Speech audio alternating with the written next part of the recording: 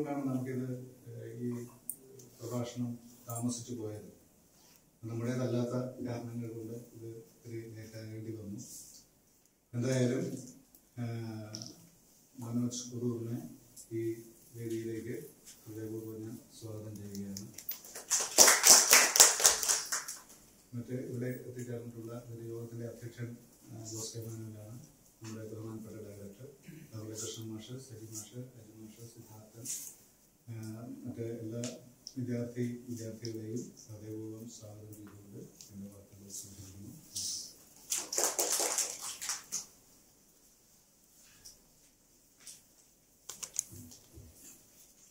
നമസ്കാരം. ബഹുമാനപ്പെട്ട ഡോക്ടർ മനോജ് കുളൂർ. കൃഷ്ണമാഷ് പ്രിയപ്പെട്ട സഹപ്രവർത്തകരെ വിദ്യാർത്ഥികൾ വിനേന്ദ്രൻ മാഷിന്റെ ഓർമ്മകൾക്ക് മുമ്പിൽ പ്രണാമം അർപ്പിക്കുന്നു. എനിക്ക് തോന്നുന്നു പത്ത് വർഷങ്ങൾക്ക് മുമ്പാണ് അദ്ദേഹത്തിന്റെ ദേഹവിയോഗം സംഭവി സംഭവിച്ചത്. അന്ന് സ്കൂൾ ഓഫ് അത്ലറ്റിക്സിൽ നിന്നും അധ്യാപകരും വിദ്യാർത്ഥികളുമെല്ലാം അദ്ദേഹത്തെ കാണാൻ വേണ്ടി അവിടെ പോയത് ഞാനിപ്പോൾ ഓർമ്മിക്കുകയാണ്. അന്ന് അവിടെ ചെന്ന് നിൽക്കുമ്പോൾ വിദ്യാർത്ഥികളെ സ്നേഹത്തോടെ അദ്ദേഹം അടുത്ത് നിന്ന് വിരുമ്പുന്നത് ഞാൻ കണ്ടു. എവിടെ നിന്നോ അദ്ദേഹത്തിന്റെ കവിതകൾ ആലപിക്കുന്നത് കേട്ടു.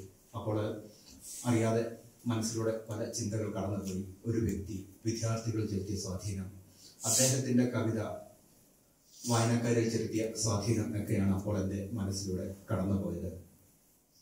വിനേന്ദ്രൻ മാഷിനെ പറ്റി പറയുകയാണെങ്കിൽ അദ്ദേഹം നോവൽ എഴുതിയിട്ടുണ്ട് കഥ എഴുതിയിട്ടുണ്ട് കവിത അദ്ദേഹത്തിന്റെ പ്രധാനപ്പെട്ട വിഷയം അല്ലെങ്കിൽ മേഖലയായിരുന്നു. അടിസ്ഥാനപരമായിട്ട് വിനേന്ദ്രൻ മാഷ് അറിയപ്പെടുന്നത് കവി എന്ന നിലയിൽ തന്നെയാണ്. ബാക്കിയൊക്കെ അദ്ദേഹത്തിന്റെ എഴുത്തിലെ ഒരു കൗതുകം അല്ലെങ്കിൽ ഒരു പരീക്ഷണം എന്ന് മാത്രമേ പറയാൻ പറ്റുകയുള്ളൂ. അദ്ദേഹത്തിന്റെ കവിതകളുടെ ഒരു പശ്ചാത്തലം എന്ന് പറഞ്ഞാൽ നമുക്കെല്ലാം അറിയാവുന്നതുപോലെ കരിമാഷ് സൂചിപ്പിച്ചതുപോലെ ആധുനികതയുമായി ബന്ധപ്പെട്ടാണ്. നമുക്കറിയാം ആ ഒരു കാലഘട്ടത്തിൽ കഥ നോവൽ നാടകം എല്ലാം വളരെ സജീവമായിരുന്നു. നമ്മളിങ്ങനെ നവോത്ഥാന കാലഘട്ടത്തിൽ നിന്നും ആധുനികതയിലേക്ക് പ്രവേശിക്കുന്നു. അപ്പോൾ ആധുനികതയിലേക്ക് പ്രവേശിക്കുമ്പോൾ സ്വാഭാവികമായിട്ടും അത് നമ്മളുടെ ഒരു ചിന്ത അല്ലെങ്കിൽ നോട്ടം പാശ്ചാത്യ നാടുകളിലേക്ക് പോയിട്ടുണ്ട്. കാരണം അവിടെ നിന്നാണല്ലോ ആധുനികതയെ പറ്റിയുള്ള സങ്കല്പങ്ങളും അതിനെപ്പറ്റിയുള്ള അറിവുമെല്ലാം നമുക്ക് കിട്ടുന്നത്. അങ്ങനെ ഒരു കാലഘട്ടത്തിൽ പാശ്ചാത്യ സാഹിത്യത്തിന്റെതായ ഒരു സ്വാധീനം പല നിരൂപണങ്ങളിലും പല എഴുത്തുകളിലും സംഭവിച്ചിട്ടുണ്ട്. എന്നാൽ വിനേന്ദ്രമാഷൻ അതിൽ നിന്നും ഒന്ന് കലഹിച്ചു നിൽക്കുകയും അദ്ദേഹം ഈ പറയുന്ന മേഖലകളെ ആഴത്തിൽ പഠിക്കുകയും നമ്മളുടെ ഭാരതീയ സംസ്കാരവും വിശേഷിച്ച് നമ്മളുടെ ഒരു സംസ്കാരം എന്ന് പറഞ്ഞാൽ അത് ആര്യ ദ്രാവിഡ സംസ്കാരത്തിന്റെ ഒരു സങ്കലനമാണല്ലോ. വിശേഷിച്ച് നമ്മുടെ ഇവിടെയൊക്കെ കേരളം തമിഴ്നാട് അങ്ങനെയുള്ള പ്രദേശത്തുള്ളവരൊക്കെ ദ്രാവിഡ സംസ്കാരത്തിന്റെ ഭാഗമാണ്. അപ്പോൾ ആ ഒരു സംസ്കാരത്തിന്റെ അടിത്തറയിൽ നിന്നുകൊണ്ട് നമ്മളുടെ ഒരു കാവ്യ ഭാഷയെ കാവ്യലോകത്തെ അദ്ദേഹം പുതുക്കി എടുക്കുന്നതിൽ നിർണായകമായ പങ്ക് വഹിച്ചിട്ടുണ്ട്. അതുപോലെ അദ്ദേഹം ജീവിച്ചിരുന്ന കാലത്ത് സ്ഥാനത്തിന്റെയോ അല്ലെങ്കിൽ ഏതെങ്കിലും ഒരു ഗ്രൂപ്പിന്റെയോ ഭാഗമായിരുന്നില്ല. തനിക്ക് ശരിയെന്ന് പറയുന്ന കാര്യങ്ങൾ ആത്മധൈര്യത്തോടെ ഉറക്കെ പ്രഖ്യാപിക്കാനാണ് അദ്ദേഹം ഇഷ്ടപ്പെട്ടത്. കവിത എന്ന് പറഞ്ഞാൽ അത് വെറുതെ എഴുതുക മാത്രമല്ല അത് ചൊല്ലുകയും ചൊല്ലുമ്പോൾ ഒരു സംഘം ആൾക്കാരെ അതിലേക്ക് ആകർഷിക്കുകയും ഒക്കെ ചെയ്യുന്ന ഒരു ഒരു ഒരു പ്രവൃത്തി അദ്ദേഹത്തിന്റെ കൂടെ ഉണ്ടായിരുന്നു. അദ്ദേഹത്തിന്റെ പരിക്കൻ ശബ്ദത്തിൽ ആ ദ്രാവിഡ താളത്തിൽ അദ്ദേഹത്തിന്റെ കവിതകൾ കേൾക്കുവാൻ ഒരു പ്രത്യേക കൗതുകം തന്നെയുണ്ട്. ഇങ്ങനെ ഉള്ള വിനേന്ദ്രൻ മാഷ് സ്കൂൾ ഓഫ് ലിറ്റേഴ്സുമായിട്ട് പ്രവർത്തിക്കുമ്പോൾ ഇവിടെ നിന്നുകൊണ്ടാണ് അദ്ദേഹത്തിന്റെ അതിനു മുമ്പ് തന്നെ അദ്ദേഹം കവിയാണ് പക്ഷേ ഈ സ്കൂൾ ഓഫ് ലിറ്റേഴ്സിൽ വന്നതിന് ശേഷം അദ്ദേഹത്തിന്റെ കാവ്യ മേഖലയിൽ സമഗ്രമായ ഒരു മാറ്റം അദ്ദേഹത്തിന് സംഭവിക്കുന്നുണ്ട്. കാരണം അന്ന് സ്കൂൾ ഓഫ് ലെറ്റേഴ്സ് എന്ന് പറയുന്നത് നമുക്കറിയാം അനന്തമൂർത്തി സാർ വിഭാവനം ചെയ്ത ഒരു സ്കൂൾ ഓഫ് ലെറ്റേഴ്സ് അപ്പോൾ എല്ലാ കലകളുടെയും സാഹിത്യത്തിന്റെയും എല്ലാം ഒരു ഇരിപ്പിടമായിരിക്കണമെന്ന് അദ്ദേഹത്തിന് നിർബന്ധമുണ്ടായിരുന്നു. അപ്പോൾ ഇവിടെ ജി ശങ്കരപ്പിള്ള നരേന്ദ്രപ്രസാദ് പി ബാലേന്ദ്രൻ അങ്ങനെ കുറെ ആൾക്കാർ നാടകവും സിനിമയൊക്കെ ആയിട്ട് ബന്ധപ്പെട്ടവർ വരുന്നു P P Raveendran B C Haris ആ, കൃഷ്ണൻ മാഷപ്പറുള്ളവര് കുര്യാസ് കുമ്പളക്കുഴി പിന്നെ വിമൻ സ്റ്റഡീസ് പഠിപ്പിക്കാൻ വേണ്ടി ഗീത ടീച്ചർ ഇങ്ങനെയുള്ളവരെല്ലാം ഇവിടെയുള്ള ഒരു ഒരു അന്തരീക്ഷം. ഇവിടെ സർഗ സാഹിത്യവുമായിട്ട് പ്രത്യേകിച്ച് കവിതയുമായിട്ട് ഏറ്റവും തീക്ഷ്ണമായി ബന്ധപ്പെട്ടിരുന്നത് വിനേന്ദ്രൻ മാഷാണ്. അപ്പോൾ എനിക്ക് തോന്നുന്നു ആ ഒരു കാലഘട്ടത്തിലെ സ്കൂൾ ഓഫ് ലെറ്റേഴ്സ് എന്ന് പറയുന്നത് കേരളത്തിലെ എല്ലാ പൊതുമണ്ഡലങ്ങളിലും അല്ലെങ്കിൽ എല്ലാ സാഹിത്യ ചർച്ചകളിലും അല്ലെങ്കിൽ കലാ ചർച്ചകളിലും ഒരു ശ്രദ്ധ കേന്ദ്രമായിരുന്നു. അതിന് കാരണം വേറൊന്നുമല്ല. അവിടെയോട്ട് അവരുടെ ശ്രദ്ധ കൊണ്ടുവരുവാൻ അവരുടെ പുതിയ ആവിഷ്കാരങ്ങളിലൂടെ കഴിഞ്ഞു എന്നതാണ് വീരേന്ദ്രൻ മാഷിനാണെങ്കിലും കവിതയിൽ അതുപോലെ ഒരു പുതുമ കൊണ്ടുവരാൻ കഴിഞ്ഞു. അതുപോലെ തന്നെ വീരേന്ദ്രൻ മാഷിന്റെ കവിതയിലേക്ക് നമ്മൾ അല്പം കൂടി സൂക്ഷ്മമായിട്ട് പോയി കഴിഞ്ഞാൽ അതിന് പല മേഖലകളുണ്ട്. എനിക്ക് തോന്നുന്നു ഏറ്റവും ശക്തമായിട്ട് നിൽക്കുന്നത് ഈ പറയുന്ന ദ്രാവിഡ സങ്കല്പത്തിന്റെ ഒരു ഒരു പശ്ചാത്തലമാണ്. അതിന്റെ ഒരു പരിക്കൻ സ്വഭാവത്തോടൊപ്പം തന്നെ അതിന്റെ ഒരു പ്രകൃതി സ്നേഹം അതിന്റെ ഏറ്റവും വലിയ ഒരു ഘടകമാണ്. പ്രകൃതി സ്നേഹം എന്ന് പറഞ്ഞാൽ കേവലമായ പ്രകൃതിയോടുള്ള സ്നേഹമല്ല മനുഷ്യനോടുള്ള സ്നേഹം അതിന്റെ ഏറ്റവും അടിത്തട്ടിൽ നിൽക്കുന്നു. അതുപോലെ തന്നെ നമ്മൾ തിണയിൽ പഠിക്കാറുള്ള അകം പുറം സങ്കല്പങ്ങൾ അദ്ദേഹത്തിന്റെ കവിതയിലേക്ക് വരുമ്പോൾ വ്യക്തി സമൂഹം എന്നെല്ലാം പറയുന്ന അവസ്ഥകളിലൂടെ ഓരോ രീതിയിൽ സഞ്ചരിക്കുന്നുണ്ട്. അതുപോലെ സാമൂഹ്യ പ്രശ്നങ്ങൾ കൈകാര്യം ചെയ്യുന്ന രീതി നമ്മളെ അത്ഭുതപ്പെടുത്തുന്നതാണ്. ഞാനിപ്പോ അദ്ദേഹത്തിന്റെ ഒരു ഉദാഹരണത്തിന് അദ്ദേഹം ഒരു പ്രണയത്തെ പറ്റി അദ്ദേഹം ഏറ്റവും കൂടുതൽ പാടാറുണ്ട്. അദ്ദേഹം ഒരിക്കൽ പ്രണയത്തെ പറ്റി പറഞ്ഞതാണ് എന്റെ പ്രണയമേ യന്ത്രങ്ങൾക്ക് നടുകെ നീ നഗ്നയാകുക എന്ന് പറയുമ്പോൾ അതിനെപ്പറ്റി അദ്ദേഹത്തിന്റെ പിന്നീട് വ്യാഖ്യാനത്തിൽ കൃത്യമായിട്ട് പറയുന്നുണ്ട്. നമ്മൾ ഇന്ന് ഒരു വിപണന സംസ്കാരത്തിന്റെ പ്ര- പ്രത്യേകിച്ച് ആധുനികതയുടെ കാലത്ത് ഒരു വിപണന സംസ്കാരത്തിന്റെ കാലഘട്ടത്തിലാണ് നിൽക്കുന്നത്. നമ്മുടെ നെയിൽ പോളിഷ് മുതൽ നമ്മൾ ഉപയോഗിക്കുന്ന എല്ലാ വസ്തുക്കളും പരസ്യങ്ങൾ നമ്മളിലേക്ക് എത്തിക്കുകയാണ്. അപ്പോൾ മനുഷ്യന്റെ നൈസർഗികമായ ചിന്തകളെ പോലും സ്വഭാവത്തെ പോലും ഈ ഈ പറയുന്ന പരസ്യവും അതുപോലെയുള്ള പ്രചരണോപാധികൾ സ്വാധീനിക്കുമ്പോൾ പ്രണയം പോലും നഷ്ടമാകുന്നു അതിന്റെ യാഥാർത്ഥ്യം പോലും വറ്റി വരണ്ടു പോകുന്നു എന്ന് പറയുന്ന ഒരു വല്ലാത്ത അവസ്ഥയിൽ അദ്ദേഹം ഇങ്ങനെ ഒരു ഒരു- പ്രണയത്തെ പറ്റി ചിന്തിക്കുന്നത്. ഇത് മാത്രമല്ല നമ്മളെ പലപ്പോഴും ഒരു തത്വചിന്തയുടെ അവസ്ഥയിലേക്ക് ഉയർത്തുന്ന കവിതകളും അദ്ദേഹത്തിന്റെ കവിത നമുക്ക് കണ്ടെത്താൻ പറ്റും. ഞാനൊരു ഒരു ഉദാഹരണത്തിന് വേണ്ടി പറയാം. ഒരു ചരിത്രം എന്താണെന്ന് അദ്ദേഹം കവിതയിൽ പറയുകയാണ്. പഴുത്ത ഇരുമ്പിൽ അവന്റെ കൂടം ആഞ്ഞടിച്ചു. പഴുത്ത ഇരുമ്പിൽ കൊല്ലൻ അവന്റെ പ്രതിജ്ഞ ആവർത്തിച്ചു. പഴുത്ത ഇരുമ്പിൽ കൊല്ലൻ അവന്റെ പ്രതികാരം ആവർത്തിച്ചു. അവന്റെ കൂടം ആഞ്ഞടിച്ചുകൊണ്ടേയിരുന്നു. അവന്റെ പ്രതിജ്ഞ ആവർത്തിച്ചുകൊണ്ടേയിരുന്നു. അവന്റെ പ്രതികാരം ആവർത്തിച്ചുകൊണ്ടേയിരുന്നു. അപ്പോൾ ഈ കവിതയ്ക്ക് നമ്മൾ വായനക്കാരന്റെ മനസ്സിലേക്ക് ഇരിഞ്ഞിറങ്ങുമ്പോൾ എന്തെല്ലാം അർത്ഥങ്ങളാണുള്ളത്?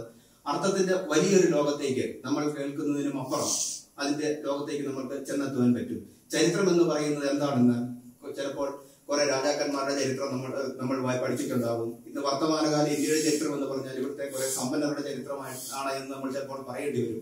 അപ്പോൾ പാർശ്വവൽക്കരിക്കപ്പെടുന്നവരെ അവരുടെ അധ്വാനത്തെ പറ്റിയൊക്കെ ചിന്തിപ്പിക്കുന്ന ചരിത്രത്തിന്റെ നിര നിരർത്ഥകതയെ പറ്റിയൊക്കെ പറയുന്ന തലങ്ങളിലേക്കൊക്കെ അദ്ദേഹത്തിന്റെ കവിത സഞ്ചരിക്കുമ്പോൾ അതിലെ തത്വ ചിന്ത നമ്മൾ അറിഞ്ഞേ മതിയാവുള്ളൂ. ആ രീതിയിൽ ഒക്കെ ദിനേന്ദ്രനെ വായിക്കുമ്പോൾ വിനയേന്ദ്രന്റെ കവിതകൾക്ക് വർത്തമാന കാലത്ത് പ്രസക്തി ഏറുകയാണ്. അദ്ദേഹത്തെ ഒരു കാലഘട്ടത്തിൽ ആരെങ്കിലുമൊക്കെ തമസ്കരിക്കുവാൻ ശ്രമിച്ചുവെങ്കിൽ വർത്തമാനകാലത്ത് ആ കവിതകൾ പതിന്മടങ്ങ് ശക്തിയോടെ നമ്മളുടെ സമൂഹത്തിൽ കാവ്യലോകത്ത് പ്രതിനിധിക്കുന്നുണ്ട് അപ്പോൾ അങ്ങനെയുള്ള ഒരു വിനയേന്ദ്ര സാറിനെ ആണ് നമ്മൾ അനുസ്മരിക്കുന്നത്. കാരണം നിങ്ങളിൽ പലർക്കും അദ്ദേഹത്തെ നേരിട്ട് പരിചയം ഉണ്ടാവാൻ വഴിയില്ല. കാരണം നിങ്ങളൊക്കെ പുതിയ തലമുറയുടെ ആൾക്കാരാണ്. പക്ഷെ ഞാനൊക്കെ ഉൾക്കൊള്ളുന്ന ഒരു തലമുറയിൽ അദ്ദേഹത്തിന്റെ കാവ്യ സഞ്ചാരത്തിന്റെ ഒരു പ്രത്യേക രീതി ഉണ്ടായിരുന്നു. ഒരു അവധൂതനെ പോലെ കടന്നു വരികയും എല്ലാം കവിതയിലൂടെ കാണുകയും കവിതയെ നമ്മുടെ ജീവിതത്തിന്റെ ഭാഗമാക്കുകയും സംഘം ചേരുവാനുള്ള ഒരു ഉപാധിയായി കവിതയെ സൃഷ്ടിക്കുകയും എല്ലാം ചെയ്തത് അദ്ദേഹത്തിന്റെ ഒരു പ്രത്യേക കഴിവ് തന്നെയാണ്. ഞാൻ ദീർഘിപ്പിച്ച് പറയുന്നില്ല. സ്കൂൾ ഓഫ് ലെറ്റേഴ്സ് എന്ന് പറയുന്ന സ്ഥാപനത്തിൽ അദ്ദേഹവുമായി ബന്ധപ്പെട്ട് തന്നെയാണ് ഇവിടെ പല കവികളും അവരുടെ ഒരു ജീവിതം തുടങ്ങുന്നത്. എനിക്ക് തോന്നുന്നു നമുക്കിന്ന് മുഖ്യ അതിഥിയായിട്ട് വന്നിരിക്കുന്ന മനോജ് കുറൂര് അദ്ദേഹം ബി എക്ക് പഠിക്കുന്ന കാലം മുതലേ വിനേന്ദ്രൻ മാഷുമായിട്ടുള്ള അടുപ്പത്തിലാണ്. ആ ഒരു ഇഷ്ടമാവാം അദ്ദേഹം എം ഫിൽ ചെയ്തപ്പോൾ വിനേന്ദ്രൻ മാഷിനെയാണ് ഗൈഡായിട്ട് തിരഞ്ഞെടുത്തത് തുടർന്ന് പി എച്ച് ഡി ചെയ്തപ്പോഴും. അപ്പോൾ സ്വാഭാവികമായിട്ടും അതുപോലെ തന്നെ അൻവർ ഉണ്ട് ന്യൂസ് മേരി ഉണ്ട് മനോജ് എം പി മനോജ് ഉണ്ട്. പെട്ടെന്ന് എന്റെ മനസ്സിലേക്ക് ഈ ചിന്തകളൊക്കെയാണ് വരുന്നത്.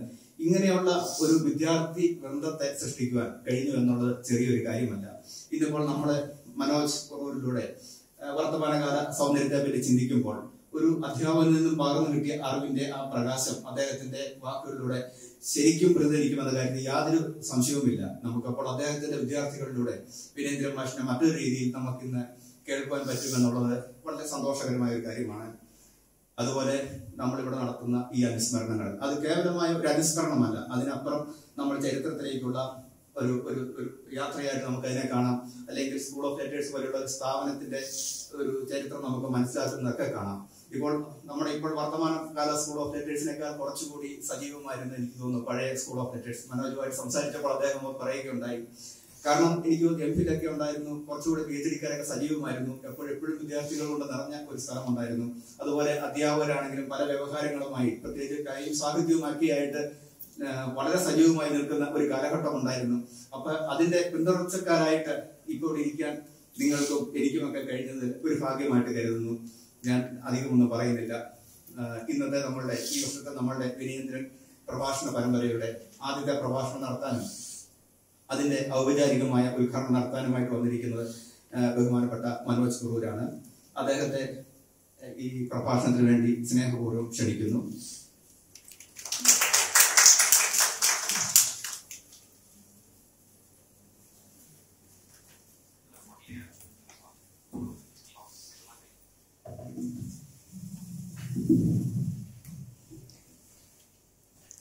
പ്രിയപ്പെട്ടവരെ സ്കൂൾ ഓഫ് ടീച്ചേഴ്സിൽ വന്നു നിന്നുകൊണ്ട് ഔപചാരികമായി എന്തെങ്കിലും സംസാരിക്കുക എന്നുള്ളത് എനിക്ക് കുറച്ച് ബുദ്ധിമുട്ടുള്ള കാര്യമാണ്. കാരണം അതുവരെ ശീലിച്ചിട്ടുള്ള പെരുമാറ്റ മര്യാദകളും അതിന്റെ ഔപചാരികതകളും അത്തരത്തിലുള്ള യാന്ത്രികമായ സംഗതികളൊക്കെ അലിഞ്ഞ് സാധാരണ ഒരു മനുഷ്യന്റെ ഉള്ളിൽ അങ്ങനെയാണ് തോന്നുന്നത് വെച്ചാൽ ആ രീതിയിൽ പെരുമാറുക. അതിൽ അധികാരത്തിന്റെയോ അല്ലെങ്കിൽ മറ്റേതെങ്കിലും തരത്തിലുള്ള വലിപ്പ ചെറുപ്പങ്ങളുടെയോ ഒന്നും ഒരു ഒരു ബാധ ഉണ്ടാവാതിരിക്കുക. അങ്ങനെയൊക്കെയുള്ള ഒരു അവസരമാണ് സ്കൂൾ ഓഫ് ടീച്ചേഴ്സിൽ ഉള്ള വിദ്യാഭ്യാസ കാലഘട്ടം ഞാൻ കഴിച്ചു കൂട്ടിയത് അന്ന് എന്റെ അധ്യാപകനായിരുന്ന വിഷമാഷയുടെ ഉണ്ട്. അദ്ദേഹത്തിന്റെ സാന്നിധ്യം അത്രത്തോളം സന്തോഷം തരുന്നു. ബാക്കി അതിന് മുൻപ് റിട്ടയർ ചെയ്തു പോയ അധ്യാപകരുണ്ട്. അതിൽ ഇന്ന് നമ്മോടൊപ്പം ഇല്ലാത്തവരുണ്ട്. നരേന്ദ്ര പ്രസാദ് സാറില്ല എൻ എൻ മൂസ സാറില്ല വത്സരാകുമായ ടീച്ചറില്ല പിന്നെ ഇന്ന് നമ്മളിവിടെ അനുസ്മരിക്കുന്ന വിജേന്ദ്ര സാറില്ല അങ്ങനെ ഹാരി സാറില്ല അങ്ങനെ ഒരു അന്ന് എനിക്ക് അത്രയേറെ അടുപ്പമുണ്ടായിരുന്ന ആളുകൾ പലരും ഇന്ന് നമ്മളൊപ്പം ഇല്ല. അതിന്റെ ഒരു ഗൃഹാതൃത്വം അല്ലെങ്കിൽ അവരുടെയൊക്കെ കൂടെ ഉണ്ടായിരുന്ന ആ ജീവിതത്തിന്റെ ഗൃഹാതൃത്വം തീർച്ചയായിട്ടും ഇപ്പോഴും ഉണ്ട് അന്ന് ഇവിടെ ഒരുമിച്ച് ഞാൻ ഇവിടെ എഫ് എൽ ചെയ്യാൻ വരുമ്പോഴേക്കും ഇവിടെ പി എച്ച് ഡി ചെയ്തിട്ടുണ്ട് പി എസ് രാധാകൃഷ്ണൻ അങ്ങനെയുള്ള ആളുകളുടെ ജോസ് മാനുണ്ട് അങ്ങനെ ഉള്ള ആളുകൾ പിന്നീട് വന്ന സജിയുണ്ട് ഹരിയുണ്ട് അജുണ്ട് അങ്ങനെ എല്ലാവരുമായിട്ടുള്ള സൗഹൃദവും പിന്നീട് വന്നിട്ടുള്ളവരാണെങ്കിലും എല്ലാവരുമായിട്ടുള്ള സൗഹൃദവും തീർച്ചയായിട്ടും എന്നും തുടർന്നു പോരുന്നുണ്ട് അതുകൊണ്ട് സ്കൂൾ ഓഫ് ടീച്ചേഴ്സ് ഒരു ജീവിതത്തിന്റെ ഭാഗമാണ്. അതുകൊണ്ട് തന്നെ ഒരു ഔപചാരികമായിട്ട് നമ്മുടെ കുടുംബത്തിൽ നിന്നിട്ട് പ്രിയപ്പെട്ടവരെ അച്ഛ അമ്മ എന്നവരോട് പറയാറില്ലാത്ത പോലെ. സ്കൂൾ ടീച്ചേഴ്സിൽ വരുമ്പോഴേക്കും നമുക്ക് ആ രീതിയിലല്ലാതെ സംസാരിക്കാൻ നമുക്ക് സ്പേസ് ഉണ്ടെന്നാണ് ഞാൻ വിചാരിക്കുന്നത്. പിന്നെ ഒരു കൗതുകത്തിനുള്ള ഒരു കാര്യം പറയാം. നമ്മളിപ്പോ ഇരിക്കുന്ന ഈ ബിൽഡിങ് ഉദ്ഘാടനം ചെയ്തത് ഞാനും കൂടി ചേർത്തിട്ടാണ് അതെ. അതെ അച്ഛാ ഞാൻ അവകാശപ്പെടുന്നത് പറയും. കാരണം ആദ്യം ഞാൻ ചെണ്ടവിട്ടത് ആദ്യം ഞാൻ ചെണ്ടവിട്ടുന്നു അതിനുശേഷം വീരേന്ദ്ര സാർ കവിത എഴുതുന്നു പിന്നീട് നരേന്ദ്രപ്രസാദ് സാറ് പ്രഭാഷണം നടത്തുന്നു അങ്ങനെയാണ് ഈ ഈ ബിൽഡിംഗ് ഉദ്ഘാടനം ചെയ്യുന്നത്. ഞങ്ങൾ. അതായത് ഞങ്ങളാണല്ലോ ഞാനാണ് കിട്ടുന്നത് അതായത് ഞാൻ പറഞ്ഞത് ഞങ്ങൾ പഠിച്ചത് ഇവിടെയല്ല ഈ ബിൽഡിങ്ങിലല്ല. ഹസൻ മൻസിലാണ്. എല്ലാവരും പറയുന്ന നേരത്തെ ഹസൻ മൻസിലാണ് പ്രവർത്തിച്ചിരുന്നത്. മറ്റങ്ങവല എന്ന അടുത്തുള്ള. വളരെ അത് സ്കൂൾ ഓഫ് ടീച്ചേഴ്സിന് ഇപ്പോഴും മനസ്സിൽ ഓർമ്മ ആദ്യം ഓർമ്മ വരുന്നത് ആ ബിൽഡിംഗ് ആണ് ഏതായാലും ഞാൻ പറഞ്ഞു വെച്ചാൽ അത്തരത്തിലുള്ള നിരവധി ഓർമ്മകൾ സ്കൂൾ ഓഫ് ടീച്ചേഴ്സായിട്ട് ബന്ധപ്പെട്ടുണ്ട്. പിന്നെ ഇന്ന് ഞാനിവിടെ സംസാരിക്കുന്ന വിഷയം ഈ വിഷയം സംസാരിക്കാൻ എനിക്ക് ഏതെങ്കിലും തരത്തിലുള്ള ഒരു ആത്മവിശ്വാസം കിട്ടിയിട്ടുണ്ടെങ്കിൽ അത് തീർച്ചയായിട്ടും സ്കൂൾ ഓഫ് ടീച്ചേഴ്സിൽ ഉണ്ടായിട്ടുള്ള ഒരു ഒരു പരിശീലനത്തിന്റെ ആ, ഒരു പശ്ചാത്തലത്തിലാണ് എന്നുവെച്ചാൽ ഒരു അടിസ്ഥാനം ഉണ്ടാക്കുന്ന ഒരാൾ എന്റെ മുമ്പിലുണ്ട് കൃഷ്ണമാഷുണ്ട്. അതുപോലെ പി പി രവീന്ദ്ര സാറുണ്ട് പിന്നെ വി സി ഹാരിസ് സാറുണ്ട്. ഇവരുടെയൊക്കെ ക്ലാസ്സുകളിലൂടെ ഇവരുടെ ക്ലാസ്സുകളിലൂടെയാണ് വാസ്തവത്തിൽ പാശ്ചാത്യ സാഹിത്യ സാംസ്കാരിക രാഷ്ട്രീയ സിദ്ധാന്തങ്ങൾ അവയുടെ അടിസ്ഥാന അവയുടെ അടിസ്ഥാനം ഉറപ്പിച്ചു പോകാൻ പറ്റും. അതാണ് ഞാൻ പറയുന്നത്. ഈ സിദ്ധാന്തങ്ങളൊക്കെ എല്ലാവരും പറയാറുണ്ട് പക്ഷെ അവയുടെ അടിസ്ഥാനം ഉറക്കുക എന്നൊരു സംഗതിയുണ്ട്. അതാണ് ടീച്ചേഴ്സിന്റെ ഒരു പ്രധാനപ്പെട്ട സംഭാവന. അതായത് നമുക്ക് എന്തെങ്കിലും ഒരു കാര്യം അതിനകത്ത് വീണ്ടും ആലോചിക്കണമെന്നുണ്ടെങ്കിൽ ഒരു അടിത്തറ വേണം. ആ അടിത്തറ നിർമ്മിച്ച പ്രധാനപ്പെട്ട അധ്യാപകരുടെ കാര്യമാണ് ഞാനിപ്പോൾ ഇവിടെ വളരെ നന്ദിയോടെ പറഞ്ഞു. വിനേന്ദ്ര സാറിന്റെ വിനേന്ദ്ര സാറിനെ കുറിച്ച് സംസാരിക്കുക പറഞ്ഞാൽ നേരത്തെ പോലെ എന്താണ് പറയേണ്ടത് എനിക്കറിയില്ല. കാരണം അദ്ദേഹം കുറിച്ച് പറയണോ? അദ്ദേഹം അടുപ്പത്തെ കുറിച്ച് പറയണോ? അതോ അദ്ദേഹത്തിന്റെ കവിതയെ കുറിച്ച് സംസാരിക്കണമോ എന്താണ് വേണ്ടത് എന്നുള്ള ഒരു ഒരു സംശയം എനിക്കുണ്ട്. എങ്കിലും ഇവിടെ ശ്രീ ജോസ് കെ മാനവൽ സൂചിപ്പിച്ചതുപോലെ ബസേരിയസ് കോളേജിൽ ഡിഗ്രിക്ക് പഠിക്കുമ്പോൾ മലയാള ബിരുദ വിദ്യാർത്ഥിയായിരിക്കുന്ന സമയത്താണ് ദേവനേന്ദ്രനെ ആദ്യമായിട്ട് കാണുന്നത്. അദ്ദേഹം അവിടെ ആ, കവിതയെല്ലാം വന്നാണ് വലിയ കവസമാണെന്നാണ് അന്ന് ഉണ്ടായിരുന്ന പ്രധാനപ്പെട്ട എല്ലാ കവികളും അല്ലെങ്കിൽ പ്രധാനപ്പെട്ട നിരവധി കവികൾ ആ കവിസമ്മാനത്തിൽ പങ്കെടുത്തിട്ടുണ്ടെന്ന് എനിക്ക് തോന്നുന്നു. അന്ന് പങ്കെടുത്താണെന്ന് ഞാൻ ഓർക്കുന്നു. അതായത് അന്ന് ആരും അധികം കേട്ടിട്ട് പോലും ഇല്ലാത്ത വി മസൂദൻ നായർ അതായത് ഈ പ്രദേശ ആദ്യമായിട്ട് യുവതരാമെന്ന് അന്നാണെന്നാണ് എനിക്ക് തോന്നുന്നത്. എൺപത്തി എട്ടിലെ കാര്യമാണ്. എൺപത്തെട്ട് എൺപത്തൊമ്പതിലെ കാര്യമാണ്. അതോടൊപ്പം എ അയ്യപ്പൻ അതിനും കൂടാതെ കടമട്ട രാമകൃഷ്ണൻ പാരമ്പര്യ ആ സമയത്ത് തന്നെ എത്രത്തോളം ശ്രദ്ധേയരായിരുന്ന കവികളുണ്ടായിരുന്നു. അന്നാണ് ഡി വിനയചന്ദ്രൻ എന്ന കവി അന്ന് അദ്ദേഹം തിരുവനന്തപുരത്ത് യൂണിവേഴ്സിറ്റി കോളേജ് അധ്യാപകനാണ്. അന്നാണ് അദ്ദേഹം ബസേലിസ് കോളേജിൽ കവിത വരികയും അന്ന് തന്നെ അദ്ദേഹത്തിന്റെ കവിതയുടെ അവതരണം കേട്ടപ്പോൾ അത് മറ്റ് അവതരണങ്ങളിൽ നിന്ന് വളരെ വ്യത്യസ്തത പുലർത്തുന്നതാണ് എന്ന് നമുക്ക് എല്ലാവർക്കും അറിയാം. ആ അത്തരത്തിലുള്ള ഒരു അവതരണം കേട്ട് തീർച്ചയായിട്ടും വളരെ അപരിചിതമായ ഒരു ലോകത്തേക്ക് അല്ലെങ്കിൽ നമ്മൾ കവിതയിൽ നിന്ന് സാധാരണഗതിയിൽ പ്രതീക്ഷിക്കാത്ത വളരെ അപരിചിതമായ ഒരു ലോകത്തേക്ക് കൊണ്ടുപോയ ഒരു അനുഭവം എനിക്കുണ്ട്. അതുകൊണ്ട് തന്നെ അത് കഴിഞ്ഞപ്പോൾ അദ്ദേഹമായിട്ട് ഞാൻ പരിചയപ്പെട്ടു. മാത്രമല്ല പിന്നീട് ഒരു വർഷം മലയാള അസോസിയേഷന്റെ സെക്രട്ടറി ആയിരുന്നു തൊട്ടടുത്ത വർഷം. അപ്പോൾ ആ സമയത്ത് സാറിനെ ഞാൻ തിരുവനന്തപുരത്ത് ക്ഷണിച്ചു. ഈ മലയാള അസോസിയേഷന്റെ പരിപാടി ഉദ്ഘാടനം ചെയ്യാനും ഒരു ക്ലാസ് എടുക്കാനും ഒക്കെ ആയിട്ട് സാറ് വരാമെന്ന് സംഭവിച്ചു പക്ഷെ വന്നില്ല. വന്നില്ല. അത് പകരം പകരം അന്ന് വന്നത് ഇവിടെ തന്നെ അധ്യാപകനായ പിന്നീട് ഇവിടെ അധ്യാപകനായിട്ട് വരുന്ന എൻ എം മുസ സാറാണ്. അങ്ങനെ പല തരത്തിൽ ഇതെല്ലാം ബന്ധപ്പെട്ടായിരിക്കുന്നത് ഏതായാലും ഞാൻ പറഞ്ഞതെന്ന് വെച്ചാൽ അതിനുശേഷം വിനേന്ദ്ര സാറിനെ കാണുമ്പോഴൊക്കെ ആ ഒരു വൈഭവം എപ്പോഴും പ്രകടിപ്പിക്കാറുണ്ടായിരുന്നു. പല സ്ഥ- സ്ഥലത്ത് കവിത ചെല്ലാൻ ആ ഒരു സമയത്ത് തന്നെ ഉണ്ടായിട്ടുണ്ട് ഞാൻ വളരെ എഴുതി കുറേശ്ശെ എഴുതി തുടങ്ങുന്ന ഒരു സമയമാണ്. അപ്പൊ ആ എഴുതി തുടങ്ങുന്ന സമയത്ത് സാർ വലിയ വാത്സല്യത്തോടു കൂടി കവിസമ്മേളനങ്ങൾക്ക് കാണുമ്പോൾ വലിയ വാത്സല്യത്തോടു കൂടി സംസാരിക്കുകയാണ് ചെയ്യാറുള്ളത്. വീരേന്ദ്ര സാറിന്റെ ഏറ്റവും പ്രധാനപ്പെട്ട ഒരു സവിശേഷത അതാണ്. ഏറ്റവും ചെറുപ്പക്കാരായിട്ടുള്ള ആൾക്കാരോട് സംസാരിക്കുമ്പോൾ അല്ലെങ്കിൽ എഴുതി തുടങ്ങുന്ന ആൾക്കാരോട് സംസാരിക്കുമ്പോൾ അവരിൽ ഒരാളായിട്ട് നിന്നിട്ടാണ് അദ്ദേഹം സംസാരിക്കുക. അതാണ് അദ്ദേഹത്തിന്റെ ഏറ്റവും പ്രധാനപ്പെട്ട സവിശേഷത. ഒരു ഉദാഹരണം പറഞ്ഞാൽ അദ്ദേഹത്തോട് ഞാൻ പറയുകയാണെന്നിരിക്കട്ടെ ബസ്സിലെ പഠിക്കുന്ന ഡിഗ്രിക്ക് പഠിക്കുന്ന സമയത്ത് ഞാൻ ആണെന്നിരിക്കും ഞാൻ പറഞ്ഞിട്ടില്ല അങ്ങനെ. ഇതിൽ ഞാൻ പറയുകയാണെന്നിരിക്കട്ടെ സാർ ഞാൻ കവിതകൾ എഴുതാറുണ്ട്. അത് പല മാഗസിൻസിലേക്ക് അയച്ചു കൊടുക്കാറുണ്ട്. പക്ഷെ അതൊന്നും ആരും പ്രസിദ്ധീകരിക്കാറില്ല. അത് തന്നെയാണ് ഇപ്പോഴത്തെ പ്രശ്നം. കാരണം വെച്ചാൽ ഞാൻ അത്ര കവിതകൾ അയച്ചു കൊടുക്കുന്ന ആരും പ്രസിദ്ധീകരിക്കുന്നില്ല.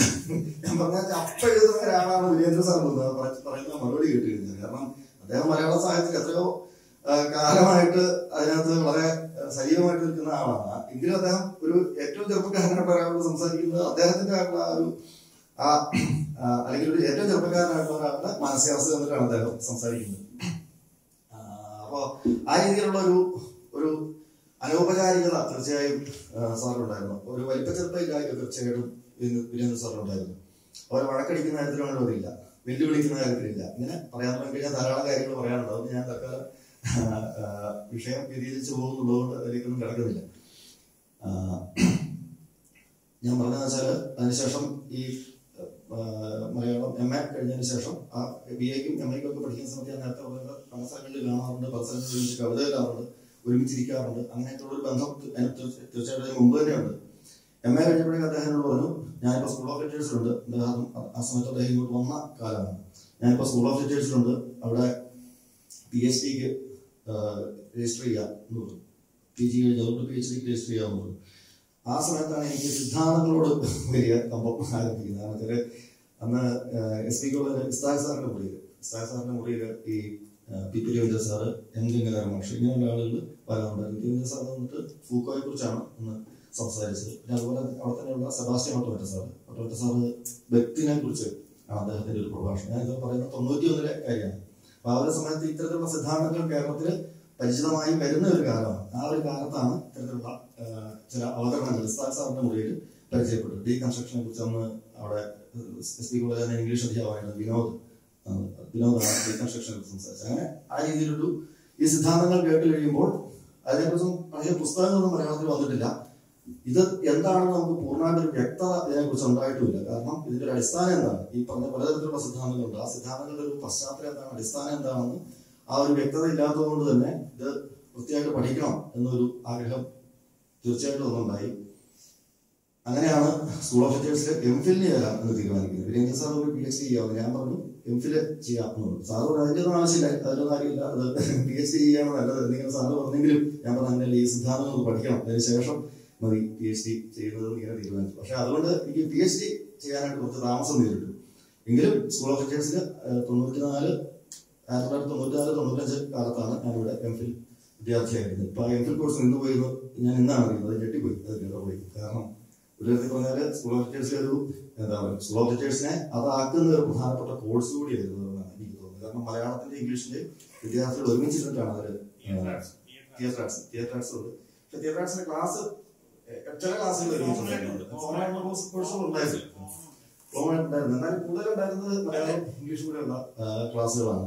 തീർച്ചയായിട്ടും അന്ന് കൃഷ്ണമാഷാണ് റോളാം ബാത്തിന്റെ ഇമേജ് മ്യൂസിക് ടെക്സ്റ്റ് എന്നുള്ള പുസ്തകം. അത് ക്ലാസ്സിൽ തന്നെ വായിച്ചാണ് അവതരിപ്പിക്കുന്നത് ഫോട്ടോഗ്രാഫിക് ഇമേജ് അതേപോലെ തന്നെ ഫ്രം വർക്ക് ടു ടെക്സ്റ്റ് പിന്നെ പ്രസിദ്ധമായ ഡെത്ത് ഓഫ് ദോർ ഇതൊക്കെ ആ ക്ലാസ്സുകളിൽ വായിച്ചാണ് പഠിക്കുന്നത്.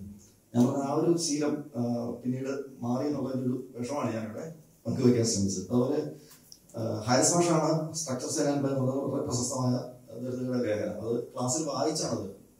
വിദ്യാർത്ഥികൾ വായിക്കുന്നു. അതിനുശേഷം അതിനെക്കുറിച്ചുള്ള ഡിസ്കഷൻ നടക്കുന്നു അങ്ങനെയാണ് ആ ക്ലാസ്സുകൾ നടന്നത്. പി പി സാർ അതുപോലെ തന്നെ. ഈ പാശ്ചാത്യ സിദ്ധാന്തങ്ങളുടെ അടിസ്ഥാന അല്ലെങ്കിൽ ഇരുപതാം നൂറ്റാണ്ടിലുണ്ടായിട്ടുള്ള ഒരു എന്തറിയാം ഒരു അതുവരെയുള്ള സാഹിത്യ സാംസ്കാരിക സിദ്ധാന്തങ്ങളിൽ വലിയൊരു വ്യതിയാനം സംഭവിക്കുന്ന ഇരുപതാം നൂറ്റാണ്ടിലാണെന്ന് നമുക്കറിയാം. ആ വ്യതിയാനം എന്താണ്? എന്ന് ആ ഒരു ഒരു സൈദ്ധാന്തിക സൈദ്ധാന്തികമായ വ്യക്തതയോടെ അവതരിപ്പിച്ച ക്ലാസ്സുകളായിരുന്നു രവീന്ദ്ര സാറിന്റെ. അപ്പൊ ഞാൻ പറഞ്ഞു വെച്ചാൽ മറ്റുള്ള അധ്യാപകർ തീർച്ചയായിട്ടും ശ്രീ സിദ്ധാന്തങ്ങളുടെ കാര്യം പറയുന്നതുകൊണ്ടാണ് ഞാൻ ഇവരുടെ പേരെടുത്ത് പറഞ്ഞത്. അപ്പൊ ഈ അധ്യാപകർ നമുക്ക് നൽകിയിട്ടുള്ള ആ ഒരു ഒരു അടിസ്ഥാനം അത് നിർമ്മിക്കുക എന്നുള്ളത് തന്നെയായിരുന്നു തീർച്ചയായിട്ടും സ്കൂൾ ഓഫ് ടീച്ചേഴ്സിൽ പഠിക്കാൻ വരുമ്പോഴത്തെ ഒരു ഉദ്ദേശം.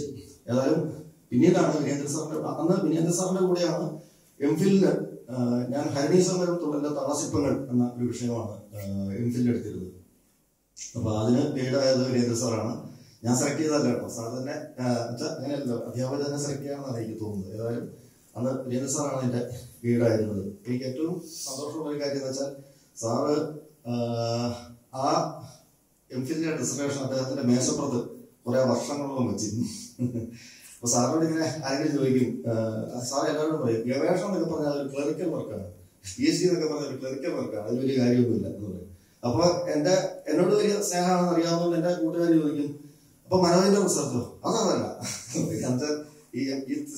അന്ന് റിസർവേഷൻ ഉള്ളൂ അല്ലാതെ പി എച്ച് ഡി ചെയ്തിട്ടില്ല. മുപ്പത്തെ കാര്യമാണ് അങ്ങനെ അദ്ദേഹം മേശപ്പുറത്ത് തന്നെ അത് ഇത് മാത്രം അദ്ദേഹം കുറെ വർഷങ്ങൾ അദ്ദേഹത്തിന്റെ മേശപ്പുറത്ത് ഈ ഒരു ഇത് മാത്രം വെച്ചിരിക്കുന്നത് എനിക്ക് എനിക്ക് വലിയ അഭിമാനിക്കാവുന്ന ഒരു സംഗതി കൂടി ഉണ്ട്. ഇങ്ങനെ ഓർമ്മിക്കാൻ. പറയുന്നത് ക്ഷമിക്കില്ല. ലെറ്റേഴ്സ് ആയതുകൊണ്ടാണ് ഇങ്ങനെയുള്ള കാര്യങ്ങൾ പറഞ്ഞത്.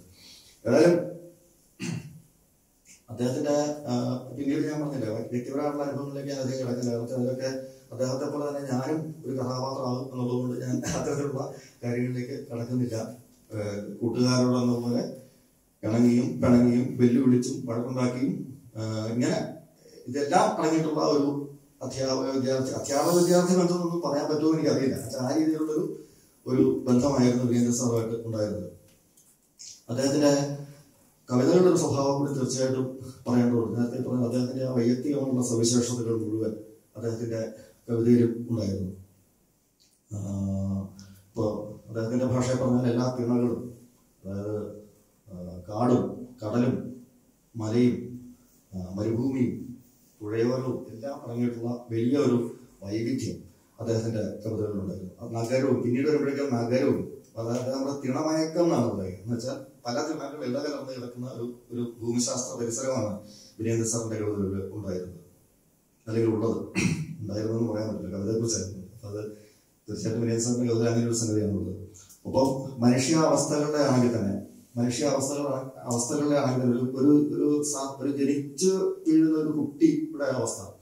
ലോകത്തിലെ ശീലങ്ങളോ പെരുമാറ്റ മര്യാദകളോ ഒക്കെ അല്ലെങ്കിൽ ആ ഒരു എന്താണ് സിംബോളിക് ഓർഡറിലേക്ക് കിടക്കണം എന്ന് പറയുന്ന ഒരു അവസ്ഥയാണ്. അങ്ങനെ അതിന് മുമ്പുള്ള ഒരു അവസ്ഥ തൊട്ട് ആ ഒരു അവസ്ഥയുടെ ആ ഒരു നിഷ്കളങ്കത മുതൽ അല്ലെങ്കിൽ ആ ഒരു വളരെ എന്താ പറയുക ഈ സങ്കല്പനങ്ങളുടെ ലോകത്തേക്ക് വ്യവസ്ഥകളുടെ ലോകത്തേക്കൊക്കെ പ്രവേശിക്കുന്നതിന് മുമ്പുള്ള ഒരു മാനസികാവസ്ഥ മുതൽ ഉള്ള എല്ലാ മാനുഷിക അല്ലെങ്കിൽ മനുഷ്യരുടെ വളർച്ചയിലുള്ള വിവിധ ഘട്ടങ്ങളിലുണ്ടാകുന്ന വൈകാരിക അവസ്ഥകൾ മുഴുവൻ അത് ഇടകലർന്ന് ഇടകലർന്ന് അദ്ദേഹത്തിന്റെ കവിതയിൽ വരുന്നതാണ്.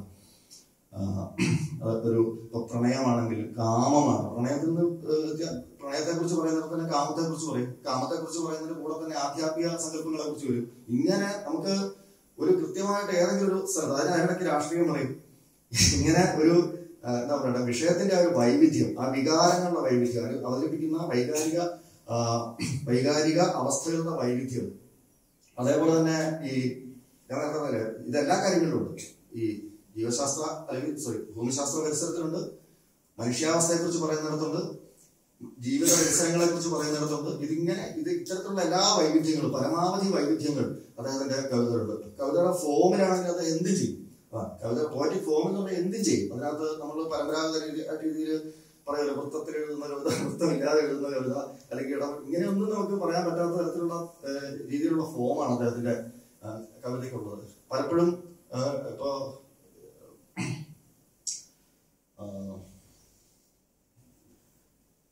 എന്നെ ഉപേക്ഷിച്ചു പോകുന്നതിന് മുൻപ് നിന്നെ ഉപേക്ഷിച്ചു പോകുന്നുവെങ്കിലും നിന്നെ ഉപേക്ഷിച്ചു പോകുന്നത് എങ്ങനെ? എന്നിങ്ങനെ ഒരു വലിയ കാൽപ്പനികമായ രീതി തോന്നും കുറച്ചും കൂടെ കഴിയുമ്പോഴേക്കും താത്പോസിന്റെ സിനിമയെ കുറിച്ചായിരിക്കും പറയുക. ഇങ്ങനെ പോകുന്ന ഒരു വൈവിധ്യമാണ് സത്യം നമ്മൾ പ്രതീക്ഷിക്കാത്ത തരത്തിലുള്ള വ്യതിയാനങ്ങളാണ് സാറിന്റെ കവിതയിൽ ഈ നറേഷന്റെ കാര്യത്തിൽ സംഭവിക്കുക. ഈ ആഖ്യാനത്തിന്റെ കാര്യത്തിൽ സംഭവിക്കുക. അദ്ദേഹത്തിന്റെ അമ്മയില്ലാത്തവർക്ക് എങ്ങ് വീട് തുടങ്ങിയുള്ള ഭാഗത്ത് പറയുന്നത് പോലെ അമ്മയില്ലാത്തവർക്ക് എങ്ങ് വീട് അമ്മയില്ലാത്തവർക്ക് ഏത് വീട് ഇല്ല വീട് എങ്ങെങ്ങുമേ വീട് കാട്ടുവഴികൾ കടത്തിണ്ണകൾ രജിസ്ട്രേഷൻ സ്റ്റേഷൻ സത്യാഗ്രഹ പന്തൽ അഭയാർത്ഥികൾക്ക് ഒരു പാട്ട് അനാഥ സേവനം തീരങ്ങളിൽ കണ്ടുമുട്ടുന്നവർക്ക് തീരും തീരും കുടിയും. ഹിമവാനിലൂടെ ഏകാന്ത യാത്ര ഗയയിൽ ബലി തീര തീരങ്ങളിൽ കണ്ടുമുട്ടുന്നവർക്ക് തീരും കുടിയും. തിരികൊളുത്തുന്ന രാഷ്ട്രീയ വിചാരം ഉറ്റവാ ഒറ്റവാക്കിന്റെ വിശുദ്ധമാം പ്രാർത്ഥന ഉറ്റവരില്ലാത്തവന്റെ ശേഷക്രിയ. ഇങ്ങനെ ഒരു അവസ്ഥയാണ് അദ്ദേഹം കവിതയിൽ എപ്പോഴും കൊണ്ടുവരുന്നത്. അതായത് ഈ ഒരു വലിയ വൈവിധ്യം വലിയ വൈവിധ്യം ജീവിത പരിസരത്തിന്റെ വൈവിധ്യമാണെങ്കിലും മനോഭാവങ്ങളുടെ വൈവിധ്യമാണെങ്കിലും ജീവിത അവസ്ഥകളുടെ വൈവിധ്യമാണെങ്കിലും ജീവശാസ്ത്ര പരിസരങ്ങളുടെ വൈവിധ്യമാണെങ്കിലും ഭൂമിശാസ്ത്ര പരിസരത്തിന്റെ വൈവിധ്യമാണെങ്കിലും ഒക്കെ ഇടകലർന്നിട്ടുള്ള ഒരു ലോകമാണ് ഡി കവിത ഈ കവിതയെ വിശകലനം ചെയ്യുന്നതിൽ മലയാള നിരൂപകർ എത്രത്തോളം വിജയിച്ചിട്ടുണ്ടോ എന്ന് എനിക്ക് സംശയമുണ്ട്. കാരണം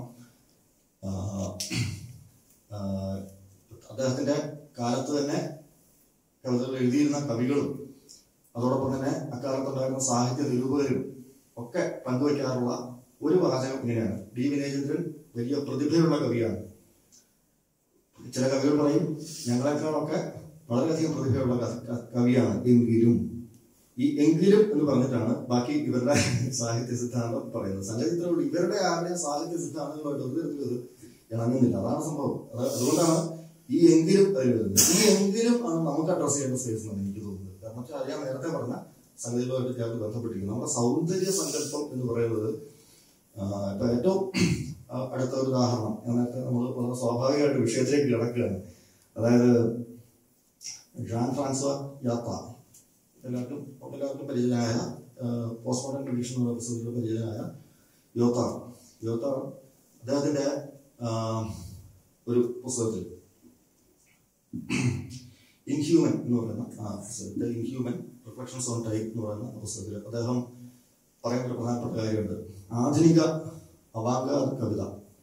ആധുനിക അവാങ്കാദ് കവിത നമുക്ക് ഈസ്തറ്റിക്സ് ഓഫ് ബ്യൂട്ടിഫുൾ എന്ന ആ ഒരു സങ്കല്പം ഉപയോഗിച്ചുകൊണ്ട് അളക്കാനാവില്ല കാരണം അത് aesthetic aesthetics of the sublime സബ്ലൈമിന്റെ aesthetics ആണ് എന്നാണ് അദ്ദേഹം പറയുന്നത്. സബ്ലൈമിന്റെ ഈസ്തറ്റിക്സ് ആണ്. മാത്രമല്ല ഈ എന്താണ് ടെക്നോളജി സാങ്കേതിക ശാസ്ത്രം വികസിച്ചു വരുന്ന ഒരു ഘട്ടത്തിൽ സാങ്കേതിക ശാസ്ത്രം വികസിച്ചു വരുന്ന ഘട്ടത്തിൽ ഉള്ള ഒരു സൗന്ദര്യശാസ്ത്ര പരിസരവും അല്ലെങ്കിൽ അതിനെ മനസ്സിലാക്കണമെങ്കിൽ ആവശ്യമായിട്ടുള്ള ഒരു സൗന്ദര്യശാസ്ത്ര ബോധവും അത് സപ്ലൈമുമായിട്ടാണ് ബന്ധപ്പെട്ടിരിക്കുന്നതെന്നാണ് അദ്ദേഹം പറയുന്നത്. ബ്യൂട്ടിഫുൾ എന്നുള്ള അവസ്ഥ വെച്ചിട്ട് നമുക്ക് അതിനെ മനസ്സിലാക്കാൻ പറ്റില്ല. പരമ്പരാഗത കല ബ്യൂട്ടിഫുൾ എന്ന് പറയുന്ന ഒരവസ്ഥയിലാണ് നമുക്ക് മനസ്സിലാക്കാൻ പറ്റുക എന്നാണ് ഇരുപത്താറ് പറയുന്നത്. എനിക്ക് തോന്നുന്നു വളരെ പ്രധാനപ്പെട്ട ഒരു നിരീക്ഷണമാണ്. അത് ആ വാക്കിലേക്ക് കടക്കണമെങ്കിൽ സപ്ലൈ എന്നുള്ള വാക്കിലേക്ക് കടക്കുക എന്നുള്ളത് കുറച്ച് ശ്രമകരമായ കാര്യമാണ്. അവിടെയാണ് ഈ സൗന്ദര്യശാസ്ത്രം എന്ന് പറയുന്ന വിഷയത്തിന്റെ തന്നെ പ്രസക്തി എന്ന് ഞാൻ വിചാരിക്കുന്നു. തീർച്ചയായിട്ടും അത് ഇമാനൽ ഖാൻ അദ്ദേഹത്തിന്റെ ക്രിട്ടിക് ഓഫ് ജഡ്ജ്മെന്റ് എന്ന് പറയുന്ന critique of the judgement critique of the faculty of judgement എന്ന് കൂടി പറയാറുണ്ട്. അങ്ങനെ ഒരു പേര് ഡിപ്റ്റിക്കുന്നുണ്ട് അദ്ദേഹത്തിന് മൂന്നാമത്തെ ഡിപ്റ്റി അതായത് critique of pure reason critique of practical reason മൂന്നാമതായിട്ട് അദ്ദേഹം എഴുതിയ ക്രിട്ടിക് ക്രിട്ടിക് ഓഫ് ജഡ്ജ്മെന്റ് എന്ന് പറയുന്ന ആ കൃതിയിലാണ് സബ്ലൈമിന്റെ ഈ സിദ്ധാന്തം വളരെ പ്രധാനമായിട്ട് അവതരിപ്പിക്കുന്നത്. ആ, സിദ്ധാന്തം അദ്ദേഹത്തിന്റെത് മാത്രമെന്ന് നമുക്ക് പറയാൻ പറ്റില്ല. കാരണം വെച്ചാൽ ആ സമയത്തിന് എഡ്മൺ ബേർഗ് എന്ന് പറയുന്ന സൈദ്ധാന്തിക അവരൊക്കെ ഉൾപ്പെടെയുള്ള ആൾക്കാർ ഈസ്തറ്റിക് സബ്ജക്ട് ഈ വിഷയത്തെ കുറിച്ച് പല ലേഖനങ്ങൾ എഴുതിയിട്ടുണ്ട് പുസ്തകങ്ങൾ തന്നെ വന്നിട്ടുണ്ട് ആ ഒരു കാലത്തെ ഒരു തത്വചിന്തകരുടെ ഒരു ശീലമായിരുന്നു ഈസ്തറ്റിക്സ് അല്ല അല്ലെങ്കിൽ എന്താണ് ഈ ബ്യൂട്ടിഫുൾ ഡേ സബ്ലൈം ഡേ. ആ ആ- ആ- ആ ആ ആ വിഷയത്തെ കുറിച്ച് അല്ലെങ്കിൽ അതിന്റെ പരിഗണനാ വിഷയങ്ങളെ കുറിച്ച് എഴുതുക എന്നുള്ളത് അന്നത്തെ കാലത്തെ ഒരു ശീലമായിരുന്നു തന്നെ പറയാം പക്ഷെ അതിനൊരു വലിയ സിദ്ധാന്തമാക്കി വികസിപ്പിച്ചെടുക്കുന്നത് അല്ലെങ്കിൽ ഒരു വളരെ പ്രധാനപ്പെട്ട ഒരു സിദ്ധാന്തമാക്കി വികസിപ്പിച്ചെടുക്കുന്നത് തീർച്ചയായും ഇമ്മാനുവൽ കാന്റാണ് അതിലേക്ക് ഞാൻ പറഞ്ഞ വെച്ചാൽ സമകാലിക കല. അപ്പൊ ലിയോട്ടാറിന്റെ ഈ സൗന്ദര്യശാസ്ത്രത്തിലേക്ക് നമുക്ക് കടക്കണമെങ്കിൽ തീർച്ചയായിട്ടും അത് കാൻഡിയൻ സങ്കല്പങ്ങളുമായിട്ട് ബന്ധപ്പെട്ട് അല്ലെങ്കിൽ അതുമായിട്ട് ഏതൊക്കെയോ തരത്തിൽ സംവദിക്കുന്ന തരത്തിലാണ് ലിയോട്ടാറിന്റെ ഈ എന്താണ് അദ്ദേഹത്തിന്റെ അദ്ദേഹം അദ്ദേഹം പോസ്റ്റ്മോഡേൺ ഉള്ള പുസ്തകം നമുക്ക് എല്ലാവർക്കും പരിചിതമാണ് അതേസമയത്ത് അദ്ദേഹത്തിന്റെ ഡിസ്കോഴ്സ് ഫിഗർ എന്ന് പറയുന്ന ഈസ്റ്ററിക്സ് ഭാഗമായിട്ട് സംസാരിക്കുന്ന അല്ലെങ്കിൽ കൈകാര്യം ചെയ്ത പുസ്തകമാണ്. അതുപോലെ ദ ഇൻഹ്യൂമൻ എന്ന് പറയുന്ന പുസ്തകം. ഇങ്ങനെയുള്ള പുസ്തകങ്ങൾ അദ്ദേഹം ഈസ്റ്ററിക്സ് വളരെ പ്രധാനമായിട്ട് കൈകാര്യം ചെയ്യുന്നുണ്ട്. ഇതേപോലെ തന്നെയാണ് മറ്റ് സൈദ്ധാന്തികളുടെ അവസ്ഥ. ഇപ്പൊ ജോർജ് അകമ്പൻ നമുക്ക് എല്ലാവർക്കും ഹോമോസൈക്കിൾ എന്ന പുസ്തകത്തിലൂടെ അല്ലെങ്കിൽ സ്റ്റേറ്റ് ഓഫ് എക്സെപ്ഷൻ എന്നുള്ള പുസ്തകത്തിലൂടെ അദ്ദേഹത്തെ നമുക്ക് പരിചയം പരിചയം അദ്ദേഹമായിട്ട് നമുക്ക് പരിചയമുണ്ട്. അത് ജൈവരാഷ്ട്രീയമൊക്കെയായിട്ട് ബന്ധപ്പെട്ട് നമ്മൾ നിരന്തരം ചർച്ച ചെയ്യുന്ന ഒരു ജോർജ് അഗംബൻ പക്ഷേ അകമ്പന്റെ ഈസ്റ്ററിക്സ് നമ്മൾ അധികം ചർച്ച ചെയ്തിട്ടില്ല. അദ്ദേഹത്തിന്റെ ആദ്യകാല കൃതികളിൽ ഏറ്റവും പ്രധാനപ്പെട്ട the man without the man without content എന്ന് പറയുന്ന പുസ്തകം. അത് ഈസ്റ്ററിക്സിന്റെ പ്രത്യേകിച്ച് കാൻഡിയൻ ഈസ്റ്ററ്റിക്സിന്റെ ഒരു ക്രിട്ടിക്ക് കാൻഡിയൻ ഈസ്റ്ററ്റിക്സിന്റെ ഒരു ക്രിട്ടിക്ക് പറയുകയാണ് ഈ ദ മാൻ വിത്തൗട്ട് കണ്ടന്റ് എന്ന് പറയുന്ന പുസ്തകം അദ്ദേഹം അടുത്ത കാലത്ത് തന്നെ അദ്ദേഹം എഴുതിയ ഏറ്റവും പുതിയ പുസ്തകങ്ങളിലൊന്നും ഈസ്റ്ററിക്സുമായി ബന്ധപ്പെട്ടതാണ്. ക്രിയേഷൻ ആൻഡ് അനാർക്കി എന്ന് പറയുന്ന ആ പുസ്തകം. അതും ഈസ്റ്ററിക്സ് പ്രധാനമായിട്ട് കൈകാര്യം ചെയ്യുന്ന ഒരു പുസ്തകമാണ് അതേപോലെ അത് ഞാൻ നേരത്തെ പറയുമ്പോൾ അഗമ്പന്റെ ഈസറ്റിക്സ് സംസാരിക്കണമെങ്കിലും നമുക്ക് ഡാനിയൽ ഈസറ്റിക്സ് പരിചിതമായിരിക്കണം എന്നുള്ള അവസ്ഥ നമുക്ക് എല്ലാവർക്കും പരിചിതമായ ദരിത വ്യാപ്തരുത് അദ്ദേഹത്തിന്റെ പ്രസിദ്ധമായ ഒരു ലേഖനം അല്ലെങ്കിൽ ഇക്കണോമിമസിസ് എന്നുള്ള പേരിൽ എഴുതപ്പെട്ട ലേഖനം. അതിലും ഈ ഈസറ്റിക് അല്ലെങ്കിൽ മിമസിസും അതുപോലെ ഇക്കണോമിക്സ് ഇത് രണ്ടും ചേർത്തിട്ടുള്ള ഒരു ഒരു കോയിനാണ് ഞാൻ ഇപ്പോൾ ഇവിടെ പറഞ്ഞ ഇക്കണോമിക്സിസ് എന്നുള്ള വാക്ക്. ആ ഇക്കണോമിക്സിസ് മാത്രമല്ല ട്രൂത്ത് ഇൻ പെയിന്റിംഗ് എന്ന് പറഞ്ഞ അദ്ദേഹം വേറൊരു പുസ്തകം എഴുതിയിട്ടുണ്ട് ഏർഗൺ എന്ന് പറയുന്ന ഒരു ദ്വന്ദ്വത്തെ ഡിസോൾവ് ചെയ്യുന്ന അല്ലെങ്കിൽ ആ ദ്വന്ദ്വത്തെ സംബോധന ചെയ്തുകൊണ്ട് സ്വന്തമായിട്ടുള്ള സിദ്ധാന്തം അവതരിപ്പിക്കുന്ന തരത്തിലുള്ള ട്രൂത്ത് ഇൻ പെയിന്റിംഗ് എന്ന് പറയുന്ന പുസ്തകവും ദുരിത എഴുതിയിട്ടുണ്ട്. ഞാൻ പറയാൻ പറയാൻ തുടങ്ങി കഴിഞ്ഞാൽ അറിയാം ആയിട്ട് പുസ്തകങ്ങൾ എഴുതാത്ത ഈ സമകാലിക സൈദ്ധാന്തികൾ കുറവാണ്. പക്ഷെ നമ്മൾ ഈ ഒരു വിഷയം മനഃപൂർവം എവിടെയോ എക്സ്പ്ലോർ ചെയ്യപ്പെടുന്നതായിട്ട് തോന്നുന്നു. കാരണം ഈ നമ്മൾ പഠിക്കുന്ന സാംസ്കാരിക സിദ്ധാന്തങ്ങൾ മിക്കപ്പോഴും ഈ സാംസ്കാരിക രാഷ്ട്രീയ വിഷയങ്ങൾ മാത്രമാണ് പ്രധാനമായിട്ട് പ്രധാനമായിട്ട് നമ്മൾ കൈകാര്യം ചെയ്യാറുള്ളത് അതിനെ അതിന്റെ മറ്റ് സവിശേഷതകളുമായിട്ട് പ്രത്യേകിച്ച് ഒരു ആർട്ട് ഫോമിനെ ആ ആർട്ടം ഏതെങ്കിലും തരത്തിൽ വിളിക്കാൻ പറ്റുമോ ഇല്ലയോ എന്നുള്ളൊരു പ്രശ്നം വരെ കൈകാര്യം ചെയ്യുന്ന ഈസറ്റിക്സ് എന്ന് പറയുന്ന വിഷയം നമ്മൾ എവിടെയൊക്കെയോ മാറ്റി വെക്കുന്നതായിട്ട് തോന്നുന്നു. അതിന്റെ കാരണം ഇത് തന്നെയാണ്. കാരണം നമുക്കറിയാം സാഹിത്യ കലാ വിദ്യാർത്ഥികൾ എപ്പോഴും അവരുടെ ഒരു വിഷയമായിട്ട് ഈസറ്റിക്സിനെ വിചാരിക്കാറുണ്ട്. പക്ഷെ നമുക്കറിയാം ഇത് കലാ സാഹിത്യ സൈദ്ധാന്തിക പരിസരത്ത് ഉണ്ടായി വന്ന ഒരു വിഷയമല്ല. തത്വചിന്തയിലെ ചില അടിസ്ഥാന പ്രശ്നങ്ങളോടുള്ള ഒരു പ്രതികരണം എന്നുള്ള നിലയ്ക്കാണ് വാസ്തവത്തിൽ ഈസ്റ്ററ്റിക്സ് എന്നുള്ള ഒരു പഠനശാഖ അല്ലെങ്കിൽ ആ ഒരു ശാഖ വികസിച്ചു വരുന്നത്. അപ്പോ തത്വചിന്തകരെ സംബന്ധിച്ച് അവർ കൂടുതൽ ശ്രദ്ധിക്കുന്നത് ലോജിക്കിനെ അടിസ്ഥാനപ്പെടുത്തി റീസണിങ്ങിനെ അടിസ്ഥാനപ്പെടുത്തി ഒക്കെ വികസിപ്പിച്ചെടുക്കുന്ന ആശയങ്ങളിലേക്കാണ്. അവർ അല്ലെങ്കിൽ ആശയങ്ങളിലാണ് അവർ കൂടുതൽ ശ്രദ്ധിക്കാറുള്ളത്. അവർ ഈസ്തറ്റിക്സിനെ കുറിച്ച് അധികം സംസാരിച്ച് കേൾക്കാറില്ല. ഇപ്പൊ അനന്താജിയോ അനന്താജിയുടെ ബീങ് ആൻഡ് ഇവന്റിനെ കുറിച്ച് സംസാരിക്കുന്നത് കേട്ടിട്ടുണ്ട്. അതേസമയത്ത് തന്നെ ഏജ് ഓഫ് ദ പോയിറ്റ്സ് എന്ന് പറഞ്ഞ കുറിച്ച് അങ്ങനെ സംസാരിച്ച് കേട്ടിട്ടില്ല. ഈ രീതിയിലുള്ളൊരു ഒരു എന്താ പറയണ്ടേ ഈ നമ്മൾ കൃത്യമായിട്ട് ഈ ഇസ്തറ്റിക്സിന്റെ ഒരു മേഖലയെ എക്സ്പ്ലോർ ചെയ്യാനായിട്ട് നമുക്ക് ഒരു അനുഭവപ്പെടാം അതിന്റെ കാരണം ഇതാണെന്നാണ് എനിക്ക് തോന്നുന്നത്. കാരണം ഇതൊരു തത്വചിന്ത തത്വചിന്തയുടെ ഭാഗമായിട്ട് അതിലെ ചില പ്രശ്നങ്ങളെ അഡ്രസ് ചെയ്തുകൊണ്ട് അതിലെ ചില പ്രശ്നങ്ങളെ സംബോധന ചെയ്തുകൊണ്ട് വികസിച്ചു വന്ന ഒരു സിദ്ധാന്തമാണ് നേരത്തെ പറഞ്ഞ കലാസാഹിത്യ മേഖലയിലുള്ള ആൾക്കാർ ഈസ്റ്ററ്റിക്സിനെ അവരുടെ വിഷയം വിചാരിക്കുന്നെങ്കിലും ഈസെറ്റിക്സ് എന്ന വിഷയത്തിലുള്ള വേണ്ടത്ര അന്വേഷണങ്ങൾ നടന്നിട്ടില്ല എന്നാണ് എന്റെ ബോധ്യം. പ്രത്യേകിച്ച് മലയാളത്തിൽ. തത്വചിന്തയുടെ മേഖലയിലുള്ളവരും ഈസെറ്റിക്സിനെ കുറിച്ച് അധികം സംസാരിക്കാറില്ല. അല്ലെങ്കിൽ കേരളത്തിലെ കാര്യമാണ് ഞാൻ പറഞ്ഞത്. അവർ ഈസെറ്റിക്സിനെ കുറിച്ച് അധികം സംസാരിക്കാറില്ല. പകരം സാംസ്കാരിക രാഷ്ട്രീയ സിദ്ധാന്തങ്ങൾ അല്ലെങ്കിൽ പൊളിറ്റിക്കൽ ഫിലോസഫി എന്ന് പറയുന്ന കുറിച്ച് അല്ലെങ്കിൽ മറ്റേ ലിംഗ്വിസ്റ്റിക് ടേണിനെ തുറന്നിട്ടുള്ള അനലിറ്റിക് ഫിലോസഫിയുടെ ഭാഗമായിട്ട് വികസിച്ചു വന്നിട്ടുള്ള ലോജിക്ക് അല്ലെങ്കിൽ അങ്ങനെയുള്ള കാര്യങ്ങളിലാണ് അവരും കൂടുതൽ ശ്രദ്ധിക്കാറുള്ളത്. അതുകൊണ്ട് ഈ രണ്ട് കൂട്ടുകാരും എന്താ പറയുക മാറ്റി വെക്കപ്പെട്ട ഒരു വിഷയമാണ് ഈസ്തറ്റിക്സ് എന്നാണ് എനിക്ക് തോന്നുന്നത് നമ്മൾ സമകാലികമായ ഉദാഹരണങ്ങളിൽ ഞാൻ അധികം കിടക്കുന്നില്ല. കാരണം വെച്ചാൽ അതിൽ അത് നമുക്ക് ഇതിന്റെ അവസാനം അല്ലെങ്കിൽ ഈ പറഞ്ഞു വരുന്നതിന്റെ അവസാനം നമുക്ക് അതിനെക്കുറിച്ച് കൂടുതൽ സംസാരിക്കാം എന്ന് വിചാരിക്കും അത് കലാകാരന്മാരെ സംബന്ധിച്ച് ഈസ്തറ്റിക്സ് എന്നൊരു പഠന വിഷയം അല്ലെ? അത്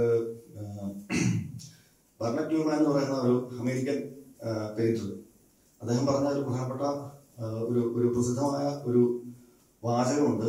Aesthetics is to artist what ornithology is to birds അതായത് ഈ പക്ഷികൾക്ക് പക്ഷിശാസ്ത്രം എങ്ങനെയോ എന്ന് പറഞ്ഞ പോലെയാണ് കലാകൃത്തുക്കളെ സംബന്ധിച്ച് ആർട്ടിസ്റ്റുകളെ സംബന്ധിച്ച് ഈസ്തറ്റിക്സ് എന്ന് പറയുന്ന വിഷയം. അതായത് അവർക്ക് അതിന്റെ ആവശ്യമില്ല. കാരണം അവർ ഈസ്തറ്റിക്സ് എന്ന് പറയുന്ന ഒരു വിഷയത്തിനനുസരിച്ചിട്ടല്ല അവർ. അല്ലെങ്കിൽ അവരുടെ ആ ഒരു സ്വാഭാവികമായ ആ പ്രവർത്തനങ്ങൾ കലാപ്രവർത്തനങ്ങളുള്ള ഈസ്തറ്റിക്സ് ഒരു വിഷയം ആയിട്ട് ബന്ധപ്പെടുത്തിയിട്ടല്ല അവർ ചെയ്യാറുള്ളത്.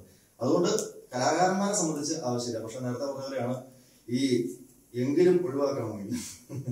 നേരത്തെ പറഞ്ഞ ഈ നമ്മുടെ പരിമിതമായിട്ടുള്ള സൗന്ദര്യബോധത്തെ ഒന്ന് ഒന്ന് പുതുക്കിയെടുത്താൽ മാത്രമേ നമുക്ക് ഈ പല എങ്കിലുകളും പല കവികളെ കുറിച്ചും അല്ലെങ്കിൽ പല കലകളെ കുറിച്ചും പറയുമ്പോഴുണ്ടാകുന്ന ഈ എങ്കിലും എന്ന് പറയുന്ന ഒരു സംഗതിയെ നമുക്ക് ഒഴിവാക്കാൻ പറ്റുള്ളൂ. അല്ലെങ്കിൽ അത് പൂരിപ്പിക്കാൻ പറ്റുള്ളൂ.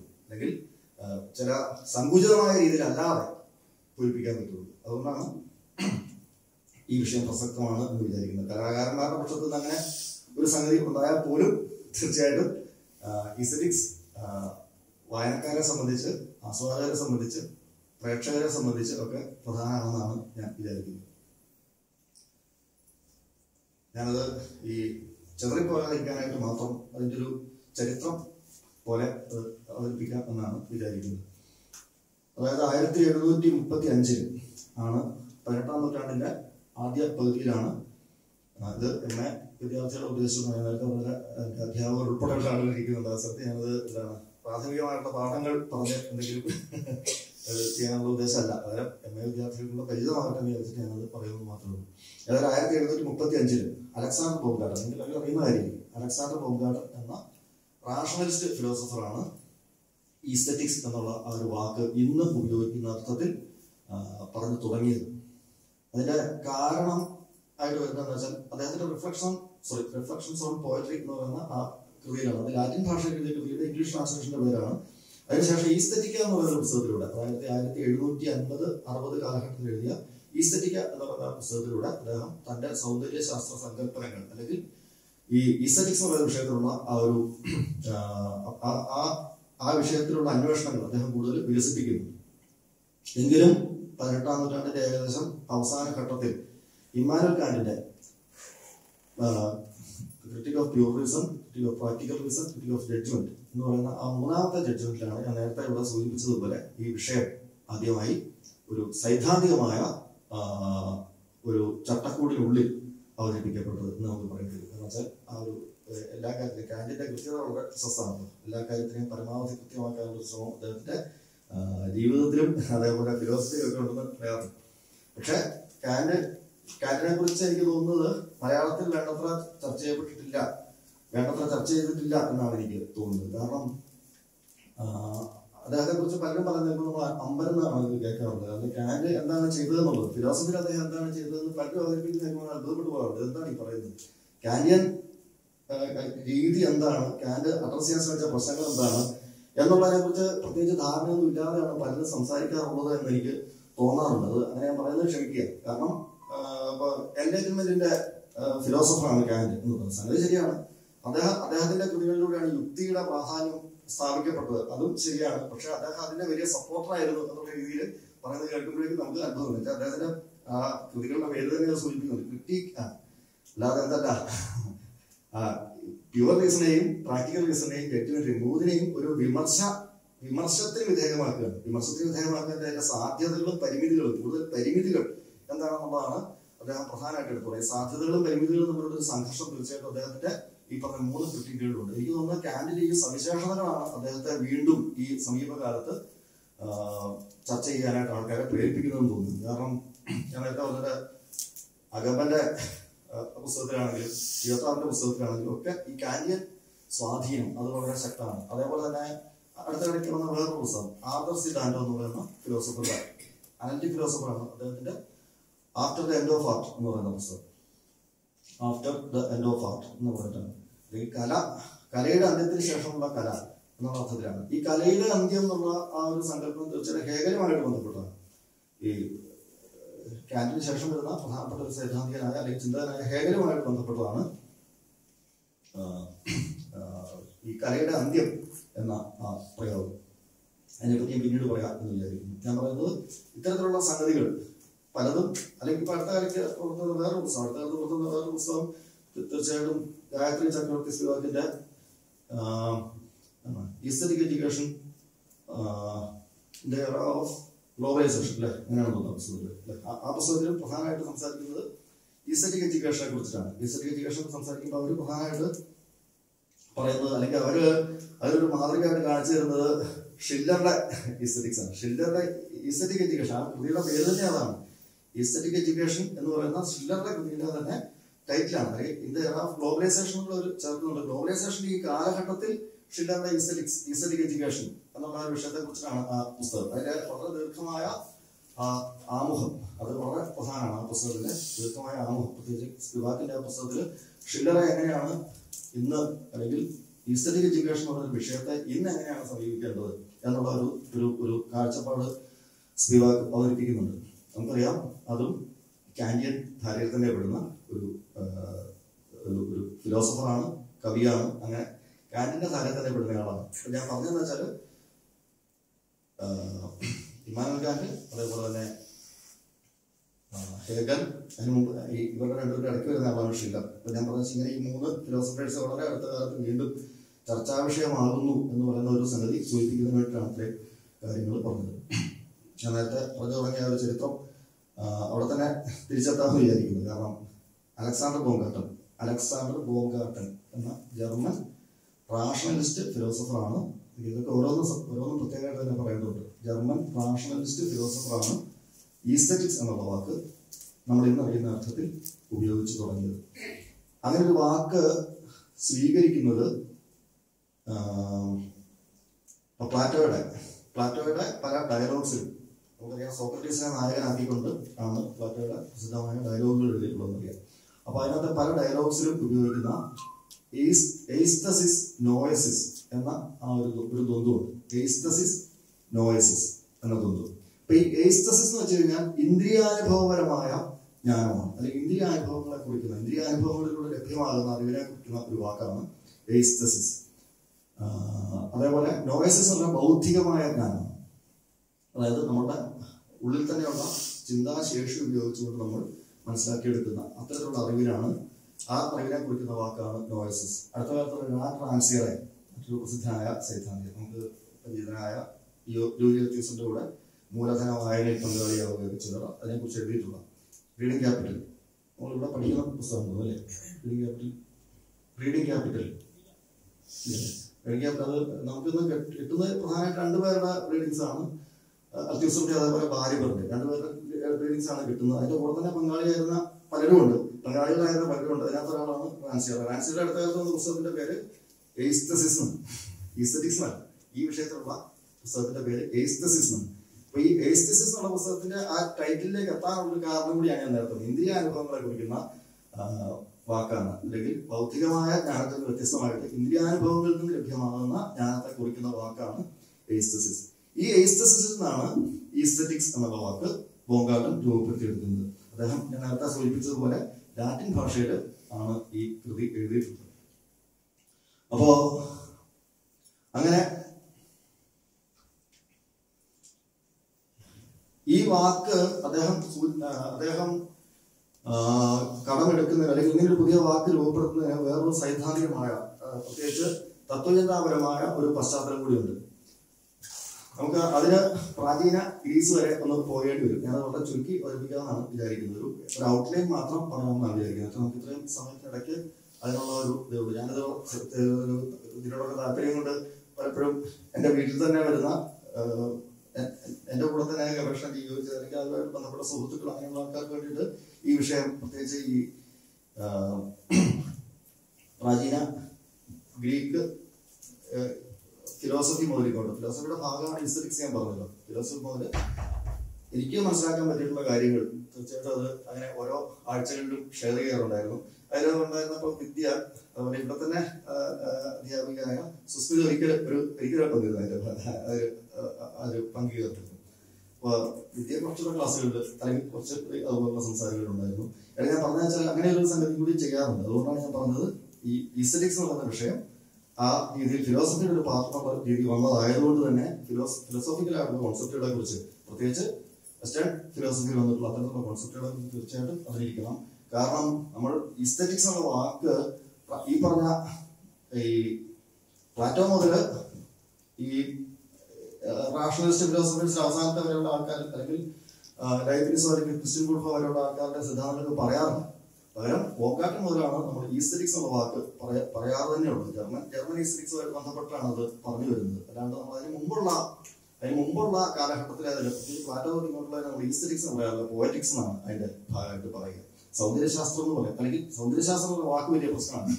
വാസ്തവത്തിൽ അത് ഇന്ദ്രിയാനുഭവങ്ങളെ കുറിക്കുന്ന അനുഭവങ്ങൾ അല്ലെങ്കിൽ ഇന്ദ്രിയാനുഭവങ്ങളിലൂടെ ലഭ്യമാകുന്ന ജ്ഞാനം. ജ്ഞാനമാണോ അതോ മറ്റെന്തെങ്കിലും ആണോ എന്നുള്ളത് വേറെ. ഞാൻ പറഞ്ഞ വെച്ചാൽ ആ ഒരു സംഗതി കൈകാര്യം ചെയ്ത വിഷയം അല്ലെങ്കിൽ ആ ഒരു വിഷയം കൈകാര്യം ചെയ്യുന്ന ഒരു പഠന ശാഖയാണ് വാസ്തവത്തിൽ റീസൻസ് അപ്പോ ഇന്ത്യ അനുഭവങ്ങൾ ഉള്ള അർത്ഥമായിരിക്കും നമുക്ക് അല്ലെങ്കിൽ ഇന്ത്യ അനുഭവങ്ങളുമായിട്ട് ബന്ധപ്പെട്ട ഒരു അർത്ഥം ഉള്ളതായിരിക്കും നമ്മൾ എടുക്കേണ്ടത്. അതിന്റെ ഒരു ഭാഗം മാത്രമാണ് സൗന്ദര്യം.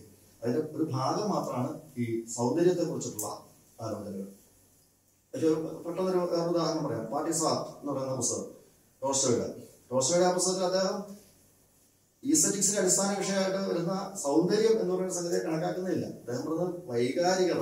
അതാണ് പ്രധാനമായിട്ട്. ഇമോഷൻസ് അത് അത് അത് ചെയ്യാനുള്ള കലാ എന്താ കലാകൃത്തിന്റെ അല്ലെങ്കിൽ ആർട്ടിസ്റ്റിന്റെ ആ ആ വൈകാരിക അവസ്ഥകൾ ഇൻഫെക്ട് ചെയ്യാനുള്ള ശേഷിയെ ആ- ശേഷിക്കാണ് അദ്ദേഹം പ്രാധാന്യം കൊടുക്കുന്നത്. അദ്ദേഹം സൗന്ദര്യത്തെ ഒരു പ്രധാന ഘടകമായിട്ടേ കണക്കാക്കുന്നില്ല. ഈസ്തറ്റിക്സിന്റെ ഒരു ഘടകമായിട്ട് തന്നെ അദ്ദേഹം അതിനെ കണക്കാക്കുന്നില്ല. കലയുടെ ഒരു ഘടകമായിട്ട് ഇതിനെ കണക്കാക്കുന്നില്ല. അദ്ദേഹം ഇതിനെ വളരെ കർശനമായിട്ട് വിമർശിക്കുന്നുണ്ട്. അത് ആ വാക്കിസാർ വാക്കിസാറിനുള്ള പുസ്തകത്തിന്റെ മൂന്നാമത്തെ ചാപ്റ്ററിൽ അദ്ദേഹം ഈ കാൻഡിയൻ ഈസ്തറ്റിക്സിനെ ഉൾപ്പെടെ അദ്ദേഹം നിശ്ചിതമായ നിശിതമായ വിചാരണയ്ക്ക് വിധേയമാക്കുന്നുണ്ടെന്നുള്ള കാര്യം നമുക്കെല്ലാവർക്കും ശ്രദ്ധിച്ചാൽ മനസ്സിലാവുന്നതായിരുന്നു. അത് ഞാൻ പറഞ്ഞതെന്ന് വെച്ചാൽ ഈ ഈ- ബോങ്കാട്ടന്റെ ഒരു ബോങ്കാട്ടന്റെ ഒരു ഒരു താല്പര്യം ഈ ഒരു മേഖലയിലേക്ക് വരാനുള്ളതിന്റെ അടിസ്ഥാന കാരണമാണ് ഞാൻ പറഞ്ഞു വരുന്നത്. അതായത് ഈ പ്രാചീന ഗ്രീസിൽ ഒന്ന് ഒരു എന്താ പറയുക ആ പണ്ട് തൊട്ടേ ഉള്ള സംഘർഷത്തെ കുറിച്ച് പറയാതിരിക്കാൻ നിർത്തിയില്ല അതിനെയാണ് ബെനഡറ്റോ ക്രോച്ച് ഇരുപതാം നൂറ്റാണ്ട് തുടക്കത്തിൽ ഈസ്തറ്റിക് എന്നുള്ള പുസ്തകം എഴുതിയ Benedetto Croce the ancient struggle between poets and philosophers എന്ന് പറഞ്ഞത്. അതായത് കവികളും തത്വചിന്തകരും തമ്മിലുള്ള ഒരു പ്രാചീന കലഹം. അപ്പൊ ആ ആ പ്രാചീന കലഹത്തെ കുറിച്ച് പറയാതിരിക്കാൻ നിർത്തില്ല. അതാണ് പിന്നീടുള്ള തത്വചിന്തയുടെ ഒക്കെ ഒരു പ്രധാനപ്പെട്ട വിഷയം തീരുമാനിക്കുന്നത്. അതായത് ഇപ്പൊ ഹീസിയഡിനെ പോലെ ഹോമറിനെ പോലുള്ള കവികളുണ്ട്.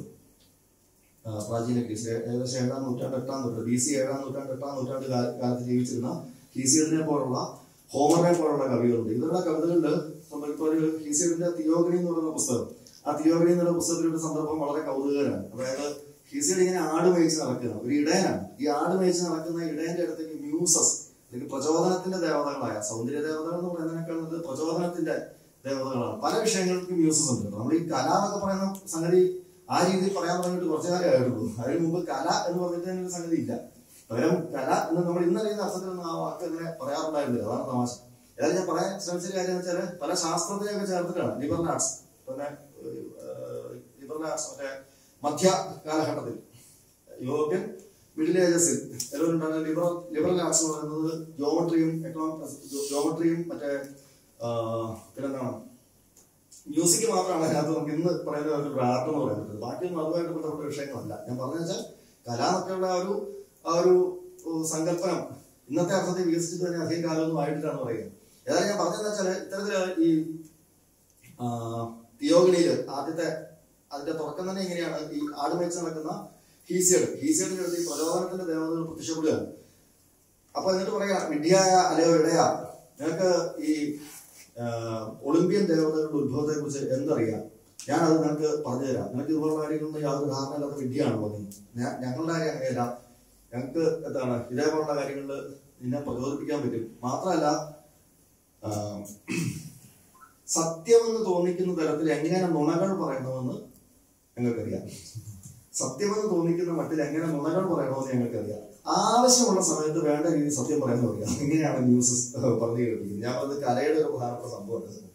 കലയിലെ ഒരു പ്രധാനപ്പെട്ട സംഗതിയാണിത് അപ്പോൾ ന്യൂസ് ആ രീതിയിലാണ് ഹീസിയോട് പറയുന്നത്. അപ്പൊ ഹീസിയുടെ ഇതൊക്കെ ഹീസിയുടെ വെച്ചാൽ ഞാൻ പറഞ്ഞത് ഈ അതിലെ ആഖ്യാതാവായിട്ട് വരുന്നത് പോയിട്ട് തന്നെയാണ്. അതുകൊണ്ട് പറഞ്ഞാൽ ഏതായാലും ഹീസിയുടെ ഈ ഒളിമ്പ്യൻ ദേവതകളുടെ ചരിത്രമൊക്കെ പറഞ്ഞു കൊടുക്കുന്നു. ഒരു കോസ്മിക്കൊക്കെ ഫോം ചെയ്യുന്നു പിന്നീട് അത് പൊട്ടിയിട്ട് മറ്റേ യുറാനസും ഗേയ ഉണ്ടാകുന്നതും പിന്നീട് ടൈറ്റൻസ് ഉണ്ടാകുന്നതും ഒക്കെ ആ കഥയാണ് പറഞ്ഞു കേൾപ്പിക്കുന്നത്. മറ്റൊന്ന് ഹോമറാണ്. ഹോമറിന്റെ ഇലിയഡോ ഡിസി പോലുള്ള കാവ്യങ്ങളിൽ നമുക്കറിയാം മനുഷ്യ മനസ്സിന്റെ ആദിമമായ വികാരങ്ങളെ ഒരു കൂസലും ഇല്ലാതെ തുറന്നു വിടുക എന്നുള്ള സംഗതിയാണ് ഈ ഹോമർ ചെയ്തിട്ടുള്ളത്. അവിടെ ധർമാധർമ്മ വിവേചനത്തെ കുറിച്ചുള്ള വിചാരങ്ങൾ കുറവാണ്. കവിതയുടെ ലക്ഷ്യം അതല്ല അതിന് പകരം മനുഷ്യന്റെ വൈകാരികമായിട്ടുള്ള ആ ഒരു അവസ്ഥകൾ. അതുകൊണ്ടാണ് പ്ലാറ്റോ വലിയ എന്താണ് റിപ്പബ്ലിക്കിലെ വാദം നമ്മൾ മനസ്സിലാക്കുന്നതിനേക്കാൾ രൂക്ഷമാണ്. സാധാരണ രീതി പറയുന്നതിനേക്കാൾ രൂക്ഷമാണ്. തലയിലൊരു എന്താണ് തൊപ്പിയൊക്കെ വെച്ച് എന്താണ് സാധാരണ നാട്ടിൽ നിന്ന് പഴയ പ്രശ്നമാക്കുന്ന പോലെ പ്രശ്നമാക്കണമെന്നാണ് പറയുന്നത് പോയറ്റ്സിനെ റിപ്പബ്ലിക്കിൽ അങ്ങനെയാണ് പറയുന്നത്. ഞാൻ പറഞ്ഞ വെച്ചാൽ ഈ അങ്ങനെ പറയാനുള്ള കാരണം ഇതാണ്. മനുഷ്യ മനസ്സിന്റെ ആദിമമായ വികാരങ്ങളെ വികാരങ്ങളെ ഈ- ഈ ലോജിക്കിന്റെ അല്ലെങ്കിൽ റീസണിന്റെയോ അല്ലെങ്കിൽ ധാർമ്മികമായ ഒരു തരം ഒരു മാനദണ്ഡങ്ങൾക്ക് വിധേയമാക്കുക ഒന്നും ചെയ്യാതെ തുറന്നു വിടുന്നതുകൊണ്ടാണ് ഈ അവരെ നാട്ടിൽ നിന്ന് പുറത്തുള്ള അല്ലെങ്കിൽ തന്റെ ആദർശാത്മകമായ ആ റിപ്പബ്ലിക്കിൽ നിന്ന് അവരെ പുറത്തുണ്ടെന്ന് പറയാനുള്ള കാരണം. അതിലേക്ക് വരുന്നതിന് മുമ്പ് ഈ ഹോമറുടെ കൃതികളിൽ വരുന്ന പല സന്ദർഭങ്ങളും അത് നമുക്ക് ഇംഗ്ലീഷിലേക്ക് വന്നപ്പോൾ ധാരാളം എഴുതി തരുന്നതാണ് ഇപ്പൊ ചാപ്മാന്റെ വിവർത്തനമാണ് പ്രാചീനകാലത്ത് ഏറ്റവും അലക്സാണ്ടർ പോപ്പ് ചെയ്തിട്ടുണ്ട് ചാപ്പാൻ വിവർത്തനം ചെയ്തിട്ടുണ്ട്. പക്ഷെ ചാപ്പാന്റെ വിവർത്തനമാണ് ഏറ്റവും പ്രശസ്തമായിട്ട് പറയാറുണ്ട് ചാപ്പാൻ പോലും ഈ പറഞ്ഞ തരത്തിലുള്ള നിരവധി സംഗതികൾ എഴുതിയതിനു ശേഷമാണ് ഈ മധ്യയുഗത്തിലെ എന്താണ് ഇംഗ്ലണ്ടിന്റെ ആ ഒരു സാംസ്കാരിക സംവേദനശീലത്തെ തൃപ്തിപ്പെടുന്ന തരത്തിലാണ് ജാപ്പാൻ അത് വിവർത്തനം ചെയ്തതെന്ന് പറയാറുണ്ട്.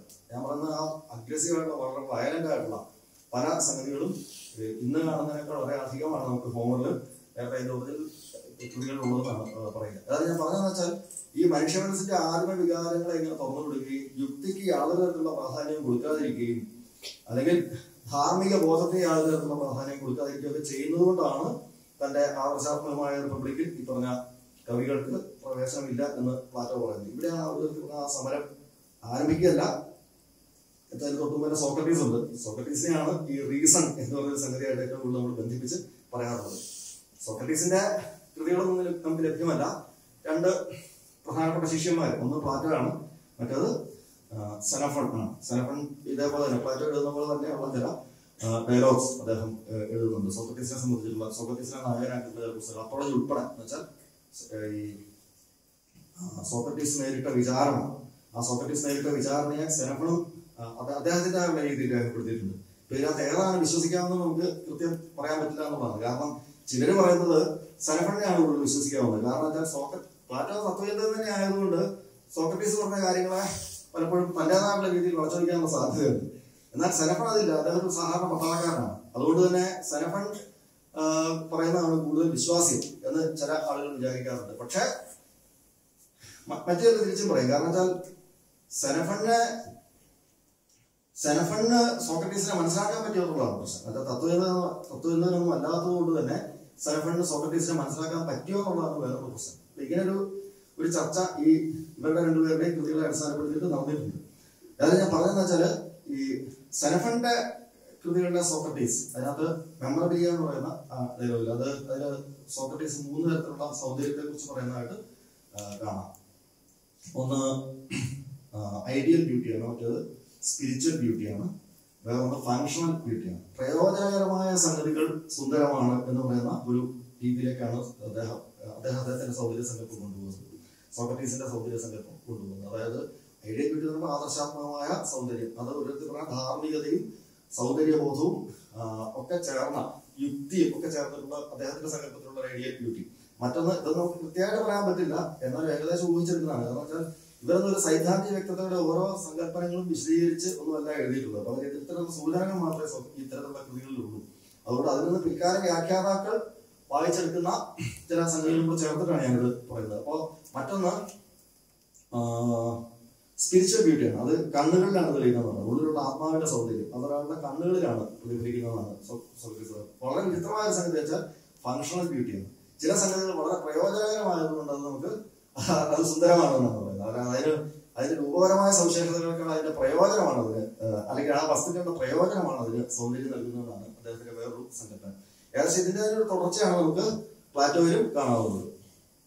പ്ലാറ്റോയും പ്ലാറ്റോയിലൂടെയാണല്ലോ നമ്മൾ സോക്രട്ടീസിനെ പരിചയപ്പെടുന്നത് പ്ലാറ്റോയുടെ കൃതികളിലെല്ലാം നായകനായിട്ട് വരുന്നത് സോക്രട്ടീസ് ആയതുകൊണ്ട് ചിന്തകൾ തമ്മിൽ വേർതിരിക്കുക വേർതിരിക്കുക എന്നത് തന്നെ അസാധ്യമാണ്.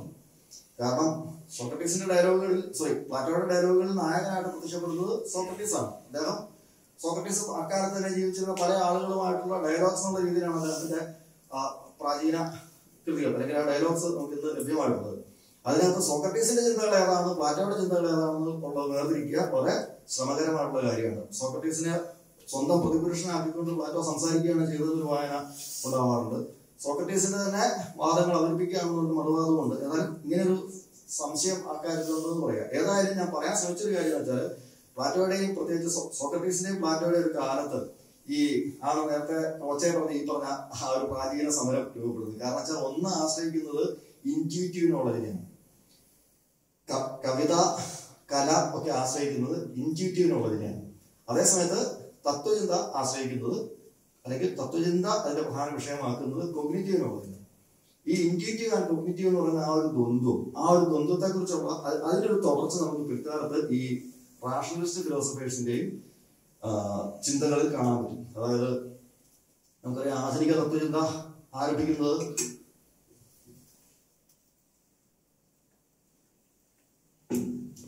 റനാദക്കാത്തോടു കൂടിയാണ് എന്ന് പറയാറുണ്ട്. അതിനിടയ്ക്ക് ഒരു വലിയ ഘട്ടം നമ്മൾ സാധാരണ മിസ് ചെയ്യാറുണ്ട്. പ്രാചീന ഗ്രീക്ക് ഫിലോസഫി കഴിഞ്ഞാൽ പ്രത്യേകിച്ച് ഞാൻ അരിസ്റ്റോട്ടിലാണ് അങ്ങനെ പറയാത്തത് അങ്ങനെ ഒരു കൃത്യമായ ചരിത്രം പറയണ്ടെന്ന് വിചാരിച്ചിട്ടാണ്. കാരണം അങ്ങനെ പറയാൻ തുടങ്ങി കഴിഞ്ഞാൽ നമുക്കിത് ധാരാളം മണിക്കൂറുകൾ വേണം ഈ ഒരു സംഗതിയെ കുറിച്ച് പറയാനായിട്ട്. അത് ഞാൻ സ്വന്തം അനുഭവത്തിൽ നിന്ന് പറഞ്ഞത്. ഒരു ഇതായിട്ട് വിചാരിക്കരുത്. എന്താണ്? ഒത്തിരി കുറെ കാര്യങ്ങൾ സംസാരിക്കാനുള്ളതുകൊണ്ട് അങ്ങനെയല്ല. ഞാൻ പറഞ്ഞ സ്വന്തം അനുഭവത്തിൽ ഇത് പറഞ്ഞു പറഞ്ഞെത്തിയിട്ട് അത് തീരുന്നില്ല തീരുന്നില്ല. കാരണം ഈ പറഞ്ഞ സംഗതികളിൽ വളരെ ക്രൂരമായിട്ട് ഉള്ള വിഷയങ്ങളുണ്ട്. അതിനെക്കുറിച്ച് സംസാരിക്കാൻ നമുക്ക് കുറേയേറെ സമയം ആവശ്യമായ കാര്യമാണ് എനിക്ക് വളരെ താല്പര്യമുള്ള വിഷയമായതുകൊണ്ടാണ് ഞാൻ ഇത് കൂടുതൽ അന്വേഷിച്ചത് മാത്രം മനസ്സിലാക്കുക. അത്രേ ഉള്ളൂ. അല്ലാതെ ആ വിഷയത്തിൽ പണ്ഡിതനാണെന്നുള്ള രീതിയിലല്ല ഞാൻ പറയുന്നത് പകരം ആ വിഷയത്തിലുള്ള താല്പര്യമാണ് അതിനെക്കുറിച്ച്. അന്വേഷിക്കാൻ പ്രേരിപ്പിച്ചത് മനസ്സിലായി ഏതായാലും ഞാൻ പറഞ്ഞാൽ അരിസ്റ്റോട്ടിലുണ്ട് അരിസ്റ്റോട്ടിന് ശേഷം ഹെലനിസ്റ്റിക് ഫിലോസഫി എന്ന് എന്നുള്ളൊരു സംഗതിയുണ്ട്. അതിനകത്ത് തന്നെ ഈ വളരെ പ്രശസ്തമായ പല തത്വചിന്ത സ്കൂളുകളും അതിനകത്തുണ്ട്. സ്കെപ്റ്റിസിസം ഉണ്ട്. പിന്നെന്താ മറ്റേ എന്താ മറ്റേ സെനോസിറ്റി ഒക്കെ വരുന്ന സ്റ്റോയിസിസം ഉണ്ട്. ഇങ്ങനെ പല സ്കൂളുകൾ അതിന്റെ ഭാഗമായിട്ട് തന്നെ എപ്പിക്യൂറിയനിസം ഉണ്ട്. ഇതൊക്കെ ആ ഭാഗത്ത് അതിന്റെ തന്നെ വരുന്നുണ്ട് പിന്നെ നിയോ പ്ലാറ്റോണിസം എന്ന് പറഞ്ഞിട്ട് പോർട്ടിനെ പോലുള്ള ആൾക്കാർ വരുന്നുണ്ട്. അതായത് പിന്നീട് ഈ എന്താണ് പ്രാചീന ഗ്രീക്ക് തത്വചിന്ത അരിസ്റ്റോട്ടിൽ അരിസ്റ്റോട്ടിന് ശേഷമുള്ള തത്വചിന്ത പിന്നീട് റോമിൽ വികസിച്ചു വരുന്ന ഒരു തത്വചിന്താ പദ്ധതി എന്ന് നമുക്ക് വേണമെങ്കിൽ പറയാവുന്ന ഇപ്പൊ സിസറോയെ പോലുള്ള ആളുകളുണ്ട്. അങ്ങനെ ക്വിന്റിലിയൻ ഉണ്ട് ഇങ്ങനെ കുറെ ആൾക്കാർ ആ ഒരു സമയത്തുണ്ട്. റോമിലുണ്ട് പൊളിറ്റിക്കൽ ഫിലോസഫിയായിട്ട് ബന്ധപ്പെട്ടാണ് നമ്മൾ സാധാരണ ആ വിഷയം. അത് നമ്മൾ സാധാരണ പ്ലാറ്റോയുടെ റിപ്പബ്ലിക് പിന്നീട് അരിസ്റ്റോട്ടിന്റെ നിക്കോമാക്കിയൻ എത്തിക്സ് അല്ലെങ്കിൽ എത്തിക്സ് എന്നുള്ള പേരിൽ തന്നെ അറിയുന്ന പുസ്തകം അല്ലെങ്കിൽ പൊളിറ്റിക്സ് എന്നുള്ള പേരിലുള്ള പുസ്തകം പിന്നെ സിസറോയുടെ കൃതികൾ. ഇങ്ങനെ ഈ രീതിയിൽ വരുന്ന പിന്തിയുടെ കൃതികൾ. ഈ രീതിയിൽ വരുന്ന പൊളിറ്റിക്കൽ ഫിലോസഫിയുടെ ഒരു ഒരു തുടർച്ചയും കൂടി ഇതിന്റെ പാരലായിട്ടുണ്ട് എന്നർത്ഥം. അത് പിന്നീട് നമുക്ക് തോമസ് ഹോബ്സിൽ ലഭ്യത്താൻ എന്ന് പറയുന്ന പുസ്തകം തോമസ് ഹോബ്സിൽ അതുപോലെ പ്രിൻസ് എന്ന് പുസ്തകം എഴുതിയ എന്താ മാക്കിയ മാക്കിയവല്ലി. ഇങ്ങനെ വരുന്ന അതിന്റെ ഒരു ചരിത്രം ഏകദേശം ഇതിനോട് ചേർന്ന് തന്നെ പൊളിറ്റിക്കൽ ഞാൻ കുറച്ച് മാറ്റി വെച്ചിട്ടാണ് പറഞ്ഞത്. കാരണം തത്വചിന്തയുടെ പൊതുവായിട്ടുള്ള സങ്കല്പനങ്ങൾ അതിനേക്കാൾ കൂടുതൽ അവർ അവരുടെ സ്വന്തമായിട്ടുള്ള സങ്കല്പങ്ങൾ വെച്ച് ഉപയോഗിച്ചുകൊണ്ടാണ് ഈ ഒരു വിഷയം കൂടുതൽ സംസാരിച്ചിട്ടുള്ളത്. അതുകൊണ്ടാണ് പറഞ്ഞത്.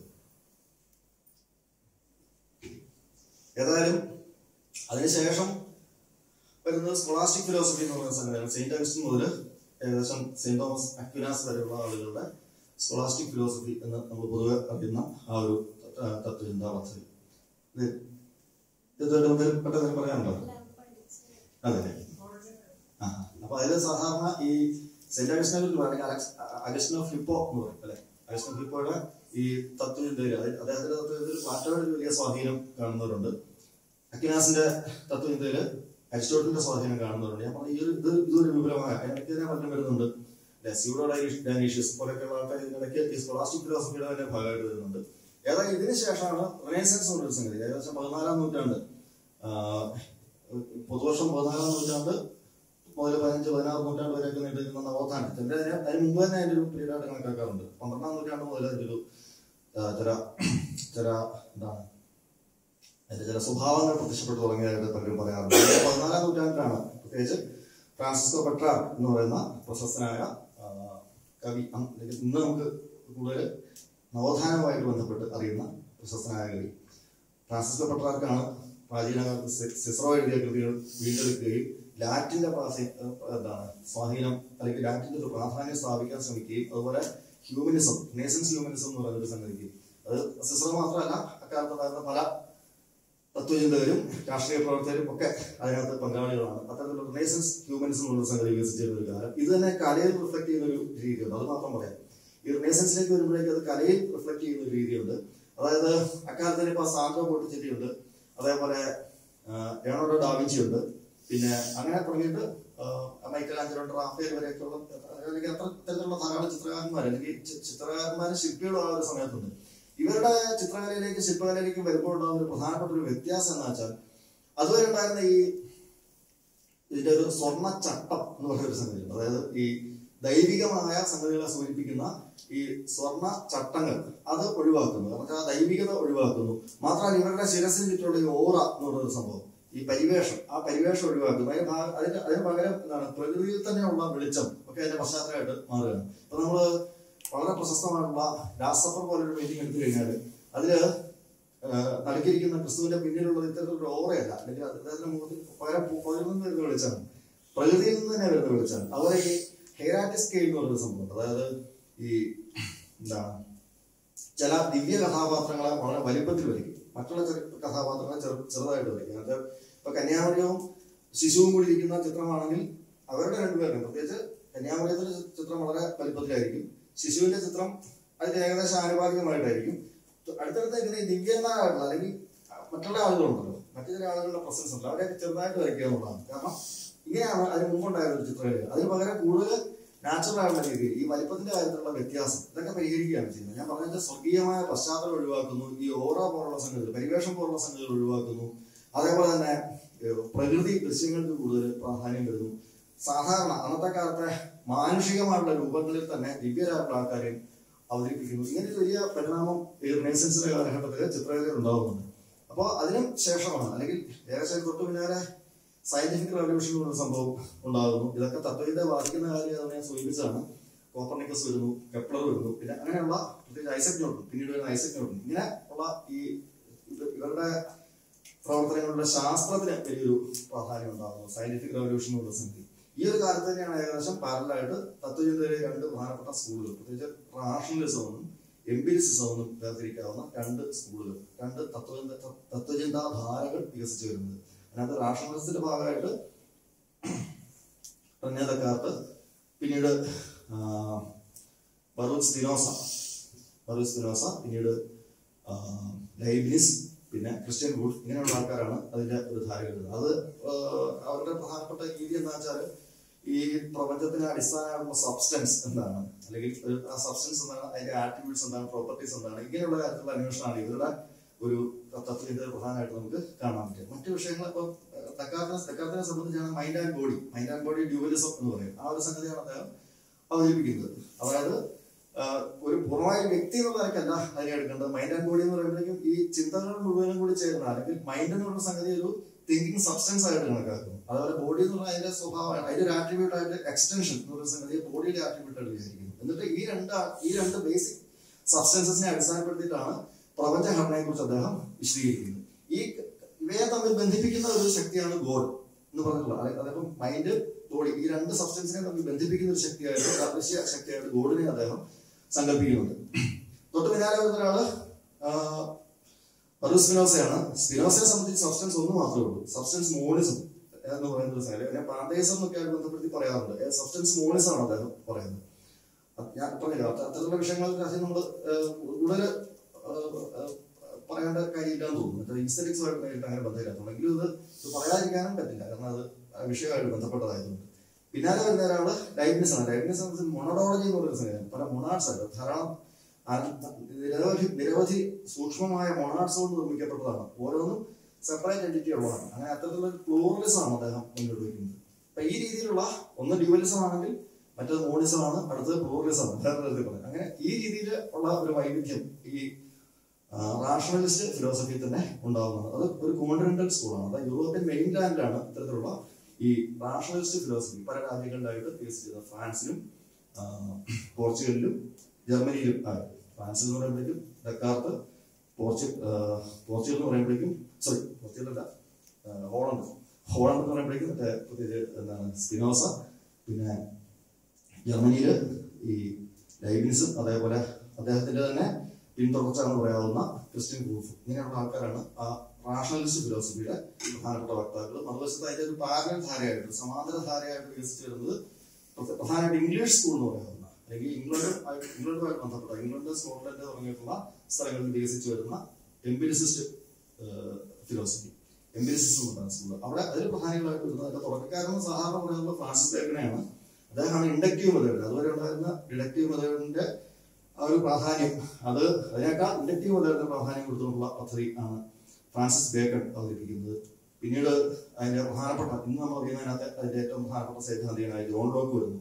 പിന്നീട് ജോർജ് ബർക്കലി അദ്ദേഹത്തിന്റെ ഇമ്മറ്റീരിയൽസ് എന്നുള്ള സംഗതിയാണ് പ്രധാന ഒരു വിഷയം. പിന്നീട് ഡേവിഡ് ലോഡ്സ് വരുന്നു. അദ്ദേഹത്തിന്റെ ഇതിൽ നമ്മുടെ ഈ തത്വചിന്തകരുണ്ടായിട്ടുള്ള അതുവരെയുള്ള സങ്കല്പനങ്ങളെ പലതിനെയും സംശയത്തോടുകൂടി സമീപിക്കുന്ന ഒരു ഒരു പദ്ധതിയാണ് അദ്ദേഹം ആ, അവതരിപ്പിക്കുന്നത്. സബ്സ്റ്റൻസ് എന്ന സംഗതിയെ കുറിച്ച് തന്നെ അദ്ദേഹം സംശയം പ്രകടിപ്പിക്കുന്നു സബ്സ്റ്റൻസ് എന്ന് പറയുന്ന സംഗതി. അത് അത് അതിനെ തന്നെ അതിനെ അതിനെക്കുറിച്ച് അതുപോലെ കാര്യകാരണ ബന്ധം. അതിനെ തന്നെ ചോദ്യം ചെയ്യുന്നു. കാര്യകാരണ ബന്ധങ്ങളുടെ കാര്യകാരണ ബന്ധത്തിന്റെ ലോജിക്കിനെ തന്നെ അദ്ദേഹം ചോദ്യം ചെയ്യുന്നത് ഈ രീതിയിലാണ് ഡേവിഡ് ലോഡ്ജ് വരുന്നത്. ഞാൻ പറഞ്ഞ വെച്ചാൽ ഒരു സ്ഥലത്ത് റാഷണലിസവും മറ്റു മറു വശത്ത് എംപിരിസവും ഇങ്ങനെ രണ്ട് ധാരയായിട്ടാണ് ഇത് വികസിക്കുന്നത്. ഇതെങ്ങനെയാണ് ഈസ്തലിക്സിനെ ബാധിക്കുന്നത് എന്ന് ചോദിച്ചാൽ പിന്നീടുള്ള ഫിലോസഫിയിലെ ഇതിനെ രണ്ടിനെയും കൂടി ഇണക്കി ചേർക്കുകയും ഇതിനെ രണ്ടിനെയും വിമർശിക്കുകയും ചെയ്തിട്ടുള്ള ഫിലോസഫറാണ് കാൻഡ് ഇമാനുൽ കാൻഡ് അതാണ് ഈ ഈ റാഷണലിസവും എംപിരിസവും ആ രണ്ട് പദ്ധതികളെ കുറിച്ച് ഇവിടെ പറയാനുള്ള പ്രധാനപ്പെട്ട കാരണം. അതിന്റെ അത്- അതിൽ ഇവരുടെ ഊന്നലുള്ള വ്യത്യാസത്തെ കുറിച്ച് കൂടി പറയാം. അതായത് റാഷണലിസ്റ്റ് ഫിലോസഫേഴ്സ് കരുതുന്നത് മനുഷ്യർക്ക് നേരത്തെ അവർ ജനിക്കുന്നത് തന്നെ സഹജമായ ചില ആശയങ്ങൾ അവർ ഒരുമിച്ചിട്ടുണ്ട്. അതാ അതിനെയാണ് അവർ ഏപ്രിയറി നോളജ് എന്ന് പറയുക. സഹജമായ ചില ആശയങ്ങളുമായിട്ടാണ് അവർ ജനിക്കുന്നത്. അതായത് അത് നമുക്ക് പുറത്തുനിന്ന് പഠിക്കേണ്ട കാര്യമില്ല. മനുഷ്യരായിട്ട് ജനിച്ചു കഴിഞ്ഞാൽ അവർക്ക് ഈ സഹജമായിട്ടുള്ള ആശയങ്ങൾ അവരുടെ ഉള്ളിൽ തന്നെ ഉണ്ടാവും.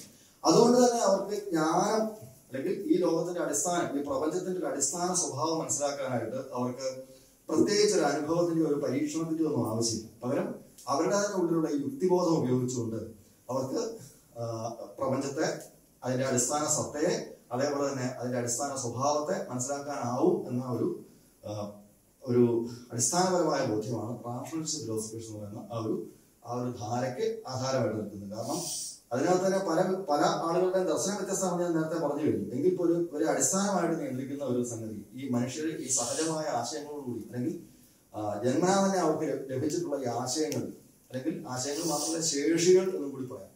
നമുക്ക് മനസ്സിലാക്കാനുള്ള ചില ശേഷികളുണ്ട്. ചില ചില കാര്യങ്ങൾ ഉണ്ടെന്നുള്ള ചില ശേഷി ഉണ്ടെന്ന് മനസ്സിലാക്കാനുള്ള അറിവുണ്ട് ചില ചില കാര്യങ്ങൾ എക്സ്പ്രസ് ചെയ്യാനുള്ള അറിവുണ്ട് ചില ചില കാര്യങ്ങൾ മനസ്സിലാക്കാനുള്ള ശേഷിയുണ്ട്. ഇത് നമ്മുടെ മനസ്സിൽ നേരത്തെ തന്നെ ഉണ്ട് ഈ നേരത്തെ തന്നെയുള്ള ശേഷി ഉപയോഗിച്ചുകൊണ്ട് അനുഭവങ്ങളുടെ ഒരു ഒരു ഒരു പിന്തുണ ഇല്ലാതെ തന്നെ നമുക്ക് ഈ തത്വങ്ങളിലേക്ക് സങ്കല്പനങ്ങളിൽ സങ്കല്പനങ്ങളിലേക്ക് തത്വങ്ങളിലേക്കൊക്കെ ചെല്ലാൻ പറ്റും എന്നുള്ളതാണ് അവരുടെ അടിസ്ഥാന വിശ്വാസം. ഞാൻ നേരത്തെ ഇപ്പൊ സങ്കല്പനം ഒരു വാക്ക്. അതുപോലും വളരെ പ്രധാനപ്പെട്ടതാണ് ഇതിന്റെ കാര്യത്തിൽ പ്രത്യേകിച്ച് ഈസറിക്സിന്റെ ഒരു കാര്യം പറയുമ്പോഴേക്കും അത് വ്യക്തമാണ്. സങ്കല്പനം എന്നൊരു വാക്ക് വളരെ പ്രധാനപ്പെട്ടതാണ്. കോൺസെപ്റ്റ് എന്നുള്ള വാക്ക്.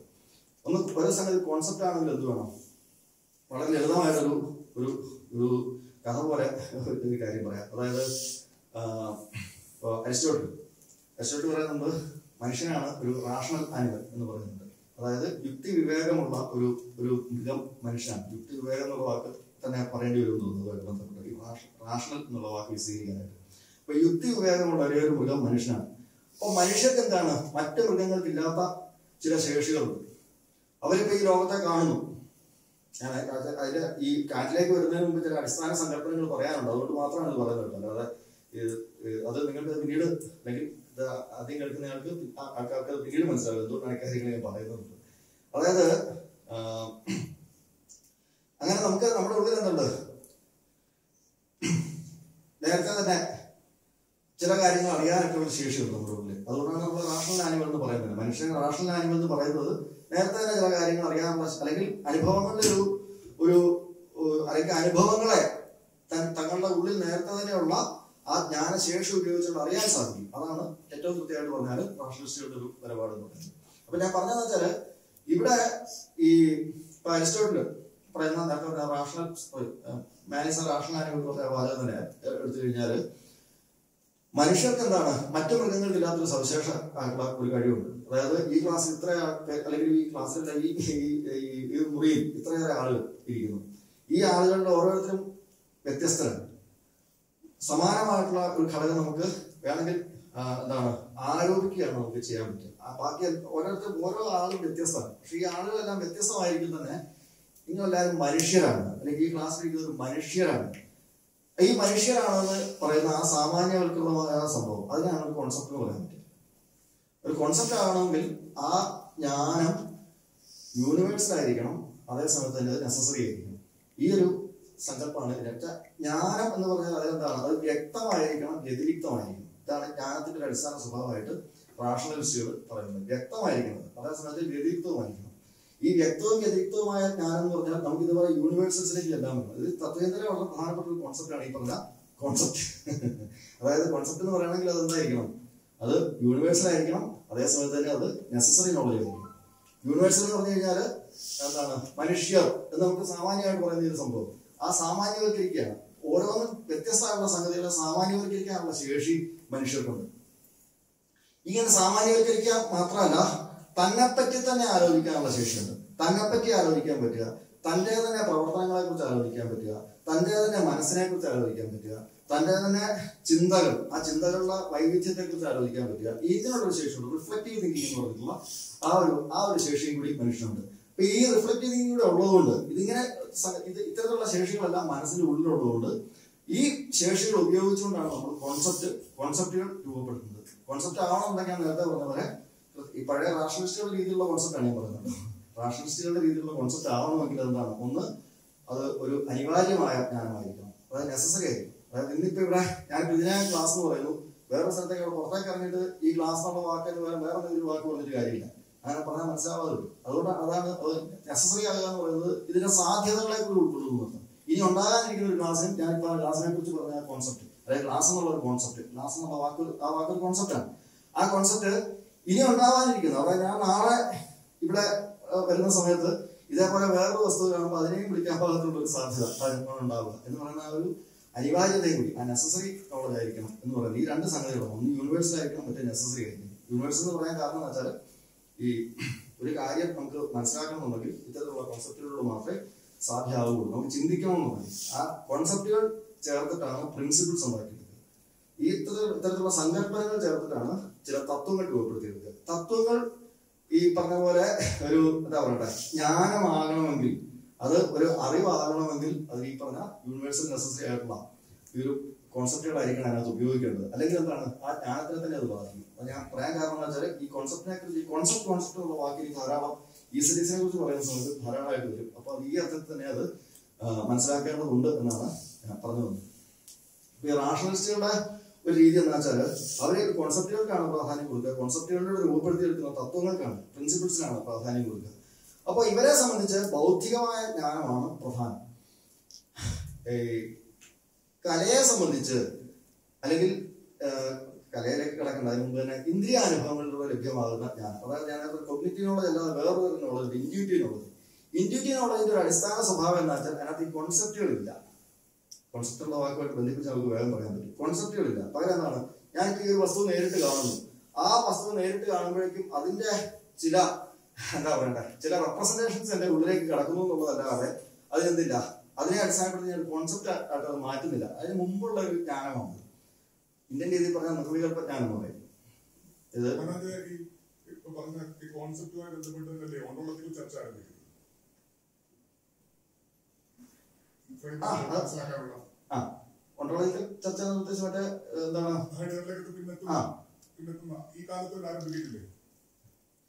ഒണ്ടോളജിയുടെ ചരിത്രം സത്യത്തിൽ എന്താണ്? അരിസ്റ്റോട്ടിൽ മുതൽ നമുക്ക് പറയാൻ പറ്റും. അദ്ദേഹത്തിന്റെ മറ്റേ ഓർഗാനം ഞാൻ പറയാം അതൊക്കെ ഒഴിവാക്കിയതാണ് അവസ്ഥ ഓർഗാനം എന്ന് പറയുന്ന കൃതിയിൽ അത് എന്താണ് കാറ്റഗറീസിനെ കുറിച്ച് പത്ത് കാറ്റഗറീസ് കാറ്റഗറീസിനെ കുറിച്ച് പറയുന്നുണ്ട് അത് തന്നെ എന്റിറ്റീസിനെയാണ് കുറിക്കുന്നത്. മറ്റേ എന്താണ്?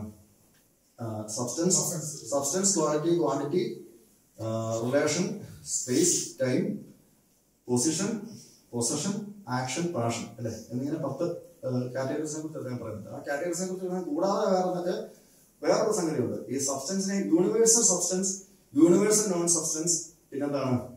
Particular substance particular non substance തിരിക്കാവുന്ന തരത്തിലുള്ള അവിടെയാണ് എനിക്ക് നോണ്ടോളജിയുടെ തുടക്കം തോന്നുന്നത്.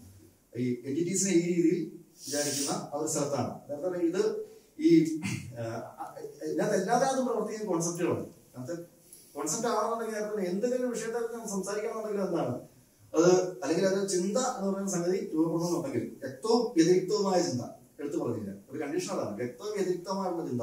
കലയിലൂടെ ഇന്ദ്രിയാനുഭവത്തിലൂടെ കിട്ടുന്ന ജ്ഞാനം അത്തരത്തിലുള്ള വ്യക്തതയോ വ്യതിരിക്തതയോ ഇല്ലാത്തതാണെന്നാണ് ഈ റാഷണലിസ്റ്റുകൾ കരുതി പോകുന്നത് അതാണ് അതിന്റെ വ്യത്യാസം. റാഷണലിസ്റ്റുകൾ കരുതി പോകുന്നത് ഇത്തരത്തിലുള്ള ഞാൻ ഇൻഡ്യൂറ്റീവ് ആയിട്ടുള്ള നോളജ് ഇൻഡ്യൂറ്റീവ് ആയിട്ടുള്ള എന്ന് പറയുന്നത് അവിടെ എന്തില്ല? കോൺസെപ്റ്റുകളില്ല കോൺസെപ്റ്റുകളുടെ ഒരു ഒരു അഭാവം. അത് ഇന്ദ്രിയാനുഭവങ്ങൾ ഇന്ദ്രിയാനുഭവങ്ങളിലൂടെ ലഭ്യമാകുന്ന ജ്ഞാനം. കോൺസെപ്റ്റുകളിലേക്ക് ആക്കാതെ ഉള്ള ഒരു ജ്ഞാനം. അല്ലെങ്കിൽ കോൺസെപ്റ്റിന്റെ ഒരു ഒരു സാന്നിധ്യം ഇല്ലാത്ത ജ്ഞാനം. ആ ജ്ഞാനം എന്നുള്ളത് അതിന് അത് കൺഫ്യൂസിങ് ഉള്ളതാണ് അത് പറയാം കൺഫ്യൂസിങ് ഉള്ളതാണ് അതായത് ആശയക്കുഴപ്പം ഉണ്ടാക്കുന്ന ജ്ഞാനം ഈ ആശയക്കുഴപ്പം ഉണ്ടാക്കുന്ന ജ്ഞാനം ആയതുകൊണ്ട് തന്നെ അവർ ഈ ഇന്ദ്രിയാനുഭവപരമായ ജ്ഞാനത്തെ രണ്ടാം കിടയായിട്ടാണ് നമ്മൾ അതും കൂടി ഉണ്ട്. ഉയർന്ന തരത്തിലുള്ള ജ്ഞാനം എന്ന് പറയുന്നത് കൊഗ്നിറ്റീവ് നോളജാണ് അല്ലെങ്കിൽ നമ്മുടെ നേരത്തെ പറഞ്ഞ കോൺസെപ്റ്റുകളിലൂടെ പ്രിൻസിപ്പിൾസിലേക്ക് ചെല്ലുന്ന തരത്തിൽ ഈ ലോകത്തിനെ കുറിച്ച് മനസ്സിലാക്കുന്ന ആ ഒരു രീതി. അതിനെയാണെന്ന് പറയാം.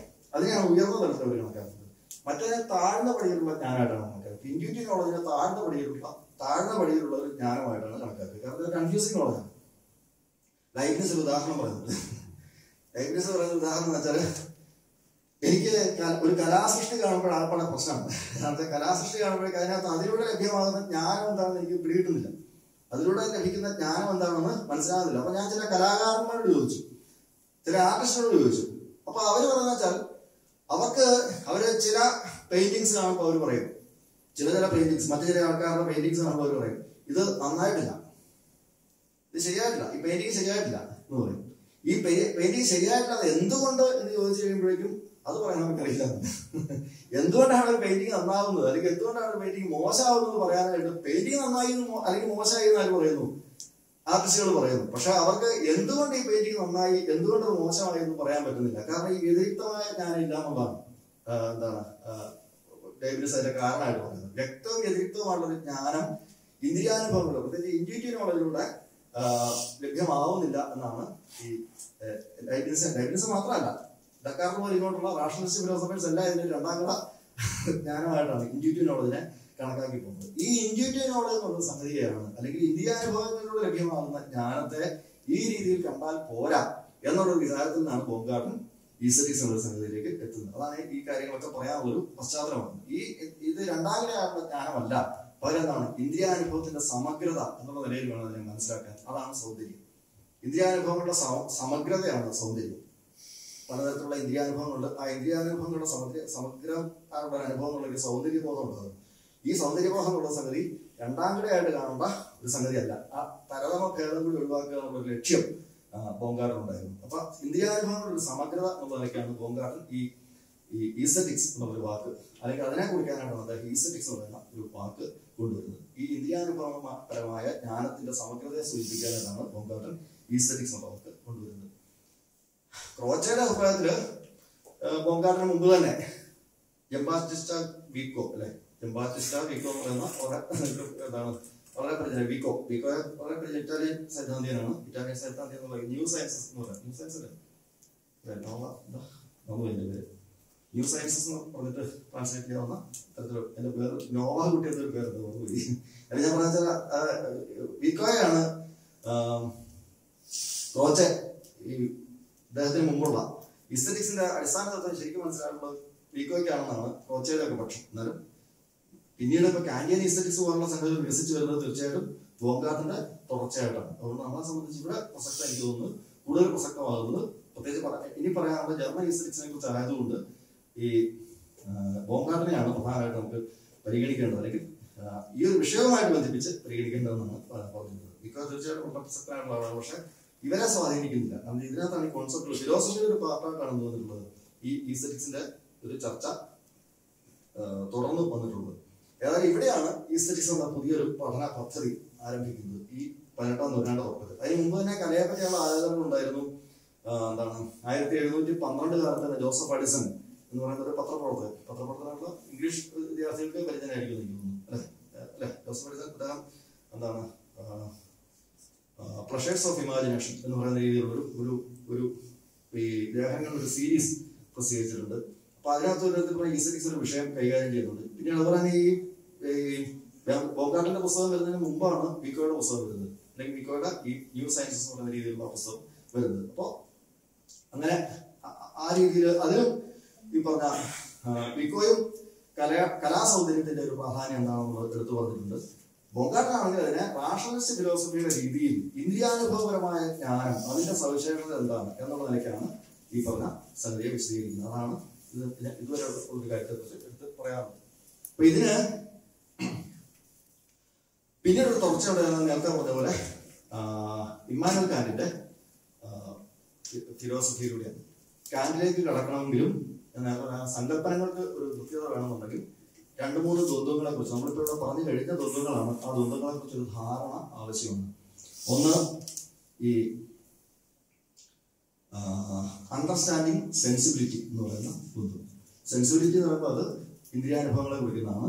അണ്ടർസ്റ്റാൻഡിങ് എന്ന് പറയുന്നത് നേരത്തെ പറയാതെ മനസ്സിന്റെ ഉള്ളിൽ ഉള്ള ഈ ചിന്തകളെ ചിന്തകളെ ആ, അതുപോലെ നേരത്തെ സങ്കല്പനങ്ങളിലൂടെ പ്രിൻസിപ്പിൾസിലേക്കൊക്കെ ചിന്തകളെ കുറിച്ച് പറഞ്ഞില്ലേ ആ ചിന്തകളെ കുറിക്കുന്ന ആ സങ്കല്പനങ്ങളുടെ പരസ്പര ബന്ധത്തിലൂടെയുള്ള ചിന്തകളെ കുറിക്കുന്ന ഒരു വാക്കാണ് അണ്ടർസ്റ്റാൻഡിങ് ഉണ്ട് അപ്പൊ അണ്ടർസ്റ്റാൻഡിംഗ് ഉണ്ട് അതേപോലെ സെൻസിബിലിറ്റി ഉണ്ട്. ഇതുമായിട്ട് പരസ്പരം ബന്ധപ്പെട്ട് തന്നെ വേറെ രണ്ട് വേറൊരു ദ്വന്ദ്വത്തെ കൂടി പരിഗണിക്കണം. അത് കോൺസെപ്റ്റ് അതേപോലെ ഇൻക്യൂഷൻ കോൺസെപ്റ്റ് എന്ന് പറയുമ്പോഴേക്കും അത് നേരത്തെ പറഞ്ഞ ഇതുമായിട്ട് ബന്ധപ്പെട്ടാണ് ഫിലോസഫി പഠിച്ചാണ് ഞാൻ പറഞ്ഞത് എന്താണ്? കോൺസെപ്റ്റ് എന്ന് പറയുമ്പോഴേക്കും അതെന്താണ്? നേരത്തെ പറഞ്ഞ പോലെ ഈ അണ്ടർസ്റ്റാൻഡിങ്ങിന്റെ ഭാഗമാണ് കോൺസെപ്റ്റ് അണ്ടർസ്റ്റാൻഡിങ്ങിന്റെ അതിനകത്ത് അതിനെ നിർണയിക്കുന്ന ഒരു സംഗതിയാണ് കോൺസെപ്റ്റ് എന്ന് പറയുന്നത്. സെൻസിബിലിറ്റി ആയിട്ട് ബന്ധപ്പെട്ട സംഗതിയാണ് ഇന്റ്യൂഷൻ അത് ഇവിടെ ഞാൻ പറഞ്ഞു കഴിഞ്ഞാൽ ഇന്ദ്രിയാനുഭവങ്ങളിൽ ലഭ്യമാകാത്ത ഒരു ഇന്ത്യയിലെ ലോകത്തൊക്കെയുള്ള ഗംഭീരമായ ആലോചനകളുണ്ടല്ലോ നമ്മൾ പറയുമ്പോഴേക്കും ഈ വെസ്റ്റേൺ ഹിസ്റ്ററീസ് എന്ന സംഗതി പറയുമ്പോൾ എനിക്ക് തോന്നുന്നു ഇന്ത്യൻ ലോജിക് എന്ന് പറയുന്ന സംഗതിയിൽ നമ്മൾ അധികം ശ്രദ്ധിക്കാറില്ല. നമുക്കറിയാലോ ഇന്നത്തെ കാലത്ത് പ്രത്യേകിച്ച് ഇരുപതാം നൂറ്റാണ്ട് തുടക്കത്തിൽ ലിംഗ്വിസ്റ്റിക് ടൈം എന്നൊക്കെ പറഞ്ഞിട്ട് നമ്മൾ അറിയുന്ന ഒരു കാലത്തോടു കൂടി ലോജിക്കൽ പോസിറ്റിവിസത്തിന്റെ ഉൽപ്പന്നമാണെങ്കിൽ എന്ന് പറയാമെങ്കിൽ പോലും അവിടെ വരുന്ന ഒരു പ്രധാനപ്പെട്ട സങ്കല്പന എന്താണ്? പ്രാചീന തത്വചിന്തയിലെ ആശയങ്ങളോ അതിന്റെ മെറ്റാഫിസിക്കൽ ആയിട്ടുള്ള സംഗതികളോ അല്ല. നമ്മളെ സംബന്ധിച്ച് ഇന്ന് പ്രസക്തമാണ്. പക്ഷെ അതിന്റെ രൂപം അതിന്റെ രൂപം ലോജിക് ഉപയോഗിച്ചുകൊണ്ട് അതിൽ നിർമ്മിച്ചിരുന്ന ഒരു രൂപമുണ്ട് അതിന് പരസ്പരം ബന്ധിപ്പിച്ചിരിക്കുന്ന ആ ഫോമലായിട്ടുള്ള ഒരു സംഗതിയുണ്ട് ആ രൂപമാണ് വാസ്തവത്തിൽ ഈ പ്രാചീന തത്വചിന്തയും പ്രസക്തമാക്കുന്ന ഒരു പ്രധാനപ്പെട്ട ഘടകം. ആ രൂപത്തെക്കുറിച്ച് അവിടെ ആലോചിച്ചിട്ടുള്ള പോലെ തന്നെ ഇത് ഇവിടെയും ധാരാളം തരത്തിലുള്ള ആലോചനകൾ വന്നിട്ടുണ്ട് പ്രത്യേകിച്ച് ബുദ്ധിസ്റ്റ് ലോജി ബുദ്ധിസ്റ്റ് ലോജിക്ക് നോക്കിക്കഴിഞ്ഞാൽ ഈ വളരെ വ്യത്യസ്തമുള്ള നമ്മൾ ന്യായശാസ്ത്രത്തിൽ പൊതുവെ കാണുന്ന ന്യായ വൈശേഷികളുടെയും പിന്നെ അതേപോലെ വേദാന്തികളുടെയും മീമാംസകളുടെയും ഒക്കെ ആ ഒരു ധാരയിൽ നിന്ന് വളരെ വ്യത്യസ്തമായിട്ടുള്ള ബൗദ്ധ ന്യായം. അത് എനിക്ക് തോന്നുന്നത് ഈ സംസ്കൃത സർവകലാശാല പോലും കൃത്യമായ അത് ആ ഒരു വിഷയത്തിലേക്ക് ഈ ന്യായം പഠിക്കുന്നവർ പോലും അതിന്റെ ഈ അതിന്റെ പൂർവ അത് പൂർവപക്ഷമാണ് നമ്മളിപ്പോ അഭിനവഗുപ്തന്റെ രസവിധാനം പഠിക്കുകയാണെങ്കിൽ ശങ്കുജനും ഡൊല്ലറും ഒക്കെ പൂർവപക്ഷമാണല്ലോ അതായത് നമ്മളെ സംബന്ധിച്ച് ഏതാണ് സിദ്ധാന്തപക്ഷം എന്ന് പറയുന്നത് അഭിനവഗുപ്തനാണ് ബാക്കിയെല്ലാം പൂർണപക്ഷങ്ങളാണ് എന്ന് പോലെ ആ ബൗദ്ധന്യായത്തെ അവതരിപ്പിക്കാറ്. പക്ഷെ ബൗദ്ധന്യായം വളരെ ഗംഭീരമാണ്. ഞാൻ ഇൻഡ്യൂഷനെ ഒരു ഒറ്റ ഉദാഹരണം പറയാം. ഒറ്റ ഉദാഹരണം പറയാം. ബൗദ്ധ ന്യായത്തിലെ അല്ലെങ്കിൽ ഈ ബുദ്ധിസ്റ്റ് ലോജിക്കിലെ ഏറ്റവും പ്രധാനപ്പെട്ട ആദ്യത്തെ ആളുന്നത് ദിങ്നാഗൻ ദിങ്- ദിങ്നാഗിന്റെ പ്രമാണവാർത്തികം എന്ന് പറയുന്ന പുസ്തകമാണ്. അതിനകത്ത് അദ്ദേഹം പ്രത്യക്ഷം പെർസെപ്ഷൻ എന്ന് പറയുന്ന സംഗതിയെ കുറിച്ച് പെർസെപ്ഷനെ കുറിച്ച് പറയുമ്പോഴേക്കും ബു- ബൗദ്ധിസ്റ്റുകളുടെ ഒരു സംഭവം വെച്ചാൽ നോമിനലിസ്റ്റുകളാണ് നേരത്തെ പറഞ്ഞ സാമാന്യവൽക്കരണത്തെ അവർ സമ്മതിക്കുന്നില്ല. കോൺസെപ്റ്റുകളെ അവർ അംഗീകരിക്കുന്നില്ല. റിയാലിറ്റി ആയിട്ട്. വളരെ ഡിഫറെന്റ് ആണ് ആ സംഭവം. അതാ പറഞ്ഞത്. അതായത് അദ്ദേഹം നിർവഹിക്കുന്ന പെർസെപ്ഷൻ അല്ലെങ്കിൽ പ്രത്യക്ഷത്തെ പ്രത്യക്ഷം എന്ന് വാക്ക് കാഴ്ച മാത്രം കുറിക്കുന്ന അല്ല അക്ഷം എന്ന് പറയുന്ന ഇന്ദ്രിയം എന്നാണ് അർത്ഥം. പ്രത്യക്ഷം. ഇന്ദ്രിയാനുഭവത്തെ കുറിക്കുന്ന വാക്കാണ് ആ രീതിയിൽ പ്രത്യക്ഷം. ഈ ന്യായത്തിൽ ന്യായം എന്ന് പറഞ്ഞാൽ ലോജിക്ക് തന്നെയാണ്. ഇന്ത്യൻ ലോജിക്കിന് പറയുന്ന പേര് ന്യായം എന്നാണ് ഞാൻ പറഞ്ഞാൽ ഈ പ്രമാണവാർത്തികം തുടങ്ങുന്നത് തന്നെ എങ്ങനെയാണ്? പ്രത്യക്ഷത്തെ നിർവഹിക്കുന്നത് എങ്ങനെയാണ്? പ്രത്യക്ഷം കൽപ്പന ആബോധം നാമജാത്യാദ്യസംയുതം എന്നാണ്. നാമജാത്യാദ്യസംയുതം പ്രത്യക്ഷം. അതായത് ഇന്ദ്രിയാനുഭവം എന്ന് പറയുന്നത് എന്താണ്? കൽപ്പന അബോധമാണ് കൽപ്പന അബോധം എന്ന് വെച്ചാൽ കൽപ്പനകളില്ലാത്തത്. ഇമാജിനേറ്റീവ് ആകുന്നത്. നമ്മൾ സ്വപ്നം കാണുന്ന പോലെ അല്ലെങ്കിൽ എനിക്ക് ആ സമയത്ത് അങ്ങനെ തോന്നി എന്ന് പറയുന്ന പോലത്തെ ഒരു സംഗതി ആകരുത് പകരം എന്താണ്? അതുകൊണ്ടാണ് അതിനെ കൽപ്പന അബോധം കൽപ്പനകളല്ലാത്തത് കൽപ്പനകളില്ലാത്തത്. ഒപ്പം തന്നെ എന്താണ്? രണ്ട് സംഗതികൾ ചേരരുത് അതിനോട് എന്താണ്? നാമം ജാതി. നാമം എന്ന് പറഞ്ഞു കഴിഞ്ഞാൽ ഇതാണ് നമ്മൾ നേരത്തെ പറഞ്ഞ ഒരു കോൺസെപ്റ്റിന്റെ ഒരു പേര് ഒരു കോൺസെപ്റ്റ് നമ്മൾ ഭാഷയുടെ ഒരു പേരിടുമല്ലോ അപ്പോൾ എന്താണ്? ഗ്ലാസ് പേന അല്ലെങ്കിൽ ടാബ് ഈ പോഡിയം ഇങ്ങനെ പറഞ്ഞിട്ടുള്ള പേരിടുമല്ലോ അതാണ് നാമം എന്നുള്ളത് ഉദ്ദേശിക്കുന്നത്. ആ നാമം ആകുന്ന എപ്പോഴാണ്? സാമാന്യവൽക്കരിക്കുമ്പോഴാണ്. ഈ സാമാന്യത്തിനാണെന്ന് പറയുക ജാതി എന്ന് പറയുക. ഇന്ത്യൻ ലോജിക്കിൽ സാമാന്യത്തിനാണ് ജാതി എന്ന് പറയുക. യൂണിവേഴ്സലാണ് ജാതി എന്ന് പറയുക. ആ ലോജിക്ക് ഉപയോഗിച്ചാണ് ശ്രീനാരായണ ഗുരു പറയുന്നത്. ശ്രീനാരായണ ഗുരു എന്താണ് എന്താണ്? ഈ പറയുന്നുണ്ടല്ലോ ബ്രാഹ്മണർക്ക് ബ്രാഹ്മണത്വം എന്ന് പറയുന്ന ജാതിയില്ല. മനുഷ്യർക്ക് മനുഷ്യർ എന്ന കോൺസെപ്റ്റിന്റെ സാമ അല്ലെങ്കിൽ അതിന്റെ സാമാന്യമാണ് അതിന്റെ യൂണിവേഴ്സൽ ആയിട്ടുള്ള സംഭവമാണത്. മനുഷ്യത്വം മനുഷ്യനാണ് മനുഷ്യത്വം എന്ന് പറയുന്നത്. ഗോക്കൾക്ക് അത് ഗോത്വമാണ് ബ്രാഹ്മണത്വം എന്ന് പറയുന്ന സംഭവമില്ല. ലോജിക്കിലില്ല. ആ ലോജിക്കിനെ ജാതി എന്നുള്ള വാക്ക് ഉപയോഗിച്ചിട്ടാണ് അദ്ദേഹം ചെയ്യുന്നത് ജാതിയുടെ അർത്ഥശൂന്യത അല്ലെങ്കിൽ ആ ഒരു സങ്കല്പനത്തെ അദ്ദേഹം റിജക്ട് ചെയ്യുന്നു. അതിന് അതിനൊരു ശാശ്വത സത്യത്തിന്റെയോ നല്ല അനിവാര്യമായ ജ്ഞാനമല്ലത് അതുകൊണ്ട് തന്നെ എന്ത് ചെയ്യണം? അതിനെ റിജക്ട് ചെയ്യണം. ഫിലോസഫി ഫിലോസഫിയുടെ ഭാഷ തന്നെയാണ് ചിന്തനാരായണ അവതരിപ്പിക്കുന്നത്. അവിടെ ഞാൻ പറഞ്ഞതെന്ന് വെച്ചാൽ ഈ നാമവും ജാതിയും ചേരാത്തതാണെന്ത് പ്രത്യക്ഷം. എന്ന് പറയുന്നത്. അല്ലെ അനുഭവം എന്ന് പറയുന്നത്. വാസ്തവത്തിൽ പറഞ്ഞാൽ ഇൻഡ്യൂറ്റീവ് നോളജ് എന്ന് പറയുന്ന ആ ഒരു സംഗതി തന്നെയാണ്. ഇൻഡ്യൂറ്റീവ് നോളജ് എന്ന് പറയുന്ന സംഗതി തന്നെയാണ്. നിർവികൽപ്പ പ്രത്യക്ഷം എന്ന് പറയുന്നത്. നിർവികൽപ്പ പ്രത്യക്ഷം എന്ന് പറഞ്ഞാൽ വികല്പങ്ങളില്ലാത്ത വികല്പങ്ങളില്ലാത്ത വികല്പം എന്ന് പറഞ്ഞാൽ മറ്റൊന്നിന്റെ ഇടനിലയിലൂടെ ഉണ്ടാകുന്നത്. ഇപ്പൊ ഭാഷയുടെയോ ചിന്തയുടെയോ ഇടനിലയിലൂടെ ഉണ്ടാകുന്നതാണ് വികല്പം എന്ന് പറയുന്ന സംഭവം. അതും വെസ്റ്റേൺ ലോജിക്കൽ അതിന്റെ ഡിറ്റർമിനേറ്റ് നോളജ് എന്നുള്ള സംഗതി.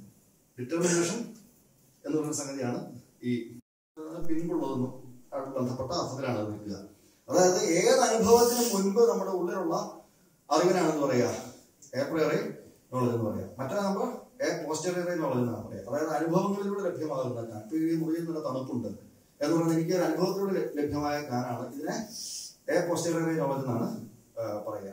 നേരെ മറിച്ച് നേരത്തെ തന്നെ എന്റെ ഉള്ളിലുള്ള അറിവ് നാല് മൂന്ന് ഏഴാണ് എന്നുള്ളത് എന്താണ് നേരത്തെ തന്നെ എനിക്ക് ലഭ്യമാകുന്ന ഏത് അനുഭവത്തിന് മുൻപേ എനിക്ക് ലഭ്യമാകുന്ന ഒരു ജ്ഞാനമാണ്. ആ ജ്ഞാനമാണ്. നേരത്തെ ഈ റാഷണലിസ്റ്റുകൾ വിചാരിക്കുന്നത് കാക്കൂട്ടാനൊക്കെയുള്ള ശേഷി നേരത്തെ തന്നെ നമ്മുടെ ഉള്ളിലുണ്ടെന്നാണ്. ഈ ഇന്നറ്റ് ആൻഡ് ഐഡിയാസിന്റെ കൂടെയാണത് അതിനെയും പെടുത്തിയിട്ടുള്ളത് അതുകൊണ്ടാണ് അവരെല്ലാവരും വളരെ പ്രശസ്തരായ ഗണിതശാസ്ത്രജ്ഞന്മാരായിരുന്നു. ഇപ്പൊ ദക്കാർത്താണെങ്കിലും ഡയബറ്റീസ് ആണെങ്കിലും ഒക്കെ വളരെ പ്രശസ്തരായുള്ള ഗണിതശാസ്ത്രജ്ഞന്മാരും കൂടിയായിരുന്നു. ജോമട്രിയിലെ അരിത്തമെറ്റിക്കിലൊക്കെ വലിയ സിദ്ധാന്തം പുതിയ കണ്ടുപിടുത്തങ്ങൾ തന്നെ നടത്തിയിട്ടുള്ള സയന്റിസ്റ്റുകളാണ് അതേ സമയത്ത് വേറൊരു കൗതുകകരമായ ഒരു തമാ- ഒരു തമാശയുണ്ട്. ഇവരാണ് മറ്റുള്ള ഏത് ഫിസിക്സ് പോലുള്ള എല്ലാ ശാസ്ത്രത്തിനെയും മന്ദീഭവിപ്പിക്കാൻ പ്രധാനമായിട്ട് കാരണമാകുകയും ചെയ്യുന്നത്. കാരണം വെച്ചാൽ എക്സ്പീരിയൻസിന്റെ ആവശ്യമില്ല. എല്ലാം നേരത്തെ ലഭ്യമാണ്.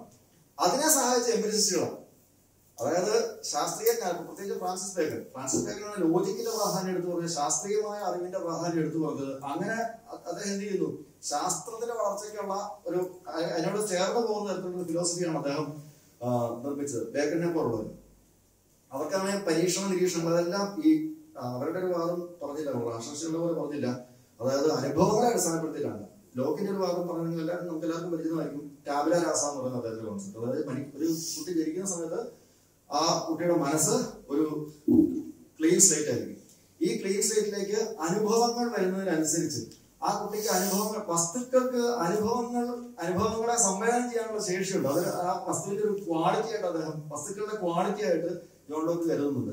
അങ്ങനെ അതിന്റെ സഹായത്തോടു കൂടി എന്താണ്? പിന്നീടാണ് മനസ്സിൽ അറിവുകൾ സംഭവിച്ച് അത് വികസിച്ചു വരുന്നത്. അങ്ങനെ അനുഭവങ്ങളിലൂടെ ലഭ്യമാകുന്ന ജ്ഞാനത്തിനാണ് ഈ ജോൺ തുടങ്ങിയിട്ടുള്ള എംപിരിസിസ്റ്റുകൾ പ്രാധാന്യം കൊടുക്കുന്നത്. ഇതുവരെ പറഞ്ഞു വന്ന ദ്വന്ദ്ങ്ങൾ തുറന്നു പറഞ്ഞു കഴിഞ്ഞാൽ ഏപ്രിലിനെ പോലെ അതുപോലെ എ പോസ്റ്റർ വരെ. പിന്നെ ഒന്നുള്ളത് പ്രപ്പോസിഷൻസിനെ സംബന്ധിച്ചാണ് അതുകൂടി പറഞ്ഞാലേ മുഴുവനാകും അതായത് ഭാഷയിലെ ഡിക്ലറേറ്റീവ് സെന്റൻസസും പ്രപ്പോസിഷൻസും തമ്മിൽ വ്യത്യാസമുണ്ട്. അതായത് ന്യായവാക്യങ്ങൾ എന്ന് പറയാം. നമ്മളിപ്പോ വളരെ പ്രശസ്തമായ ഉദാഹരണം ഡിഡക്റ്റീവ് ലോജിക്കിലെ ഡിഡക്റ്റീവ് ലോജിക്കിലെ വളരെ പ്രശസ്തമായ ഉദാഹരണം ഉണ്ട്. All men are mortal all men are mortal അല്ലെ? First proposition all men are mortal. Second proposition, Socrates is a man. Third proposition, therefore Socrates is mortal. ഇതാണ് പരമ്പരാഗതമായ ഡിഡക്റ്റീവ് ലോജിക്കിലെ ഒരു സില്ലജിസം ഉണ്ട് എന്ന ത്രിപാദ ന്യായം എന്ന് വേണമെങ്കിൽ നമുക്ക് പറയാം. മൂന്ന് പാദങ്ങളുള്ള ന്യായം. അത്. ഇങ്ങോട്ട് എന്തായാലും പറയാം കേട്ടോ. എനിക്ക് അങ്ങനെ പറഞ്ഞത് എനിക്ക് പറഞ്ഞില്ല? ഇതുപോലുള്ള വിഷയം പറയുമ്പോഴേക്ക് എനിക്കറിയാം എനിക്ക് ബോർഡിങ്ങുള്ളത് ഒരു വിഷയം വ്യക്തമാണെന്നുണ്ടെങ്കിൽ ഇതുപോലുള്ള സംഗതികൾ ആവശ്യമില്ല. അതുകൊണ്ടാണ്. ഇതാണ് ഈ സങ്കല്പങ്ങൾ വ്യക്തമായിരിക്കണം എന്ന് പറയാൻ ഉള്ള പ്രധാനപ്പെട്ട കാരണം. അത് ഇരുപതാം നൂറ്റാണ്ടിലുള്ള ഈ സിദ്ധാന്തങ്ങൾ അവതരിപ്പിക്കുമ്പോൾ ഞാൻ നേരത്തെ പറഞ്ഞില്ലേ ഇവിടെ പഠിച്ചുകൊണ്ട് ഒരു ഗുണത്തെക്കുറിച്ച് ഗുണത്തെ കുറിച്ച് ഞാൻ ആദ്യം പറഞ്ഞില്ലേ. ഈ സങ്കല്പങ്ങൾ കൃത്യത ഇല്ലാതെ പോകുന്നുള്ളതാണ് ഈ സിദ്ധാന്തങ്ങളിലൊക്കെ വലിയ പ്രശ്നമായിട്ട് തോന്നുന്നത്. ഓരോരുത്തർ പറയുന്നത് എന്ത് അർത്ഥത്തിലാണെന്നുള്ളത് മനസ്സിലാവില്ല. അതാണ് പ്രശ്നം. ഞാൻ പറയാൻ ശ്രമിച്ചൊരു കാര്യം ഇതാണ്. ഈ ഈ സിദ്ധാന്തങ്ങളെല്ലാം പഠിക്കണമെങ്കിൽ തന്നെ ഇരുപതാം നൂറ്റാണ്ടിൽ പ്രസിദ്ധമായിട്ടുള്ള നമ്മൾ ഇവിടെ പഠിക്കുന്ന സിദ്ധാന്തങ്ങൾ ക്ലിയർ ആണെങ്കിൽ തന്നെ തന്റെ എല്ലാ വാക്കുകളും തത്വചിന്തയിൽ നിന്നാണ് ഇത് പ്രധാനപ്പെട്ട മിക്കവാറും എല്ലാ വാക്കുകളും തന്നെ ഈ കോൺസെപ്റ്റുകളെല്ലാം തന്നെ മിക്കവാറും ഇപ്പൊ ഇന്റർനെറ്റ് ഇന്റർനെറ്റ് എന്ന് പറയുന്ന സംഗതി അല്ലെങ്കിൽ മീഡിയ എന്താണ് മീഡിയേറ്റ് ഇമ്മീഡിയറ്റ് എന്ന് പറയുന്നത് എ എയർ പോസ്റ്റ് പോസ്റ്റേറിയർ എന്ന് പറയുന്നത് ഇതെല്ലാം വരുന്നത് ഇൻഡ്യൂഷൻ കൊഗ്നീഷൻ എന്ന് പറയുന്നത് ഇതെല്ലാം വരുന്നത് ഈ പറഞ്ഞ തത്വചിന്തയുടെ ഒരു പാരമ്പര്യത്തിൽ ദ്വന്ദ്ങ്ങളാണ് ദ്വന്ദ്ങ്ങൾ അതുകൊണ്ടാണ് ലളിത ഈ ദ്വന്ദ്ങ്ങളുടെ ഒരു പ്രശ്നം എടുത്ത് പറയുകയും ചെയ്യുന്നത്. ഡീകൺസ്ട്രക്ഷൻ മനസ്സിലാകണമെന്നുണ്ടെങ്കിൽ ഫിലോസഫി കൃത്യമായിട്ട് അറിയണം. അതാണ് ഒരു പ്രശ്നം. ഫിലോസഫിയുടെ അടിസ്ഥാന സങ്കല്പനങ്ങൾ അറിഞ്ഞാൽ മാത്രമേ നമുക്ക് ഡീകൺസ്ട്രക്ഷനിൽ അദ്ദേഹം സംബോധന ചെയ്യുന്ന പ്രശ്നങ്ങൾ എന്താണെന്ന് തന്നെ മനസ്സിലാവും. അത് എനിക്ക് തോന്നുന്നത് ഹുസൈന്റെയും ഹൈഡറിന്റെയും സിദ്ധാന്തങ്ങൾ കൂടി ലെവിനാസിന്റെ ഇമാനുവൽ ലെവിനാസിന്റെ ഈ പറഞ്ഞ പോലെ സിദ്ധാന്തങ്ങൾ കൂടി വ്യക്ത- വ്യക്തമായിട്ട് മനസ്സിലായാലേ നമുക്ക് വെറുതെ ശരിക്കും മനസ്സിലാവുള്ളൂ പോട്ടെ പറഞ്ഞു വന്ന ഒരു സംഗതി തുടരാം. അതായത് ഈ ഏപ്രിയറി എയർ പോസ്റ്റേറിയറി എന്ന് പറയുന്ന ആ ഒരു ബന്ധം. പിന്നെ ഇപ്പൊ ഞാൻ പറഞ്ഞ ഈ ഡിഡക്റ്റീവ് ലോജിക്കിലും മറ്റും ഒക്കെ വരുന്ന എന്താണ്? ഇത് മൂന്ന് പ്രൊപ്പസിഷൻസ് ആണ്. അതായത് ഡിക്ലറേറ്റീവ് സെൻസ് അല്ല ഇതുപോലെ ഒരു കാര്യം പ്രത്യേകിച്ച് പ്രൂവ് ചെയ്യാൻ ഉദ്ദേശിക്കുന്നത് ഒരു ആശയത്തിന് പ്രാധാന്യം കൊടുത്തുകൊണ്ട് ഒരു കാര്യം പറയുക. ഇത് വേറെ തരത്തിലും പറയാം. അതായത് ഒരു കാര്യം തന്നെ രണ്ട് ഭാഷയിൽ പറഞ്ഞാലുള്ളതാണ് ഭാഷ രണ്ടും രണ്ടാണ്. ആശയം എന്താണ്? രണ്ടും കുറിക്കുന്നത് ഒരേ ആശയത്തിനാണ് ഒരു ഒറ്റ പ്രൊപ്പസിഷൻ ആയിട്ടാണ് അതിനെ കുറിച്ച് പറയുന്നത് അല്ലെങ്കിൽ ഞാൻ പറയാമെന്നിരിക്കട്ടെ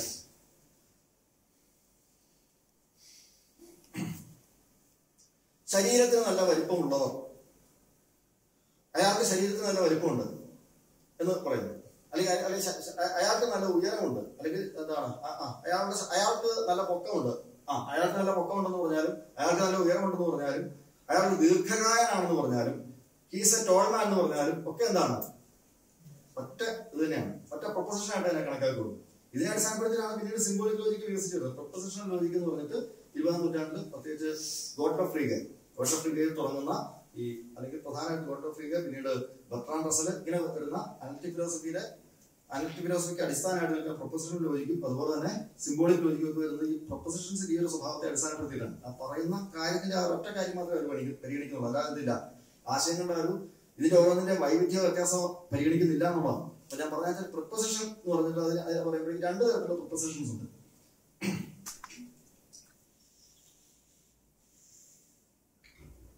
ഒന്ന് അനലിറ്റിക് പ്രൊപ്പസിഷൻ മറ്റേത് സിന്തറ്റിക് പ്രൊപ്പസിഷൻ അനലിറ്റിക് സിന്തറ്റിക് എന്നൊരു വേർതിരിവുണ്ട് അനലിറ്റിക് പ്രൊപ്പസിഷൻ എന്ന് പറഞ്ഞു കഴിഞ്ഞാൽ ഉദ്ദേശിക്കുന്നത്രേ ഉള്ളൂ. നമ്മൾ സാധാരണ ഒരു സെന്റൻസ് എടുത്തു കഴിഞ്ഞാൽ അതിനകത്ത് സബ്ജക്റ്റ് ഉണ്ടാവും പ്രെഡിക്കേറ്റ് ഉണ്ടാവും. സബ്ജക്റ്റിനെ കുറിച്ച് എന്തെങ്കിലും സവിശേഷമായ ഒരു സംഗതി പറയുന്നതായിരിക്കും പ്രെഡിക്കേറ്റ് എന്ന് പറയുന്നത് നമുക്കറിയാം.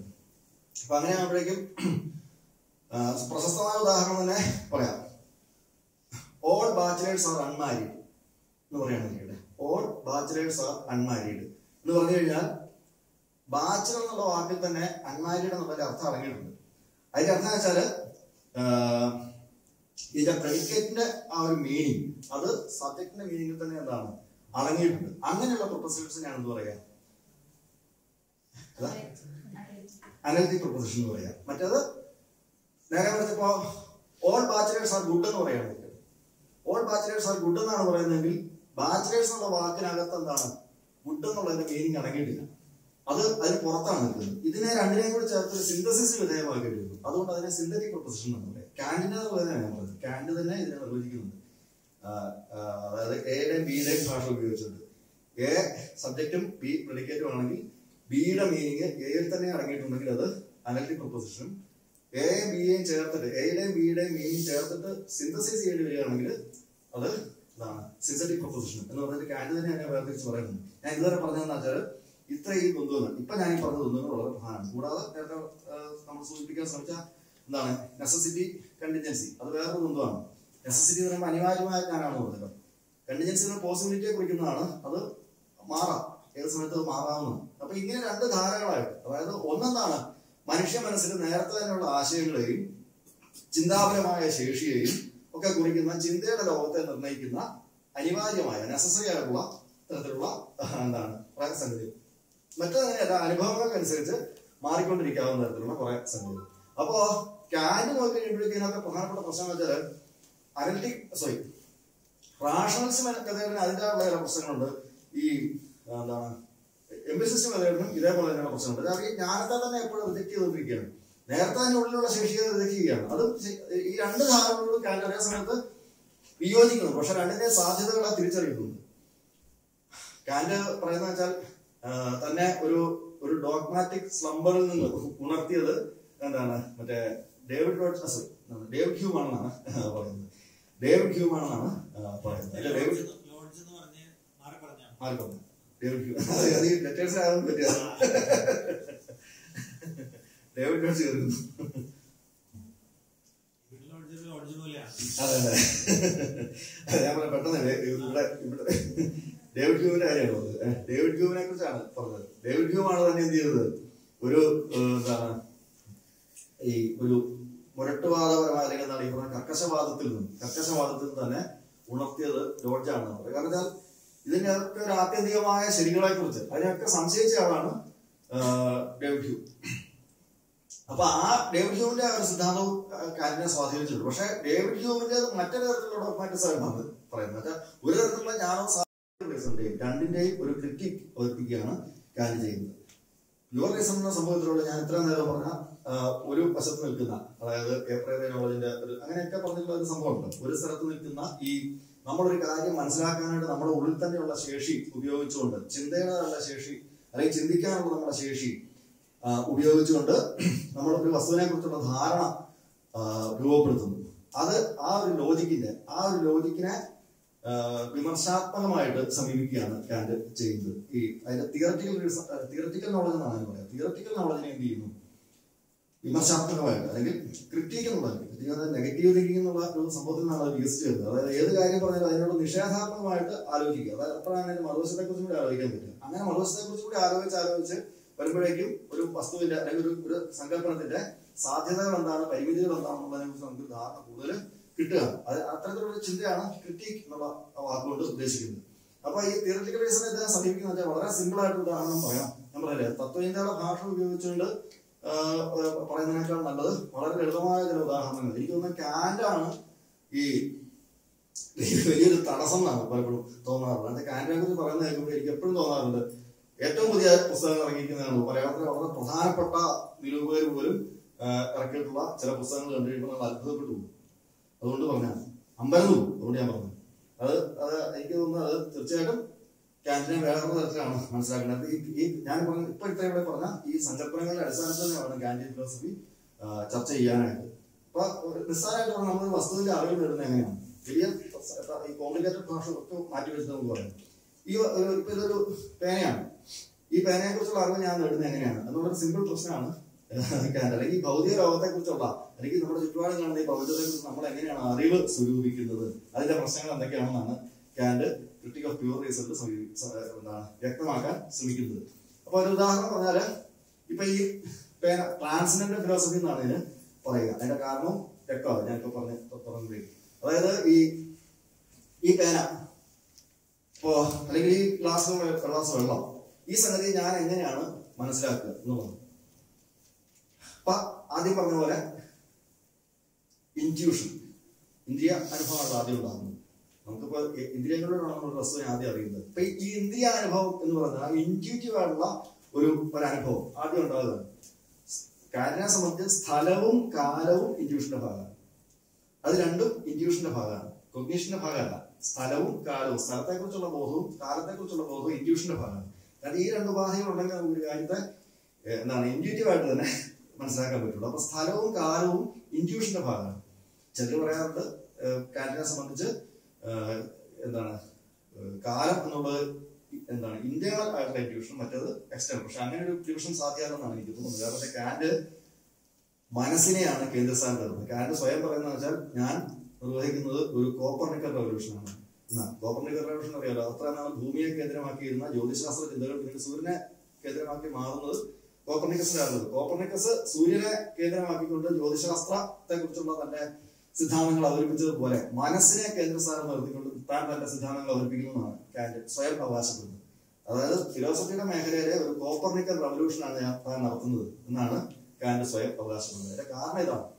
മനസ്സിൽ മനസ്സിലെ ഈ പറഞ്ഞ ഞാൻ എങ്ങനെ രൂപപ്പെടുന്നു എന്നുള്ളതാണ്. അപ്പൊ കാൻഡിന്റെ സങ്കല്പനുസരിച്ച് ഈ ഇൻഡ്യൂഷൻ സ്ഥലം കാലം പറഞ്ഞിട്ടുള്ള ഇൻഡ്യൂഷൻസ് അതിന്റെ അടിസ്ഥാനത്തിൽ ഒരു വസ്തുവിനെ കുറിച്ചുള്ള ധാരാളം വസ്തുവിന്റെ ധാരാളം റെപ്രസെന്റേഷൻസ് എന്ന് വെച്ചാൽ മാനിഫോൾ റെപ്രസെന്റേഷൻസ് എന്ന് പറഞ്ഞാൽ നാനാവിധമായിട്ടുള്ള പലതരത്തിലുള്ള റെപ്രസെന്റേഷൻസ് അതായത് കാഴ്ച കേൾവി ഇത് ഒരു ക്ലാസ് വെള്ളമായതുകൊണ്ട് അല്ലെങ്കിൽ ഇതിന്റെ മണം നമ്മുടെ ഇന്ത്യാനുഭവങ്ങളിലൂടെ നിരവധി നിരവധി സംഗതികൾ എന്താണ്?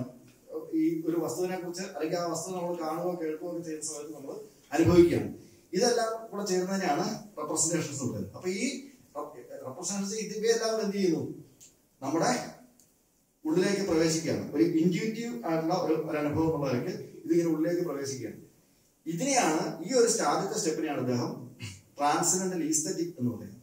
അതായത് ഇവിടെ തന്നെ ശ്രദ്ധിക്കേണ്ട ഒരു സംഗതിയുണ്ട് ഈ വസ്തുവിന്റെ സമഗ്രമായ ഒരു ജ്ഞാനമല്ല. ആ റെപ്രസെന്റേഷൻസ് എന്നുള്ള നിലയ്ക്ക് എന്റെ ഉള്ളിൽ കുറെ സംഗതികൾ രൂപപ്പെടുന്നു. ആ രൂപപ്പെടുന്ന ഈ റെപ്രസെന്റേഷൻസിനെ ഇത്തരത്തിലുണ്ടാകുന്ന നിരവധി സംഗതികൾ ചില ആൾക്കാർ ഇംഗ്ലീഷിലേക്ക് പ്രസന്റ് പ്രസന്റേഷൻ എന്നും പറയാറുണ്ട്. റെപ്രസെന്റേഷൻസ് മാത്രമല്ല പ്രസന്റേഷൻസ് ട്രാൻസ്ലേറ്റ് ചെയ്യാറുണ്ട്. ഏതായാലും ഈ റെപ്രസെന്റേഷൻസിലൂടെ അല്ലെങ്കിൽ ഈ പ്രസന്റേഷൻസിലൂടെ എന്റെ ഉള്ളിലേക്ക് എത്തിയ ഈ ഇന്ദ്രിയാനുഭവങ്ങളെ ഈ ഇന്ദ്രിയാനുഭവങ്ങളെ എല്ലാം കൂടി ചേർത്തിട്ട് ഇമാജിനേഷൻ എന്ന് പറയുന്ന ആ ഒരു ഫാക്കൽറ്റിക്ക് കൈമാറുന്നു. ഇമാജിനേഷൻ ആണ് എന്ത് ചെയ്യുന്നത്? ഈ ഇതിനകത്ത് ഇങ്ങനെ പലതരത്തിൽ വന്നു കയറിയിട്ടുള്ള നാനാ നാനാവിധത്വത്തെ അടുക്കിപ്പെറുക്കി ഒരു സാധനമാക്കി മനസ്സിലാക്കാൻ പാകത്തുള്ള ഒരു സാധനമാക്കി എന്നിട്ട് എന്ത് ചെയ്യുന്നു? കാറ്റഗറീസ് ഓഫ് തോട്ട് എന്ന് പറഞ്ഞിട്ട് നമ്മുടെ ഉള്ളിൽ തന്നെയുള്ള ഈ ചില ശേഷികളൊക്കെ നമ്മൾ നേരത്തെ പറഞ്ഞത് ഈ മനുഷ്യൻ ജനിക്കുമ്പോൾ തന്നെ ചില ശേഷി അവരുണ്ട് അതായത് മനുഷ്യർക്ക് എന്താണ്? ചില ശേഷികളുണ്ട്. ചില കാര്യങ്ങൾ അറിയാനുള്ള ശേഷി അവർക്ക് നേരത്തെ തന്നെ ഉണ്ട് ആ ആ അവയാണ് അദ്ദേഹം കാറ്റഗറീസ് ഓഫ് തോട്ട് എന്ന് വിളിക്കുന്നത്. അത് പന്ത്രണ്ടെണ്ണമാണ് കാറ്റിനെ സംബന്ധിച്ച്. പ്രധാനമായിട്ട് നാലെണ്ണം. ആ നാലിന്റെ ഓരോന്നിന്റെയും സബ് ഡിവിഷൻസ് ഉള്ള രീതിയിൽ മൂന്നെണ്ണം ആയിട്ടും കൂടി വരും. അങ്ങനെ പന്ത്രണ്ടെണ്ണമാണ് ആകെ. പന്ത്രണ്ട് കാറ്റഗറീസ് ഓഫ് തോട്ടാണ് പറയുന്നത് അപ്പൊ ഞാൻ പറഞ്ഞാൽ ഇതിനകത്ത് പ്രധാനമായിട്ടുള്ള നാലെണ്ണം മാത്രം സൂചിപ്പിക്കാം അതായത് quality quantity relation and modality ഈ നാലെണ്ണമാണ് കാറ്റഗറീസ് ഓഫ് തോട്ട് അപ്പൊ നാല് കാറ്റഗറീസ് അതായത് സംഭവിച്ചുള്ളൂ. ഈ വസ്തുവിന്റെ ക്വാളിറ്റി എന്താണെന്ന് എനിക്ക് മനസ്സിലാകുന്നത് അല്ലെങ്കിൽ ക്വാളിറ്റിയുമായി ബന്ധപ്പെട്ട നിരവധി സംഗതികൾ. അതിന്റെ റിയാലിറ്റിയെ സംബന്ധിച്ച്. ഇങ്ങനെ തൊട്ടുള്ള നിരവധി കാര്യങ്ങൾ എന്താണ്? എനിക്ക് മനസ്സിലാകുന്നത് ക്വാളിറ്റി എന്ന് പറയുന്ന ഈ സംഗതി ഉപയോഗിക്കും അല്ലെങ്കിൽ എന്താണ്? ഈ കാറ്റഗറി അല്ലെങ്കിൽ ഈ എന്താണ്? ഈ കാറ്റഗറി തോട്ടിന്റെ ഭാഗമായിട്ട് ക്വാളിറ്റി തിരിച്ചറിയാനുള്ള ഒരു ശേഷി നേരത്തെ തന്നെ എനിക്ക് പിന്നിലുണ്ട് അത് അതെല്ലാം കൂടെ ചേരുന്നതാണ് അദ്ദേഹത്തിനെ സംബന്ധിച്ച് ക്വാളിറ്റി. അതുപോലെ തന്നെ ക്വാണ്ടിറ്റി. ഇത്ര എണ്ണമാണ് അല്ലെങ്കിൽ ഇതിന്റെ വലിപ്പം ഇത്രയാണ്. ഇങ്ങനെയൊക്കെയുള്ള സംഗതികൾ തിരിച്ചറിയാൻ സഹായിക്കുന്ന ക്വാണ്ടിറ്റിയാണ് മറ്റൊന്ന്. ഈ വസ്തു മറ്റു ചില വസ്തുക്കൾ തമ്മിലുള്ള ബന്ധവും അതുപോലെ സബ്സ്റ്റൻസ് ആൻഡ് പ്രോപ്പർട്ടീസ് എന്ന രീതിയിലുള്ള ബന്ധവും ഈ ബന്ധങ്ങൾ തിരിച്ചറിയാൻ സഹായിക്കുന്ന ഒരു സംഗതിയാണ് റിലേഷൻ എന്ന് പറയുന്നത്. മറ്റേ മൊഡാലിറ്റി എന്ന് പറയുന്നത് അനിവാര്യമായ അല്ലെങ്കിൽ നെസസിറ്റി കണ്ടിജൻസി പോലെയുള്ള ഒന്നിന്റെ എക്സിസ്റ്റൻസും അതിന്റെ നോൺ എക്സിസ്റ്റൻസ് ഇങ്ങനെയുള്ള സംഗതികൾ തിരിച്ചറിയാൻ സഹായിക്കുന്ന സംഭവമാണ് എന്ത് മൊഡാലിറ്റി എന്ന് സംഭവം. ഇപ്പൊ ഈ നാല് ശേഷികൾ ഇതിന്റെ മൂന്നിന്റെ സബ് ഡിവിഷൻസ് ഉണ്ട് മൂന്ന് വീതം. അങ്ങനെ ഇവിടെ ഞാൻ ചേരുന്നതാണ് ഈ കാറ്റഗറീസ് ഓഫ് തോട്ട് ഈ കാറ്റഗറീസ് ഓഫ് തോട്ടിന്റെ സഹായത്തോടു കൂടിയാണ് കോൺസെപ്റ്റുകൾ രൂപപ്പെടുന്നത്.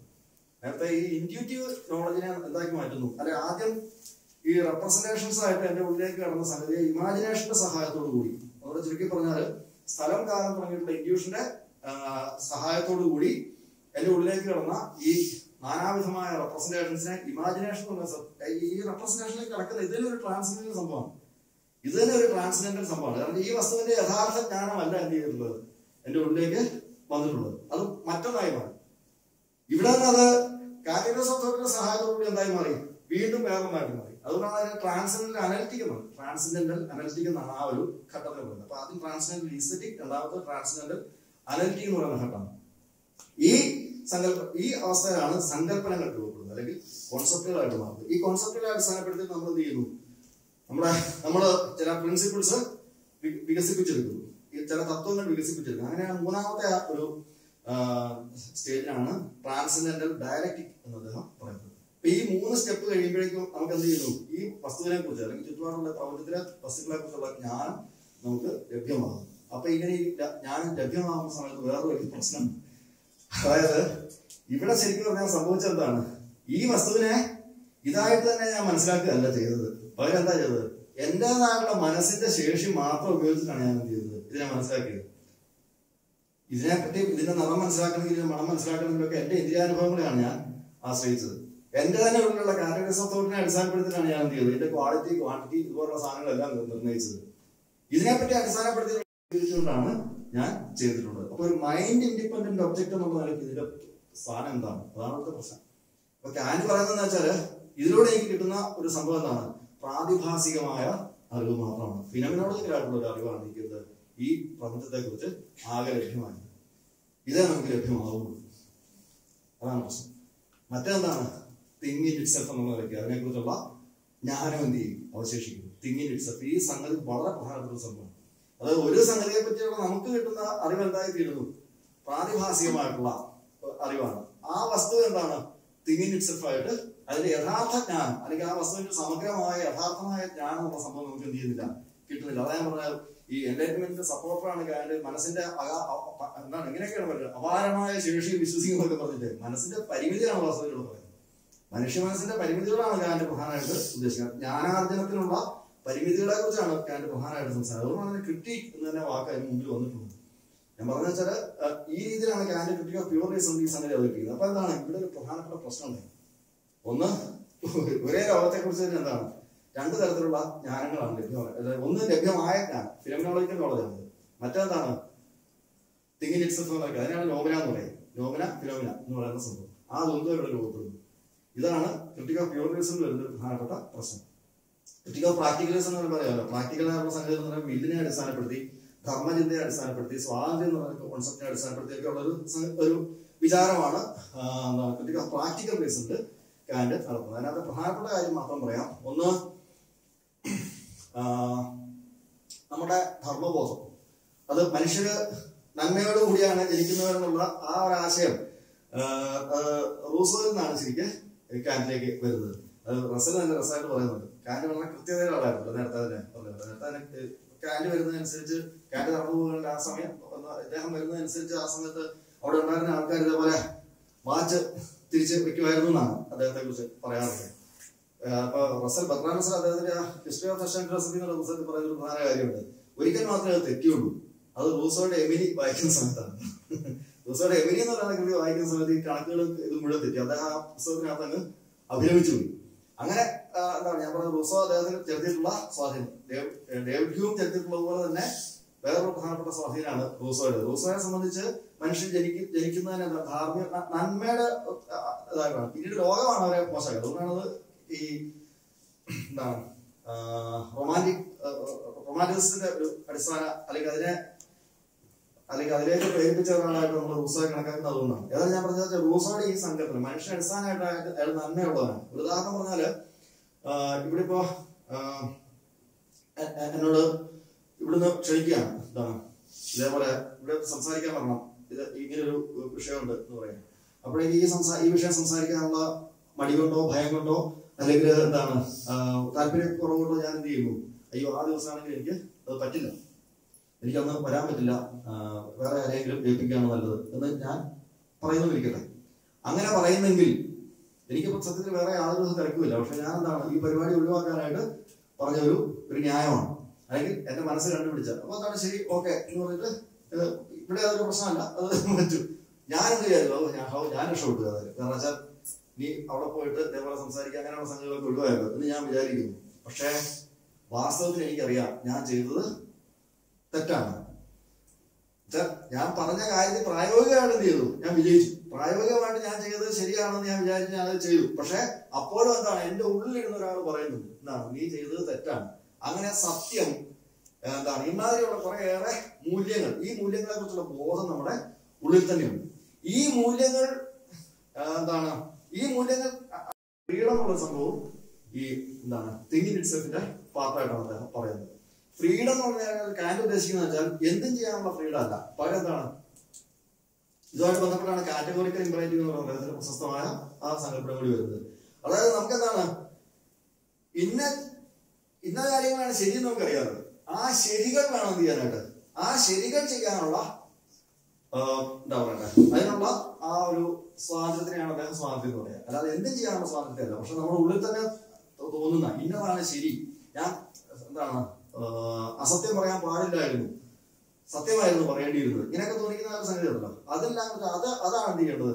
ഞാൻ ആ രീതിയിലായിരുന്നു പ്രവർത്തിക്കേണ്ടത് എന്നിങ്ങനെ ഒരു സംഗതി. അത്തരത്തിൽ ചെയ്യുന്ന പ്രവർത്തനങ്ങൾക്കാണ്. അത് ഭരണകൂടം ഒക്കെ നിർത്താൻ പോലും എന്താണ് എനിക്ക് തോന്നുന്നത് ശരിയെന്ന് പറഞ്ഞാൽ അവിടെയാണ് കാൻഡ് രണ്ട് ആയിട്ട് പിരിയുന്നത് നമുക്ക് വ്യവസ്ഥയെ പൂർണമായിട്ട് സപ്പോർട്ട് ചെയ്യുന്ന ആളാണ് കാന്റൊന്നും പറയാൻ പറ്റില്ല. എന്നുവെച്ചാൽ ഇവിടെ കാൻഡ് കാൻഡ് ഒരു പ്രാക്ടീസ് പെട്ടുന്ന ആളും കൂടിയാണ്. അദ്ദേഹത്തെ പലപ്പോഴും പല പലയാളത്തിൽ എനിക്ക് ഭയങ്കര അത്ഭുതം തോന്നാറുണ്ട് അതുകൊണ്ട് അതുകൊണ്ട് ഞാനത് പറയുന്നത്. അല്ലാത്തൊരു അത്ഭുതം തോന്നാറില്ല ഞാൻ കാന്റി ഫിലോസഫി വായിക്കുമ്പോൾ എനിക്ക് ഒരിക്കലും തോന്നിയിട്ടില്ല.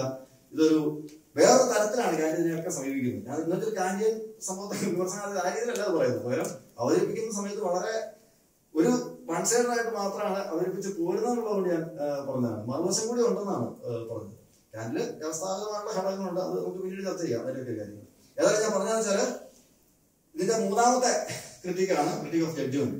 Critique of ജഡ്ജ്മെന്റിലാണ് ഞാൻ നേരത്തെ പറഞ്ഞ പോലെ സൗന്ദര്യശാസ്ത്രത്തെ കുറിച്ചുള്ള വിചാരങ്ങൾ വരുന്നത്. അപ്പൊ ഈ വാസ്തവത്തിൽ critique of purism critique of practicalism മനസ്സിലായാൽ മാത്രമേ നമുക്ക് ക്രിറ്റിക് ഓഫ് ജഡ്ജ്മെന്റിലേക്ക് കടക്കാൻ പറ്റുള്ളൂ. അതാണ് അതിന്റെ ഏറ്റവും പ്രധാനപ്പെട്ട വേറൊരു പ്രശ്നം. ഇപ്പൊ ക്രിറ്റിക് ഓഫ് ജഡ്ജ്മെന്റ് സംഭവത്തിലുള്ളൂ അദ്ദേഹം രണ്ട് തരത്തിലുള്ള ജഡ്ജ്മെന്റ്സിനെ വിമർശന വിധേയമാക്കുന്നു ഒന്ന് ഈസ്തറ്റിക് ജഡ്ജ്മെന്റ് ആണ്. മറ്റത് ടിരിയോളജിക്കൽ ജഡ്ജ്മെന്റ് ഈ രണ്ട് സംഗതികളാണ് ടിരിയോളജിക്കൽ ജഡ്ജ്മെന്റ് എന്ന് പറയാൻ കാര്യം വെച്ചാൽ പ്രകൃതി കാനഡ സംബന്ധിച്ച് കാനഡ മാത്രമല്ല ആ റൂസോയെ സംബന്ധിച്ച് പ്രകൃതി എന്ന് പറഞ്ഞ സംഗതി നേച്ചർ എന്ന് പറഞ്ഞ സംഭവമുണ്ട്. ഈ നേച്ചർ എന്ന് പറഞ്ഞാൽ നമ്മൾ എന്ത് ചെയ്യുന്നു ഈ നേച്ചറിനെ നമുക്ക് പുറത്തായിട്ട് കാണും മനുഷ്യൻ പ്രകൃതിയെ എന്താണ്? നമുക്ക് പുറത്തായിട്ട് അല്ലെങ്കിൽ മനുഷ്യർ മനുഷ്യർക്ക് തന്നെ പുറത്തായിട്ട് പ്രകൃതിയെ കാണുന്നു. അതേ സമയത്ത് പ്രകൃതിയുടെ ഒരു ഭാഗമായിട്ട് തന്നെ തിരിച്ചറിയുകയും ചെയ്യും. ഇത് രണ്ടും. മനുഷ്യ പ്രകൃതിയെ തനിക്ക് പുറത്തായിട്ട് കാണുന്നു. അതേ സമയത്ത് പ്രകൃതിയുടെ ഒരു ഭാഗമായിട്ട് തന്നെ തിരിച്ചറിയുന്നു ഈ പ്രകൃതി എന്ന് സംഗതി എന്താണ്? ആന്തരിക പ്രകൃതിയുണ്ട്. നമുക്ക് എത്താനാവാത്ത ഈ യഥാർത്ഥ പ്രകൃതിയുടെ സംഭവമുണ്ട്. ഇതെല്ലാം ഉള്ളിൽ തന്നെ കൂടിയാണ്. ആ കോംപ്ലിക്കേഷൻ തിങ്ങി നിശ്ചിതമാണെങ്കിൽ എന്താണ്? ഉള്ളിൽ തന്നെ തന്നെയാണെന്നുണ്ടെങ്കിലും ബാധിക്കാവുന്ന അവസ്ഥയുണ്ട്. അപ്പൊ ഇങ്ങനെ ഒരു ഒരു രീതിയിലാണ് അത് നിൽക്കുന്നത്. അതായത് ധാർമ്മിക ബോധമൊക്കെ അവിടെ തന്നെ ഉണ്ട്. നേരത്തെ തന്നെ നമ്മുടെ ഉള്ളിൽ തന്നെയുണ്ട്. പ്രകൃതിയിൽ എന്താണ്? നമ്മൾ ചില പർപ്പസസ് ആരോപിക്കുന്നുണ്ട്. അതായത് എങ്ങനെയാ വെച്ചാൽ ഇപ്പൊ ഒരു വിത്ത് മുളച്ച് ചെടിയാകുന്നു അത് മരമാകുന്നു അതിൽ വീണ്ടും വിത്തുകൾ ഉണ്ടാകുന്നു വീണ്ടും എന്ത് ചെയ്യുന്നു? അതിൽ തന്നെ വീണ്ടും മുളച്ചത്. അപ്പൊ തന്നെ നമ്മൾ എന്ത് ചെയ്യുന്നു? പ്രകൃതിയുടെ ലക്ഷ്യം ഇന്നതാണ്. ഈ ഈ പ്രത്യുൽപാദനം എന്നുള്ളത് അടുത്ത തലമുറയിലേക്ക് തുടരുക എന്നുള്ളതൊക്കെ പ്രകൃതിയുടെ ലക്ഷ്യമാണ്. എന്ന് നമ്മൾ എന്ത് ചെയ്യുന്നു? കാര്യകാരണം എന്ന് നമ്മൾ അതിലേക്ക് ആലോചിച്ചിട്ട് പ്രകൃതിക്കുള്ള ലക്ഷ്യം നമ്മൾ തീരുമാനിക്കുകയാണ്. അതിനാണ് ടെലിയോളജി എന്നുള്ളത് പറയുന്നത് അപ്പൊ ആ അത്തരത്തിലുള്ള ഈ ടെലിയോളജിക്കൽ ജഡ്ജ്മെന്റ് എന്ന് പറയുന്നത് ടെലിയോളജിക്കൽ ജഡ്ജ്മെന്റിൽ ഒരു അപ്പൊ അതിൽ നിന്ന് ഡിഫറെന്റ് ആണ് ഈസറ്റിക് ജഡ്ജ്മെന്റ് എന്നാണ് ഞാൻ പറയുന്നത്. ഈസറ്റിക് ജഡ്ജ്മെന്റിൽ തന്നെ രണ്ട് ഭാഗങ്ങളുണ്ട്. ഒന്ന് ബ്യൂട്ടിയെ കുറിച്ചുള്ള വിചാരങ്ങൾ. ബ്യൂട്ടിഫുൾ എന്നുള്ള സംഗതിയെ കുറിച്ചുള്ള വിചാരങ്ങൾ. മറ്റേ സബ്ലൈം എന്ന് പറയുന്ന സംഗതിയെ കുറിച്ചുള്ള വിചാരങ്ങൾ. ഇങ്ങനെ രണ്ടെണ്ണാണ് ഈ ക്രിറ്റിക് ഓഫ് ജഡ്ജ്മെന്റിൽ ഈസലി ജഡ്ജ്മെന്റിന്റെ ഭാഗമായിട്ട് അദ്ദേഹം പരിഗണിക്കുന്ന വിഷയങ്ങൾ. ഇതിനകത്ത് സംഗതി വെച്ചാൽ ഇതും വളരെ ലളിതമായിട്ട് പറയാം. വളരെ സിമ്പിൾ ആയിട്ട് പറയാം. അതായത് ഇപ്പൊ ഞാനൊരു പൂവ് കാണുന്നു. അല്ലെങ്കിൽ ഒരു സൂര്യോദയം കാണുന്നു ഈ പൂവ് കാണുന്നു സൂര്യോദയം കാണുന്നു അപ്പൊ ഈ- പൂവിനെയോ അല്ലെങ്കിൽ സൂര്യോദയത്തെ കാണുമ്പോഴേക്കും ഇത് സുന്ദരമാണ് എന്ന് നമ്മൾ പറയാനുണ്ടാവുന്ന സാഹചര്യം എന്താണ്? അത്തരത്തിലുള്ള ഒരു ജഡ്ജ്മെന്റിലേക്ക് നമ്മൾ എങ്ങനെയാണ് എത്തുന്നത് എന്നാണ് കാൻഡിയുടെ അന്വേഷിക്കുന്നത്. ഇപ്പൊ കാൻഡ് പറയുന്നത് വെച്ചാൽ ഈ ഒരു സൂര്യോദയം കാണുകയാണെങ്കിൽ ഈസ്റ്ററി ജഡ്ജ്മെന്റിന്റെ അടിസ്ഥാന സ്വഭാവം എന്ന് വെച്ചാൽ സൗന്ദര്യ ആസ്വാദനത്തിന്റെ തന്നെ ഒരു അടിസ്ഥാന സ്വഭാവം എന്ന് വെച്ചാൽ ഒരു ഫ്രീ പ്ലേ ആണ്. മനസ്സിൽ ഇമാജിനേഷന്റെ ആ ഒരു മേഖല ഒരു ഫ്രീ പ്ലേ ആണ് നടക്കുന്നതെന്നാണ് കാൻഡ് പറയുന്നത്. ഈ ഫ്രീ പ്ലേ എന്ന് പറഞ്ഞു കഴിഞ്ഞാൽ ഉദ്ദേശിക്കുന്നത് ഉള്ളൂ കോൺസെപ്റ്റുകളുടെ അഭാവത്തിലുള്ള ഒരു ഫ്രീ പ്ലേ അതായത് സൗന്ദര്യ ആസ്വാദനത്തിൽ എന്തില്ല? കോൺസെപ്റ്റ് ഇല്ല. കോൺസെപ്റ്റുകളില്ല അതായത് ഇപ്പൊ സൂര്യനാണോ പൂവാണോ ആ സൂര്യനെ കുറിച്ചും പൂവിനെ കുറിച്ചും നമ്മൾ രൂപപ്പെടുന്ന കോൺസെപ്റ്റുകൾ ഒന്നും എന്താണ്? സൗന്ദര്യാസ്വാദനത്തിൽ പ്രസക്തമല്ല. ഇതിങ്ങനെ കാണുന്ന സമയത്ത് നമുക്ക് എന്താണ്? സുന്ദരമാണെന്ന് നമുക്ക് തോന്നുന്നു. ആ സുന്ദരമാണെന്ന് നമുക്ക് നമ്മൾ മനോഹരമായിരിക്കുന്നു നമ്മൾ ജഡ്ജ് ചെയ്യുകയും ചെയ്യും. ഒരു ജഡ്ജ്മെന്റ് നമ്മൾ നടത്തുന്നു. ഈ ജഡ്ജ്മെന്റ് കാര്യം പറയുന്ന വെച്ചാൽ ജഡ്ജ്മെന്റിനോട് കൂടിയാണ് നമുക്ക് ഈ പ്ലഷർ ഉണ്ടാവുന്നത്. അല്ലെങ്കിൽ പ്ലഷർ ഉണ്ടായതുകൊണ്ട് നമ്മൾ ജഡ്ജ് ചെയ്തതല്ല. വേറെ ജഡ്ജ്മെന്റിനോട് കൂടിയാണ് നമുക്കൊരു പ്ലഷർ എന്നുള്ള സംഗതി ഉണ്ടാവുന്നത്. അപ്പൊ ഈസ്തറ്റിക് കണ്ടംപ്ലേഷൻ എന്നുള്ള സംഭവം എന്താണ്? വാസ്തവത്തിൽ ഒരു ഫ്രീ പ്ലേ ആണ് കോൺസെപ്റ്റുകളുടെ അഭാവത്തിലുള്ള ഫ്രീ പ്ലേ ഇതാണ് കാന്റിന്റെ ഏറ്റവും പ്രധാനപ്പെട്ട ഒരു സംഘടന. കോൺസെപ്റ്റുകളുടെ അഭാവത്തിലുള്ള ഒരു ഫ്രീ പ്ലേ ആണ് ആ സമയത്ത് നടക്കുന്നത് എന്നുള്ളതാണ്. അതുകൊണ്ട് തന്നെ എന്തല്ല ഈ സൂര്യ സൂര്യോദയം എന്ന് പറഞ്ഞാൽ നമ്മൾ ആശയത്തിലേക്ക് ഒന്ന് പെടരുത്. ആ ദൃശ്യം മാത്രം മനസ്സിൽ കാണുക ആ ദൃശ്യം മാത്രം മനസ്സിൽ കണ്ടു കഴിഞ്ഞാൽ അതിന്റെ ആ ഒരു ബ്യൂട്ടി എന്ന് പറയുന്ന സംഗതി നമ്മൾ ആസ്വദിക്കണമെങ്കിൽ എന്ത് ഇതിന്റെ ആവശ്യമില്ല. കോൺസെപ്റ്റുകളുടെ ആവശ്യമില്ല. കോൺസെപ്റ്റുകളുടെ അഭാവമാണ് അവിടെ സംഭവിക്കുന്നത്. അപ്പൊ ഈ കോൺസെപ്റ്റുകളുടെ അഭാവത്തിലുള്ള ഫ്രീ പ്ലേ എന്ന് പറയുന്ന സംഗതിയാണ് ഈ സൗന്ദര്യാസ്വാദനത്തിന്റെ ഒരു അടിസ്ഥാന സ്വഭാവമായിട്ട് അദ്ദേഹം പറയുന്നത്. പിന്നെ അദ്ദേഹം അതിന് നാല് മൊമെന്റ്സ് സങ്കല്പിക്കുന്നു നാല് വേളകളെന്നോ നാല് നാല് സന്ദർഭം നാല് സന്ദർഭം നാല് ഘട്ടങ്ങൾ എന്നല്ല അർത്ഥം. നാല് ഒരുമിച്ച് തന്നെയാണെങ്കിൽ ആണെന്ന് പറയാം. ഈ സെറ്റിംഗ് ക്ലാസിന്റെ സമയത്ത് തന്നെ ഉണ്ടാകുന്ന നാല് സവിശേഷതകളെ കുറിച്ച് പറയാനാണ് അദ്ദേഹം ഈ നാല് കോമൻസിനെ കുറിച്ച് പറയുന്നത് ഒന്ന് നേരത്തെ പറഞ്ഞ മനസ്സിനുള്ളിലുള്ള ഫാക്കൽറ്റീസിനെ കുറിച്ച് പറഞ്ഞല്ലോ. ക്വാളിറ്റി ക്വാണ്ടിറ്റി റിലേഷൻ മൊഡാലിറ്റി എന്നുള്ള നാല് സംഗതികളെ കുറിച്ച് പറഞ്ഞല്ലോ. അതുമായിട്ട് ബന്ധപ്പെട്ട് ഇവിടെ ഈസ്തറ്റിക് ജഡ്ജ്മെന്റിന് മനസ്സിനെ സഹായിക്കുന്നത് അണ്ടർസ്റ്റാൻഡിംഗ് എന്ന് പറയുന്ന ഫാക്കൽറ്റി അല്ല പകരം കോമൺ സെൻസ് എന്ന് പറയുന്നത്. അണ്ടർസ്റ്റാൻഡിംഗുമായിട്ട് ചേർന്നതിനെ നിൽക്കുന്ന ഒരു സങ്കല്പമായിട്ടാണ് അദ്ദേഹം അവതരിപ്പിക്കുന്നത്. കോമൺ സെൻസ് ആണ് കൊടുക്കുന്ന ജർമ്മൻ ആണ് അതിന്റെ ഇംഗ്ലീഷ് ട്രാൻസ്ലേഷൻ ആണ് ഞാൻ പറയുന്നത്. ഇന്ത്യയ്ക്ക് ജർമ്മൻ വാക്കുകൾ വേറെയാണ്. ഏതായാലും ഞാൻ പറഞ്ഞതെന്ന് വെച്ചാൽ ഈ കോമൺ സെൻസ് എന്ന് പറയുന്ന ഇതാണ് ഈ സൗന്ദര്യ ആസ്വാദനത്തിന്റെ അടിസ്ഥാനമായിട്ട് അത്തരത്തിലുള്ള മനസ്സിലാക്കലുകൾ സംഭവിക്കുന്ന ആധാരമായിട്ട് നിൽക്കുന്ന ആ ഒരു ഉള്ളിലുള്ള ഫാക്കൽറ്റി അപ്പോ ഇപ്പൊ അത് അതും ഈ പറഞ്ഞ ക്വാളിറ്റി ക്വാളിറ്റി റിലേഷൻ ഉണ്ടായിരിക്കും ആ തരത്തിലാണ്. പക്ഷെ ഇവിടെ ഓരോന്നും ശ്രദ്ധിക്കേണ്ടതാണ്. കാരണം വെച്ചാൽ ഇവിടെയാണ് ഈ വളരെ വളരെ വ്യത്യസ്തമായ ഒരു സൗന്ദര്യശാസ്ത്ര സങ്കല്പനം രൂപപ്പെടുന്നത് നമ്മൾ കാണുന്നത്. അതായത് എന്താണ് ഒരു ഈസറ്റിക് ജഡ്ജ്മെന്റിന്റെ അല്ലെങ്കിൽ ഈസറ്റിക് കണ്ടംപ്ലേഷന്റെ ക്വാളിറ്റി എന്നാണെങ്കിൽ ഡിസ്ഇൻട്രസ്റ്റഡ്നെസ് എന്നാണ് അദ്ദേഹം പറയുന്ന ഉത്തരം. ഡിസ്ഇൻട്രസ്റ്റഡ്നെസ് ഇംഗ്ലീഷ് വിദ്യാർത്ഥികൾക്ക് പരിചയമായിരിക്കും ഈ വാക്ക്. എവിടെയാണ്? മാത്യു ആർണോൾഡിന്റെ ആ, എന്താണ്? മറ്റേ നിരൂപകരുടെ ധർമ്മത്തെ കുറിച്ച് പറയുമ്പോൾ അദ്ദേഹം പറയുന്ന അവർക്ക് വേണ്ട പ്രധാനപ്പെട്ട ഒരു ക്വാളിറ്റി എന്താണ്? ഡിസ്ഇൻട്രസ്റ്റഡ്നെസ് എന്നുള്ള സംഗതിയാണെന്ന് പറയും അല്ലെ? താല്പര്യമില്ലായ്ക എന്ന് പറഞ്ഞിട്ട് ഉള്ള സംഭവം അല്ലാതെ പ്രത്യേകിച്ച് ഒരു കാര്യത്തിൽ താല്പര്യമില്ലായ്ക അല്ല പകരം എന്താണ്? എന്താണ്? ഒരുതരം സെൽഫിന്റെ അഭാവമാണ്. ഒരുതരം സെൽഫിന്റെ അഭാവമാണ്. നമ്മളെന്താണ്? നമ്മൾ ഇപ്പൊ സൗന്ദര്യ ആസ്വാദനം നടത്തുന്നു. ആ സമയത്ത് നമുക്ക് എന്ത് എന്ത് ചെയ്യുന്നില്ല. ആ വസ്തുവിന്റെ അസ്തിത്വത്തെ കുറിച്ച് നമ്മൾ ഉദാസീനമാണെന്ന് ആ വസ്തുവിന്റെ എക്സിസ്റ്റൻസിനെ കുറിച്ച് നമ്മൾ എന്താണ്? നമ്മൾ ഉദാസീനരാണ്. അത് മാത്രമേ ആ അതുകൊണ്ട് അർത്ഥമാക്കേണ്ട കാര്യമുള്ളൂ അപ്പൊ അത്തരത്തിലുള്ള അതിന്റെ കാരണം ഒരു ഒരു സെൽഫിന്റെ അഭാവം എന്ന് പറയുന്ന സംഗതി ഈസ്തറ്റിക് ഈ ജഡ്ജ്മെന്റിൽ അല്ലെങ്കിൽ അതിന്റെ കണ്ടംപ്ലേഷൻ സമയത്ത് സംഭവിക്കുന്നുണ്ട്. സൗന്ദര്യ ആസ്വാദനത്തിന്റെ സമയത്ത് ആ രീതിയിലാണ് അത് സംഭവിക്കുന്നതെന്നാണ് അദ്ദേഹം പറയുന്നത്. അപ്പൊ അതാണ് ഈ എന്താണ് ഇതിന്റെ ക്വാളിറ്റി എന്നുള്ള അതിന്റെ പെടുക. രണ്ടാമത് എന്താണ്? ഇതിന്റെ ക്വാണ്ടിറ്റി ക്വാണ്ടിറ്റി എന്ന് പറയുമ്പോഴേക്കും അവിടെ ഈ പറഞ്ഞ വളരെ ഡിഫറെന്റ് ആയിട്ടുള്ള സാധനമാണ് അദ്ദേഹം പറയുന്നത്. അതായത് നമ്മൾ ഒരു വസ്തു സുന്ദരമാണ് എന്ന് പറയുമ്പോൾ ആ വസ്തുവിന്റെ ഒരു പ്രോപ്പർട്ടിയാണ് സൗന്ദര്യം എന്ന് നമ്മൾ വിചാരിക്കുന്നു. അതായത് ആ വസ്തുവിന്റെ ഒരു ഗുണമാണ് ഒരു ക്വാളിറ്റിയാണ് അല്ലെങ്കിൽ അതിന്റെ ഒരു അതിൽ അതിലടങ്ങിയിട്ടുള്ള ഒരു ഗുണമാണ് അല്ലെങ്കിൽ അതിന്റെ ഒരു പ്രോപ്പർട്ടിയാണ് എന്ന് നമ്മൾ വിചാരിക്കുന്നു. എന്ന് നമ്മൾ വിചാരിക്കുന്നു എന്നാണ് പറയുന്നത്. വെച്ചാൽ വാസ്തവത്തിൽ അത് അല്ലാതൊരു മീനിങ് പ്രോപ്പർട്ടി ആണ് നമ്മൾ വിചാരിച്ചത് എന്ത് ചെയ്യുന്നു? ഇത് വസ്തു സുന്ദരമാണ് എന്ന് പറയുമ്പോൾ ഒരു യൂണിവേഴ്സൽ സ്റ്റേറ്റ്മെന്റ് ആയിട്ടാണ് ഞാനത് പറയുന്നത്. ഈ വസ്തു സുന്ദരമാണെന്ന് പറയുമ്പോൾ ഇതിനോട് ആരും വിയോജിക്കുമെന്ന് എനിക്ക് ധാരണയില്ല. പകരം ഞാൻ എന്ത് ചെയ്യുന്നു? അത് ഈ വസ്തു സുന്ദരമാണ്. ഈ പൂവ് സുന്ദരമാണ്. അങ്ങനെയല്ല എന്നൊരു ഒരു മറുവാദം ഞാൻ പ്രതീക്ഷിക്കുന്നില്ല. പകരം എന്താണ്? ഞാൻ യൂണിവേഴ്സൽ ജഡ്ജ്മെന്റ് എന്നുള്ളതൊക്കെയാണ് ഞാനത് ചെയ്യുന്നത്. അപ്പൊ ആ വ്യാപ്തി അതിനെയാണ് അദ്ദേഹം ക്വാളിറ്റിയുമായിട്ട് ബന്ധിപ്പിക്കുന്നത്. അതായത് യൂണിവേഴ്സാലിറ്റിയാണ് അതിന്റെ ക്വാണ്ടിറ്റി ആയിട്ട് അദ്ദേഹം പറയുന്നത്. പക്ഷെ യൂണിവേഴ്സാലിറ്റി എന്ന് പറയുമ്പോൾ സംഭവം എന്താണ്? യൂണിവേഴ്സൽ അല്ല എന്നും കൂടെ മീനിങ് ഉണ്ട്. യൂണിവേഴ്സൽ ആ ജഡ്ജ്മെന്റ് ആണ് നടത്തുന്നതെങ്കിലും വാസ്തവത്തിൽ എന്താണ്? ഒരു വസ്തുവിന്റെ പ്രോപ്പർട്ടി അല്ല സൗന്ദര്യം. വസ്തുവിന്റെ പ്രോപ്പർട്ടി അല്ല സൗന്ദര്യം. പക്ഷെ അങ്ങനെയാണെന്ന് ഞാൻ വിചാരിക്കുന്നു മനസ്സിലായില്ല? അങ്ങനെയാണെന്ന് ഞാൻ വിചാരിക്കുന്നു. എന്നിട്ടാണ് ഞാൻ ഈ ജഡ്ജ്മെന്റ് നടത്തുന്നത്. വസ്തുവിന്റെ പ്രോപ്പർട്ടി ആണെന്ന് എല്ലാവർക്കും സമ്മതമല്ലേ മറ്റേ കോൺസെപ്റ്റ് ആയിട്ട് മാറി. ഏഹ് അതാണ് അവിടുത്തെ പ്രശ്നം അപ്പൊ അതുകൊണ്ട് എന്താണ് അങ്ങനെ ഒരു സംഗതിയിലേക്ക് പോകുന്നില്ല. അപ്പൊ അതാണ് അതിന്റെ ക്വാണ്ടിറ്റി എന്നുള്ള സ്ഥലത്ത് വരുന്നത്. അപ്പൊ രണ്ടാമത്തെ ഇതിന്റെ ഈ യൂണിവേഴ്സാലിറ്റി എന്ന സംഭവം മൂന്നാമത്താണ് കുറച്ചുകൂടി കോംപ്ലിക്കേറ്റഡ് ആയിട്ടുള്ള വേറൊരു concept purposiveness without purpose purposiveness without purpose അതാണ് റിലേഷൻ ഇവിടെ റിലേഷൻ എന്ന് പറയുമ്പോഴേക്കും കാന്റ് വാസ്തവത്തിൽ ടിരിയോളജിക്കൽ ജഡ്ജ്മെന്റ്സ് ആയിട്ടുള്ള ഈസറ്റി ജഡ്ജ്മെന്റ് റിലേഷൻ ആണ് ഉദ്ദേശിക്കുന്നത്. അല്ലെങ്കിൽ ഇത് തമ്മിലുള്ള വ്യത്യാസത്തിനാണ് അദ്ദേഹം പ്രാധാന്യം കൊടുക്കുന്നത്. ഇവിടെ എന്താണ് പർപ്പസീവ്നെസ് വിത്തൗട്ട് പർപ്പസ് നേരത്തെ പറഞ്ഞു പ്രകൃതിയിലുള്ള എല്ലാ വസ്തുക്കളിലും നമുക്ക് എന്താണ് നമ്മൾ പർപ്പസീനസ് പർപ്പസീനസ് അദ്ദേഹം നിർവചിക്കുന്നുണ്ട് purposiveness is the is the relation between the concept and its object ഇങ്ങനെയാണ്. കാണും. അപ്പൊ നമുക്ക് എന്താണ് ബ്യൂട്ടി അല്ലെ ബ്യൂട്ടി ഇത് ബ്യൂട്ടിഫുൾ ആണെന്ന് നമ്മൾ പറയുന്നത്. അപ്പൊ ആ ഇസറ്റിക്സ് ഓഫ് അല്ലെങ്കിൽ ഇസറ്റിക് ഓഫ് ബ്യൂട്ടിഫുൾ എന്ന് പറയുന്ന സംഭവം. അതിൽ നിന്ന് ഡിഫറെന്റ് ആയിട്ടുള്ള വേറെ അനുഭവത്തെ കുറിച്ച് കൂടിയാണ് കാൻഡ് പറയുന്നുണ്ട് അതാണ് ഞാൻ നേരത്തെ പറഞ്ഞ സബ്ലൈ എന്ന് പറയുന്ന സബ്ലൈ അതെന്ന് വെച്ചാൽ ഇപ്പൊ നമ്മളിപ്പോ ഒരു കടൽ തീരത്ത് പോയി നിൽക്കുകയാണ്. ആ കടൽ തീരത്ത് ശക്തമായ തിരമാലകൾ വരുന്നു വലിയ ഭീമാകാരമായ തിരമാലകൾ വരുന്നു. അപ്പൊ ഇങ്ങനെ അങ്ങോട്ട് നോക്കി കഴിയുമ്പോൾ കടലിങ്ങനെ അങ്ങേയറ്റം വരെ ഇങ്ങനെ അപാരമായിട്ട് പരന്നു കിടക്കുന്നു. അല്ലെങ്കിൽ ആകാശത്തേക്ക് നോക്കുമ്പോൾ ഇങ്ങനെ നക്ഷത്രങ്ങളുടെ ലോകം അതിനപ്പുറത്തേക്ക് എന്ത് എന്നൊക്കെ പറഞ്ഞിട്ട് ഇങ്ങനെ നമ്മൾ ആകാശത്തേക്ക് നോക്കിയപ്പോൾ ഒരു അപാരത പ്രപഞ്ചത്തിന്റെ ഒരു വല്ലാത്തൊരു അപാരതയിലൊക്കെ ചെന്ന് പെട്ടുപോകുന്നു. അല്ലെങ്കിൽ ഒരു വെള്ളച്ചാട്ടത്തിന്റെ താഴെ നിന്നിട്ട് ഒരു ഭയാനകമായ വെള്ളച്ചാട്ടത്തിന്റെ താഴെ നിന്നിട്ട് നമ്മൾ മുകളിലേക്ക് നോക്കുന്നു.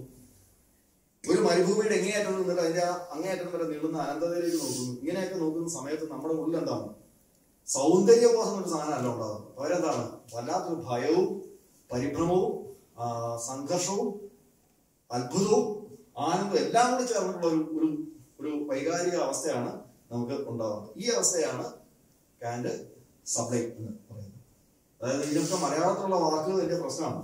ഉദാത്തത എന്നാണ് മലയാളത്തിൽ ഇതിനെപ്പറ്റി പറയാറുള്ളത്. ഉദാത്ത എന്നുള്ള പറഞ്ഞു കേട്ട് കഴിഞ്ഞാൽ നമുക്ക് ഇത്തരത്തിലൊരു ഫീലിംഗ് എന്റെ ഉള്ളിൽ വരുന്നില്ല. ഉണ്ടോ? ഉദാത്തമായ പറയുമ്പോൾ വേറെ എന്തോ ഒരു സാധനമായിട്ടാണ് തോന്നുന്നത് അല്ലേ? ആ ഉദാത്ത ഉദാത്ത ട്രാൻസ്ലേറ്റ് ചെയ്യാറുള്ളത് ഈ സൗന്ദര്യഹാസമുള്ള എന്ന വാക്ക് തന്നെ മാറ്റേണ്ടതാണ് വാസ്തവത്തിൽ കാരണം വെച്ചാൽ അറിയാലോ ഈ നമ്മൾ ഈ ഒരു ഏരിയയിൽ അഡ്രസ് ചെയ്തില്ല ഞാനത് നേരത്തെ പറഞ്ഞ ഇപ്പൊ ഇപ്പം ഇത് കാണുമല്ലോ മറ്റേ അവാങ്കാദാർട്ടിനെ കുറിച്ച് ജത്താറ് പറയുമ്പോൾ എന്താണ് സപ്ലൈ? അല്ലെങ്കിൽ സപ്ലൈമാണ് അവാങ്കാദാർട്ടിന്റെ സ്വഭാവം എന്ന് പറയുമ്പോൾ ഈ സങ്കല്പം എടുത്താൽ മാത്രമേ നമുക്ക് ചെയ്യാൻ പറ്റുള്ളൂ? ഇവിടെ സംഭവിച്ച എന്താണെന്നുള്ളത് സയന്റിഫിക് അല്ല എന്താണ്? ഈ തത്വചിന്തയുടെ ഭാഷ വിശദീകരിക്കേണ്ടതുണ്ട് അല്ലെങ്കിൽ ശരിയാവില്ല. അതും കാൻഡ് ചെയ്യുന്നുണ്ട്. കാൻഡ് ചെയ്യുന്നതെന്ന് വെച്ചാൽ ഇവിടെ സംഭവിച്ചത് എന്താണ്? നിയതമായ ഒരു ഫോം ഇല്ല. സാധാരണ നമുക്ക് എന്താണ്? ഈ ബ്യൂട്ടി എന്ന് പറയുന്ന സംഗതി ജഡ്ജ് ചെയ്യാനായിട്ട് അവിടെ എന്തുണ്ടായിരുന്നു? ഫോം ഉണ്ടായിരുന്നു. അതിന്റെ ചില ക്രമങ്ങൾ കാൻഡ് വളരെ ശ്രദ്ധിച്ചാണ് പറയുന്നത്. ആ വസ്തുവിന്റെ പ്രോപ്പർട്ടി ആയിട്ട് എന്ത് ചെയ്യുന്നില്ല ഇതിനെ കണക്കാക്കുന്നില്ല. ഒരു വസ്തു കാണുന്ന സമയത്ത് നമ്മുടെ ഉള്ളിൽ എന്താണ്? ഈ ഫ്രീ പ്ലേ ഞാൻ നേരത്തെ പറഞ്ഞല്ലോ. ആ ഫ്രീ പ്ലേക്ക് ഒരു ക്രമം ഉണ്ടാകും. അതിനൊരു ലയബദ്ധത ഉണ്ടാകും. ഈ ഫ്രീ പ്ലേക്ക് ഒരു ക്രമവും ലയബദ്ധത ഉണ്ടാകുന്ന സമയത്താണ് നമുക്ക് എന്ത് തോന്നുക? ഇത് സുന്ദരമാണെന്ന് തോന്നുന്നത്. വസ്തുവിന്റെ പ്രോപ്പർട്ടി അല്ല സൗന്ദര്യം. ഇത് എന്റെ ഉള്ളിലാണ് ഇത് സംഭവിക്കും പക്ഷെ എന്റെ ഉള്ളിൽ പൂർണമായിട്ട് പറയാൻ പറ്റില്ല. കാരണം വെച്ചാൽ വസ്തുവിന്റെ ചില ക്രമങ്ങളാണ് എന്ത് ചെയ്തത്? ക്രമത്തെ കുറിച്ചുള്ള ബോധം എന്നിൽ ഉണ്ടാക്കിയത്. അല്ലെങ്കിൽ വസ്തുവിൽ ഞാൻ സങ്കല്പിക്കുന്ന ചില ക്രമങ്ങളാണ്. വസ്തുവിൽ ഞാൻ സങ്കല്പിക്കുന്ന ചില ക്രമങ്ങളാണ് ആ വസ്തുവിനെ കുറിച്ചുള്ള ബോധം എന്നിൽ അല്ലെങ്കിൽ ആ വസ്തുവിനെ വസ്തു സുന്ദരമാണെന്നൊരു ബോധം എന്നിൽ ഉണ്ടാക്കിയത്. അപ്പൊ അത്തരത്തിലുള്ള സംഗതിയായിട്ട് ഇവിടെ ബ്യൂട്ടി എന്ന് നമുക്ക് പറയാൻ പറ്റില്ല. അതാണ്. അതുകൊണ്ടാണ് അതിന് സപ്ലൈ എന്ന് വേറൊരു പേര് പറയുന്നത്. ഇവിടെ സംഭവിച്ചത് എന്താണ്? ഇവിടെ സംഭവിച്ചാൽ വെച്ചാൽ സ്ഥലം കാലം തുടങ്ങിയിട്ടുള്ള ഇൻഡ്യൂഷൻസ് തന്നെ പ്രശ്നമായി തീരും നമുക്കൊന്നും വേർതിരിച്ചറിയാൻ പറ്റുന്നില്ല സ്ഥലത്തെ കാലത്തെ വേർതിരിച്ചത് അത്തരത്തിലുള്ള ഇൻഡ്യൂഷൻ തന്നെ പ്രശ്നമാകുന്നു. നമുക്ക് നമുക്ക് കിട്ടുന്ന ആ സെൻഷ്വൽ ആയിട്ടുള്ള അനുഭവങ്ങൾ അത്തരത്തിലുള്ള റെപ്രസെന്റേഷൻസിനെ എന്ത് ചെയ്യാൻ പറ്റുന്നില്ല? ഇമാജിനേഷൻ എന്നുള്ള ശക്തിക്ക് കൈമാറാനായിട്ട് ആ ഒരു ഫാക്കൽറ്റിക്ക് കൈമാറാൻ എന്ത് മനസ്സ് മനസ്സിന് പറ്റുന്നില്ല. പരാജയപ്പെടുന്നു. അതായത് ഈസ്റ്ററ്റിക് ജഡ്ജ്മെന്റ് നിർണയിക്കുന്ന ആ സ്പേസ് എന്ത് ചെയ്യുന്നു? അവിടെ പരാജയപ്പെടുന്നു. അവിടെ പക്ഷേ കാൻഡ് പറയുന്നതാണ് അവിടെ റീസൺ മേൽക്കൈ നേടുന്നു റീസൺ മേൽക്കൈ നേടുന്നു റീസൺ ചെയ്യുന്ന എന്ത് മാത്രമേ ഉള്ളൂ? ലിമിറ്റ്ലെസ്നെസ് എന്ന് പറയുന്ന ഒരു സംഗതിയെ കുറിച്ചുള്ള ധാരണയാണ് റീസൺ നമുക്ക് കൈമാറുന്നത്. നമ്മുടെ റീസന്റെ ആ ഒരു ഫാക്കറ്റ് ഉണ്ടല്ലോ. അത് നമുക്ക് കൈമാറുന്ന എന്താണ്? ഇതിന്റെ ഒരു എന്താണ്? പരിമിതിയില്ലായ്ക അല്ലെങ്കിൽ പരിധിയില്ലായ്ക എന്ന് പറയുന്ന ഒരു ധാരണയെ നമുക്ക് എന്താണ്? റീസണിലൂടെ കിട്ടുന്നുള്ളൂ. ഇതോടുകൂടി നമ്മുടെ ഉള്ളിൽ എന്തുണ്ടാകുന്നു? ഈ ഒരുതരം ദൈവികതയെ കുറിച്ചും അങ്ങനെയാണ് അതിനെ എത്തിക്സുമായിട്ട് അത് ബന്ധിപ്പിക്കുന്നത്. ഈ എന്താണ് സബ്ലൈമിനെ കാൻഡ് എത്തിക്സുമായിട്ട് ബന്ധിപ്പിക്കുന്ന അങ്ങനെയാണ്. മനുഷ്യന്റെ നിസ്സാരതയെ കുറിച്ച് മനുഷ്യർക്ക് ബോധം ഉണ്ടാകുന്നു. പ്രകൃതിയുടെ ആ ഒരു ഇതിനെ കുറിച്ച് അതിന്റെ ആ ഒരു എന്താണ് പറയുന്നത് അതിന്റെ ആ ഒരു ഗഹനതയെ കുറിച്ച് ഗഹനത എന്നുള്ള വാക്കാണ് എനിക്ക് കുറച്ചുകൂടെ തോന്നുന്നു. ഈ സബ്ലൈം തന്നെ അല്ലെ? അപ്പൊ അത്തരത്തിലുള്ള ഒരു ഒരു ഒരു ഗഹനതയെ കുറിച്ചുള്ള ധാരണ എന്തുണ്ടാകുന്നു? മനുഷ്യർക്ക് ഉണ്ടാകുന്നു. അപ്പൊ അങ്ങനെ അതെന്താണ്? അതെന്ന് പറഞ്ഞാൽ ഈ പറഞ്ഞ സംഗതിയായിട്ട് കൂടി ബന്ധപ്പെട്ടാണ് നിൽക്കുന്നത്. ഈ ധാർമ്മിക ബോധവുമായിട്ട് കൂടി ബന്ധപ്പെട്ടാണ് ഈ സംഗതി നിൽക്കുന്നത് ഇതാണ് കാൻഡിയൻ സപ്ലൈ എന്ന് പറഞ്ഞൊരു സംഗതി. മാത്രമല്ല കാൻഡിയൻ കലകളെ രണ്ടായിട്ട് തിരിക്കുന്നുണ്ട്. ഒന്ന് പ്യൂർ ആർട്ട് എന്നും applied art Kantian Kant pure art വിളിക്കുന്നത് കോൺസെപ്റ്റുകളുടെ അഭാവമാണ് ഇതിനകത്തുള്ളതെന്ന് പറഞ്ഞല്ലോ. ആ രീതിയിലുള്ള സൗന്ദര്യ അല്ലെങ്കിൽ ആ രീതിയിൽ സുന്ദരമെന്ന് കരുതപ്പെടുന്ന വസ്തുക്കളെയാണ് എന്ന് പറയുക? പ്യൂർ ആർട്ട് എന്ന് പറയുക. എന്തെങ്കിലും ഒരു കോൺസെപ്റ്റ് ആരോപിച്ചാൽ തന്നെ അതെന്തായി മാറി? അപ്ലൈഡ് ആർട്ടാണ് ഈ ഒരു അർത്ഥത്തിലാണ് അദ്ദേഹം അതിനെ കുറിച്ച് പറയുന്നത്. അപ്പൊ ഞാൻ പറഞ്ഞാൽ കാൻഡ് ഈ രണ്ടു മൂന്ന് കാര്യങ്ങൾ ശ്രദ്ധിക്കേണ്ടതാണ്. ഒന്ന് കാന്റ് പ്രകൃതി സൗന്ദര്യത്തിന് കൊടുക്കുന്ന പ്രാധാന്യം. കലാ സൃഷ്ടികളുടെ സൗന്ദര്യത്തെക്കാൾ അദ്ദേഹം ഈ കൂടുതൽ സംസാരിക്കുന്നത് പ്രകൃതിയുടെ. അത് സപ്ലൈ ഒക്കെ അതാണ്. അന്നത്തെ കാലത്ത് കലയിൽ നമുക്ക് അങ്ങനെ ഒരു സംഗതി നമുക്ക് അധികം പറയാൻ പറ്റില്ല. ഇതാണ് ഈ സപ്ലൈ എന്നൊക്കെയുള്ള സംഗതി ശരിക്കും അവാങ്കാതാക്കളോട് കൂടിയാണ്. ഞാൻ വിനേന്ദ്ര സാറിന്റെ കലയെ കുറിച്ച് പറയണമെന്നുണ്ടെങ്കിൽ ഈ വാക്കായിരിക്കും കൂടുതൽ നല്ലത്. അല്ലെങ്കിൽ ഡി വിനേന്ദ്രനെ കുറിച്ചും മറ്റൊക്കെ സംസാരിക്കണമെങ്കിൽ ആധുനികതയുടെ ഭാഗമായിട്ട് വന്നിട്ടുള്ള അല്ലെങ്കിൽ ഈ ഏകദേശം സപ്ലൈ എന്ന് പറയാവുന്ന തരത്തിലുള്ള ഇരുപത്താറ് മറ്റ് സപ്ലൈ എന്നൊക്കെ പറയാൻ തരത്തിലുള്ള ഒരു സംഗതി ഡി ഉണ്ടെന്നുള്ള കാര്യം നമുക്ക് വായിച്ചു കഴിയുമ്പോൾ വ്യക്തമായി മനസ്സിലാവും. നമ്മുടെ വളരെ പരിമിതമായ നമ്മൾ മോഡേൺ എന്നൊക്കെ പറയും എന്നിട്ട് എന്ത് ചെയ്യും? വളരെ പരിമിതമായ ട്രഡീഷണൽ ബ്യൂട്ടിയുടെ കോൺസെപ്റ്റുകൾ ഉപയോഗിച്ചാണ് നമ്മൾ എന്ത് ചെയ്യുക? ഏത് സംഗതി ചെയ്യും? അതാണ് ഞാൻ നേരത്തെ പറഞ്ഞ എങ്കിൽ.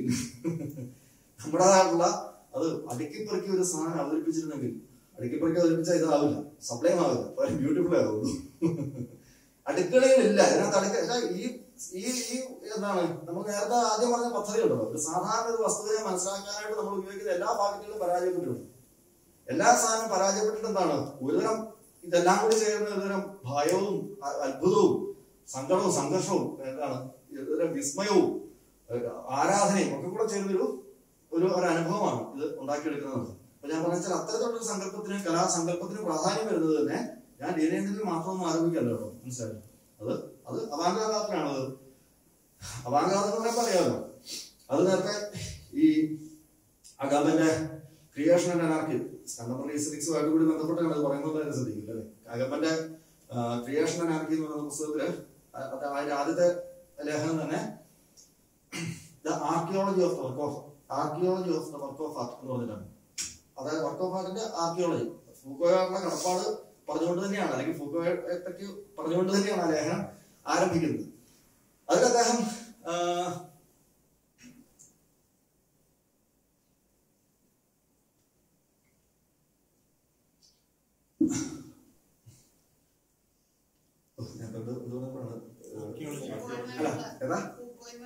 അതല്ല അതല്ല അകമലിലേക്ക് വന്നത് അതിന് തൊട്ട് മുമ്പ് പറഞ്ഞു അകമലിലേക്ക് വരുന്നതിന് തൊട്ട് മുമ്പ് പറഞ്ഞത് ഓർമ്മയുണ്ടോ? കാന്റിന്റെ പറഞ്ഞ വ്യത്യാസം ഓർമ്മയുണ്ടോ എനിക്ക്? ഏതാ?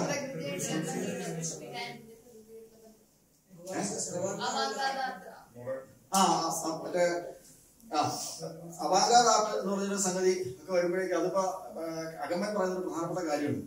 ഈ അവാങ്കാദ് ആർട്ടിന്റെ ഭാഗമായിട്ടാണ് മാർസൽ ഡുഷാമിന്റെ വളരെ പ്രശസ്തമായ അദ്ദേഹത്തിന്റെ ഫൗണ്ടൻ എന്ന് പറയുന്ന ശില്പം. നമുക്ക് എല്ലാവർക്കും പരിചിതമായിരിക്കും. ഫൗണ്ടൻ എന്ന് പറയുന്ന ശില്പം എന്താണ് ചെയ്യുന്നത്? ഒരു എല്ലാവർക്കും ഒരു പരിചയമാണ് ഞാനൊക്കെ പറയേണ്ട കാര്യം തന്നെ ഇല്ല എല്ലാവർക്കും അറിയുന്ന ഒരു സംഗതിയാണ്. ഈ എന്താണ്? ആ മറ്റേ ആണുങ്ങളുടെ യൂറിനൽ കമ്മോഡ് എന്താണ്? അത് അഴിച്ചെടുത്ത് കൊണ്ടുവന്നിട്ട് മ്യൂസിയത്തിൽ പ്ലേസ് ചെയ്യാണ് എന്നിട്ട് അത് ഫൗണ്ടൻ എന്നുള്ള പേരിലുള്ള ശില്പമായിട്ട് അദ്ദേഹം അവതരിപ്പിക്കുകയാണ്. റെഡിമെയ്ഡ് ആർട്ട് എന്നാണ് അതിന് വേറൊരു പേര് അദ്ദേഹം കൊടുക്കുന്നത്.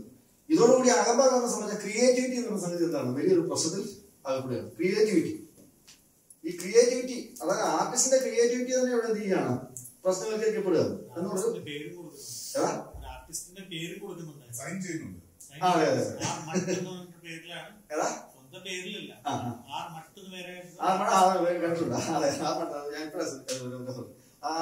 ഒരു പേര് കൂടി അത് ചെയ്തിട്ടുണ്ട്. അത് ഞാൻ പറഞ്ഞതെന്ന് വെച്ചാൽ ക്രിയേറ്റിവിറ്റി എന്നുള്ള സംഗതി എന്ത് ചെയ്യപ്പെടുന്നു? ഇതോടുകൂടി ഇതോടുകൂടി എന്താണ്?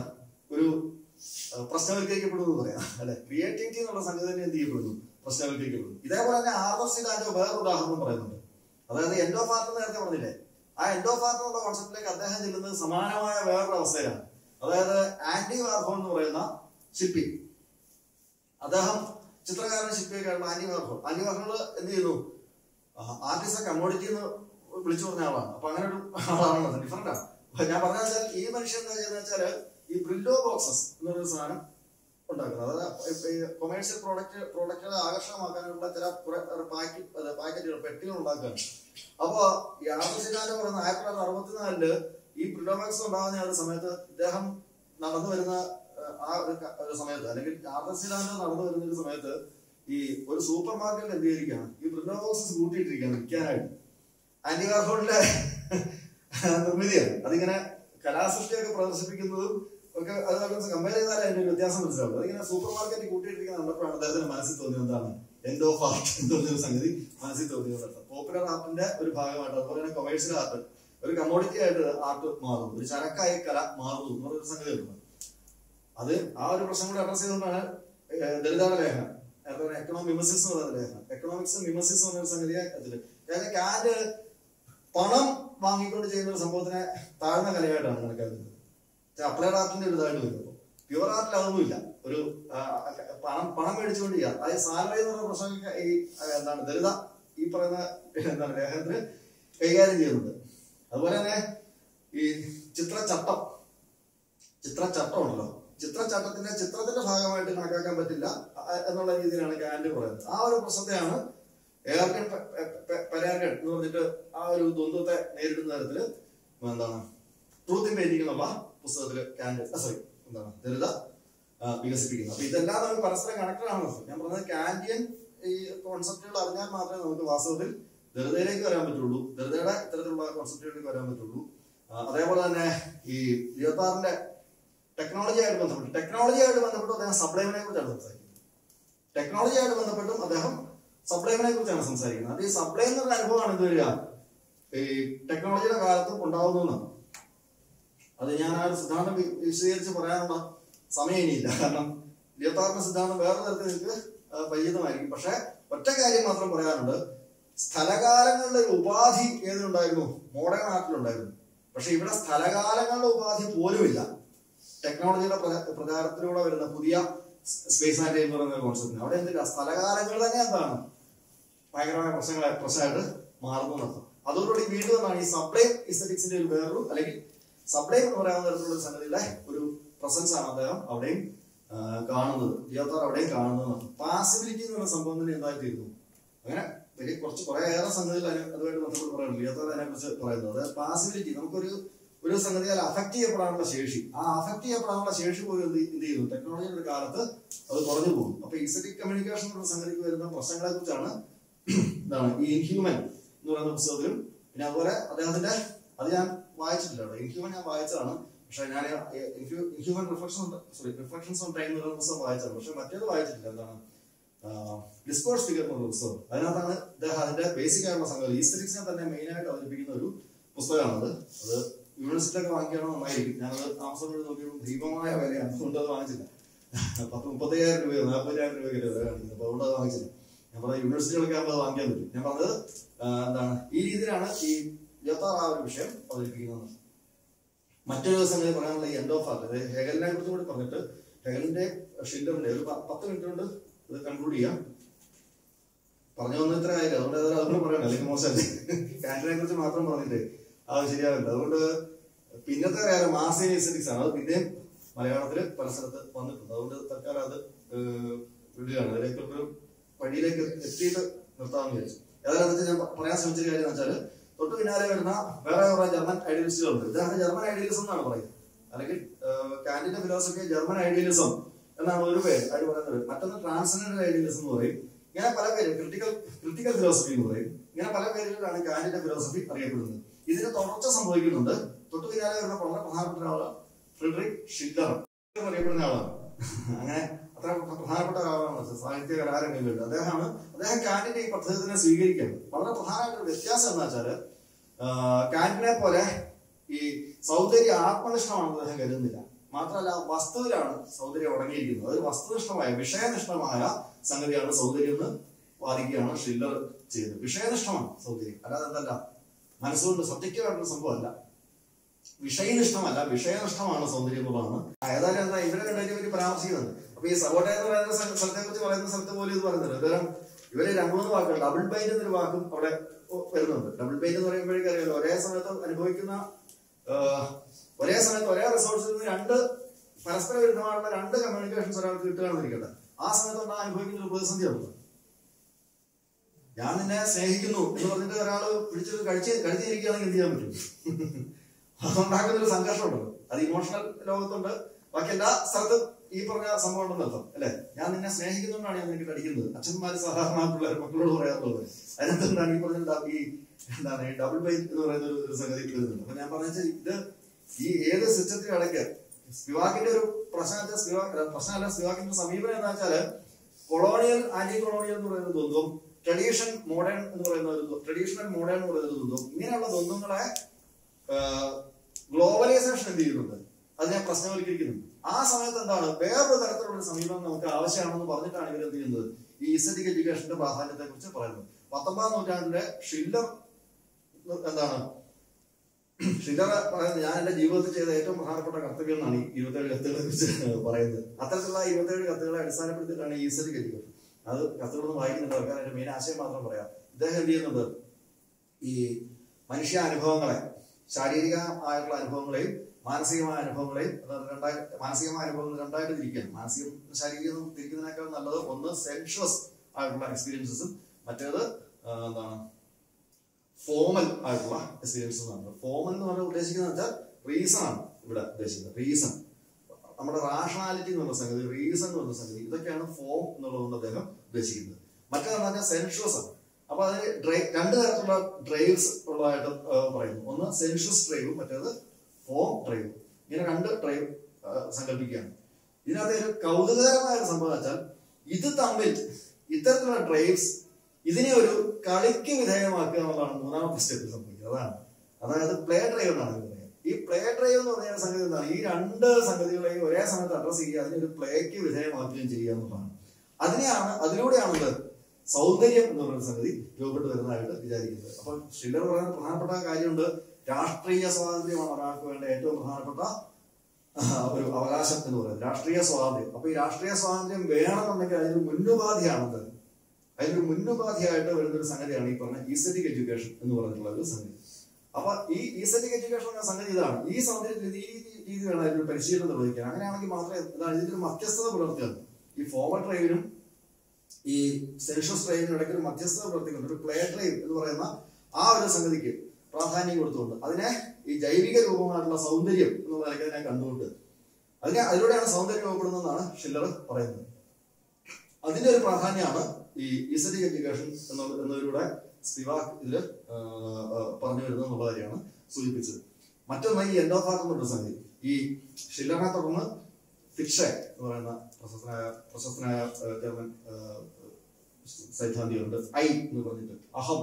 എന്ന് പറഞ്ഞ സംഗതിയിലേക്ക് ഇതിനെ എന്താണ് സമന്വയിപ്പിച്ചുകൊണ്ട് അദ്ദേഹത്തിന്റെ ഫിലോസഫി അവതരിപ്പിക്കുന്നുണ്ട്. മറ്റൊന്ന് ഷെല്ലിംഗ് ആണ് ഷെല്ലിംഗ് ആണ് ഫിലോസഫി ഓഫ് ആർട്ട് എന്ന് പറയാവുന്ന കലയുടെ ഫിലോസഫി എന്ന് പറയാവുന്ന തരത്തിൽ അതിനെ വികസിപ്പിച്ചെടുക്കുന്ന മറ്റൊരാൾ അതുകൊണ്ട് ഷെല്ലിംഗ് വളരെ പ്രധാനമാണ്. ഷെല്ലിങ്ങിനൊപ്പം തന്നെ തൊട്ട് പിന്നാലെ അല്ലെങ്കിൽ അതിന്റെ കൂടെ തന്നെ വരുന്ന പ്രധാനപ്പെട്ട മറ്റൊരു philosopher G W F Hegelian ഹേഗലിയ philosophy നേരത്തെ പറഞ്ഞ പോലെ എനിക്ക് വളരെ സംശയമുണ്ട്. എനിക്കിപ്പോൾ അത് സംസാരിക്കാനുള്ള സമയമില്ല. അല്ലെങ്കിൽ അത് അത് പറയാൻ അത് വളരെ കോൺഫിഡന്റ് ആയിട്ട് പറയാൻ ഒരു സംഗതിയാണ് അതിന്റെ ലോജിക്ക് ഹേഗലിയ ലോജിക്ക് വൃത്തിയായിട്ട് പഠിക്കാതെ അദ്ദേഹത്തിന്റെ ഫിലോസഫിയിൽ കിടക്കാൻ പറ്റില്ല. അല്ലെങ്കിൽ വളരെ ദുർഗ്രഹമായിട്ട് വളരെ ദുർഗ്രഹമായി വളരെ ദുർഗ്രഹമായിട്ട് തോന്നും വളരെ അവ്യക്തമായിട്ട് തോന്നും. ഏതായാലും ഞാൻ പറഞ്ഞതെന്ന് വെച്ചാൽ ഹേഗലിന്റെ ഒരു സംബന്ധിച്ചാൽ അത് എന്താണ് ഹേഗലിന്റെ ലോജിക് കാന്റ് കൊണ്ട നിർത്തിയ സ്ഥലമാണ് ഹേഗൽ പ്രശ്നവൽക്കരിക്കുന്നത് കാന്റ് കൊണ്ട ഒരു നമ്മൾ കണ്ടല്ലോ നോമിന ഫിനോമിന എന്ന് പറയുന്ന സ്ഥലത്താണ് ഉറപ്പ് നിൽക്കുന്നത്. ഇത് തമ്മിൽ ഇണക്കി ചേർക്കാൻ പറ്റാത്ത ഒരു സംഗതിയാണെന്നുള്ളതൊക്കെയാണ് ഇത് ഒരു രൂപപ്പെടുക ഈ കോൺട്രഡിക്ഷനെ ഇണക്കി ചേർക്കുക എന്നുള്ള ഒന്നാമത്തെ കാര്യം. അതുപോലെ കാന്റ് അവതരിപ്പിക്കുന്ന ആന്റിനോമിയസിന്റെ പ്രശ്നമുണ്ട്. അത് കാന്റ് തന്നെ അവതരിപ്പിക്കുന്നത് ആന്റിനോമിയസ് പറഞ്ഞാൽ പ്രമാണ വൈരുദ്ധ്യങ്ങൾ എന്ന് പറയാൻ സാധിക്കും അതായത് ഒരേ പ്രമാണങ്ങൾ ഉപയോഗിച്ച് നമുക്ക് എന്ത് ചെയ്യാൻ പറ്റും? ഒരേ ലോജിക് ഉപയോഗിച്ച് ഈ ലോകം അനന്തമാണെന്നും പറയാൻ പറ്റും. ഈ ലോകം പരിമിതികൾ ഉള്ളതാണെന്നും പറയാൻ പറ്റും. ഒരേ ലോജിക് ഉപയോഗിച്ച്. ഒരേ ടൂൾസ് ഉപയോഗിച്ച് നമുക്ക് പറയാൻ പറ്റും. അതുകൊണ്ടാണല്ലോ മോണോളജി ഖസാക്കിൽ പറയുന്ന പോലെ സത്യം ഒന്നല്ല സത്യം പലത് എന്നുള്ള സംഗതിയാണ് ഇതിലൂടെ വരുന്നത്. അപ്പോൾ റാഷണൽ ആയിട്ടുള്ള ഒരു ജ്ഞാനം നമുക്ക് പ്രശ്നം അത് അതൊരു പ്രശ്നമായി തീരുന്നു. അപ്പൊ ഇത് ഈ ഒരു പ്രശ്നം അഡ്രസ് ചെയ്തുകൊണ്ടാണ് ഹേഗൽ എന്ത് ചെയ്യുന്നത്? ഈ പ്രാതിഭാസികമായ ലോകം എന്ന് പറയുന്ന സംഗതിയെ പറ്റി അറിയാമെങ്കിൽ ഈ നോമിനെ കുറിച്ച് അറിയാൻ വയ്യ എന്ന് പറഞ്ഞാൽ പ്രത്യേകിച്ച് അർത്ഥം വരുന്നതാണ് ഹേഗൽ പറയുന്നത്. കാരണം വെച്ചാൽ നോമിനെ കുറിച്ച് എന്തൊക്കെയോ ചില കാര്യങ്ങൾ ആര് തന്നെ പറയുന്നുണ്ട്. കാര്യം തന്നെ പറയുന്നുണ്ട്. ഈ ചില കാര്യങ്ങൾ പറയാമെങ്കിൽ ബാക്കിയുള്ള കാര്യങ്ങൾ അറിയാൻ എന്താ ബുദ്ധിമുട്ട്? അതുകൊണ്ട് തന്നെ എന്താണ്? ഈ ഫിനമിനെ മനസ്സിലാക്കുന്ന അതേ ടൂൾസ് ഉപയോഗിച്ച് നമുക്ക് എന്ത് ചെയ്യാം? നോമിനെയും മനസ്സിലാക്കാം എന്നുള്ളതാണ്. അദ്ദേഹം നമ്മൾ കോൺട്രഡിക്ഷൻ കോൺട്രഡിക്ടറി ആയതുകൊണ്ട് അതിനെ ഒഴിവാക്കുകയല്ല വേണ്ടത്. പകരം കോൺട്രഡിക്ഷൻസിനെ നമ്മൾ അഡ്രസ് ചെയ്യാണ് വേണ്ടതെന്നാണ് ഹേഗലിന്റെ ഡയലക്ടിക്കൽ മെത്തേഡ് എന്ന് പറയുന്ന അദ്ദേഹത്തിന്റെ പ്രസിദ്ധമായ ആ ലോജിക്കൽ സിസ്റ്റം അല്ലെങ്കിൽ ആ ഒരു പദ്ധതി അദ്ദേഹം രൂപപ്പെടുത്തിയെടുക്കുന്നത്. അപ്പൊ ഈ ഈ ലോജിക്ക് ഈ പദ്ധതിയുടെ ഒരു പ്രധാനപ്പെട്ട സവിശേഷത ഇത് സംവാദാത്മകമാണ്. സംവാദാത്മകത്തിന്റെ ഒന്ന് നേരെ അതിന്റെ നിഷേധം രണ്ടിന്റെ സമന്വയം. ആ രീതി മാത്രം അത് നിൽക്കുന്നില്ല. ഇതിനകത്ത് തന്നെ എന്താണ്? നിരവധി എന്താണ്? ആ നിരവധി വൈരുദ്ധ്യങ്ങൾ ഇതിനകത്ത് തന്നെ വലിയ ഓരോ സ്റ്റെപ്പിലും ഉണ്ടായിക്കൊണ്ടിരിക്കും. ഈ വൈരുദ്ധ്യങ്ങളെ വീണ്ടും വീണ്ടും എന്ത് ചെയ്തോണ്ടിരിക്കും എന്താണ്? അഡ്രസ് ചെയ്തുകൊണ്ടിരിക്കും. അങ്ങനെയാണ് ആ ഒരു ലോജിക്ക് വികസിക്കുന്നത്.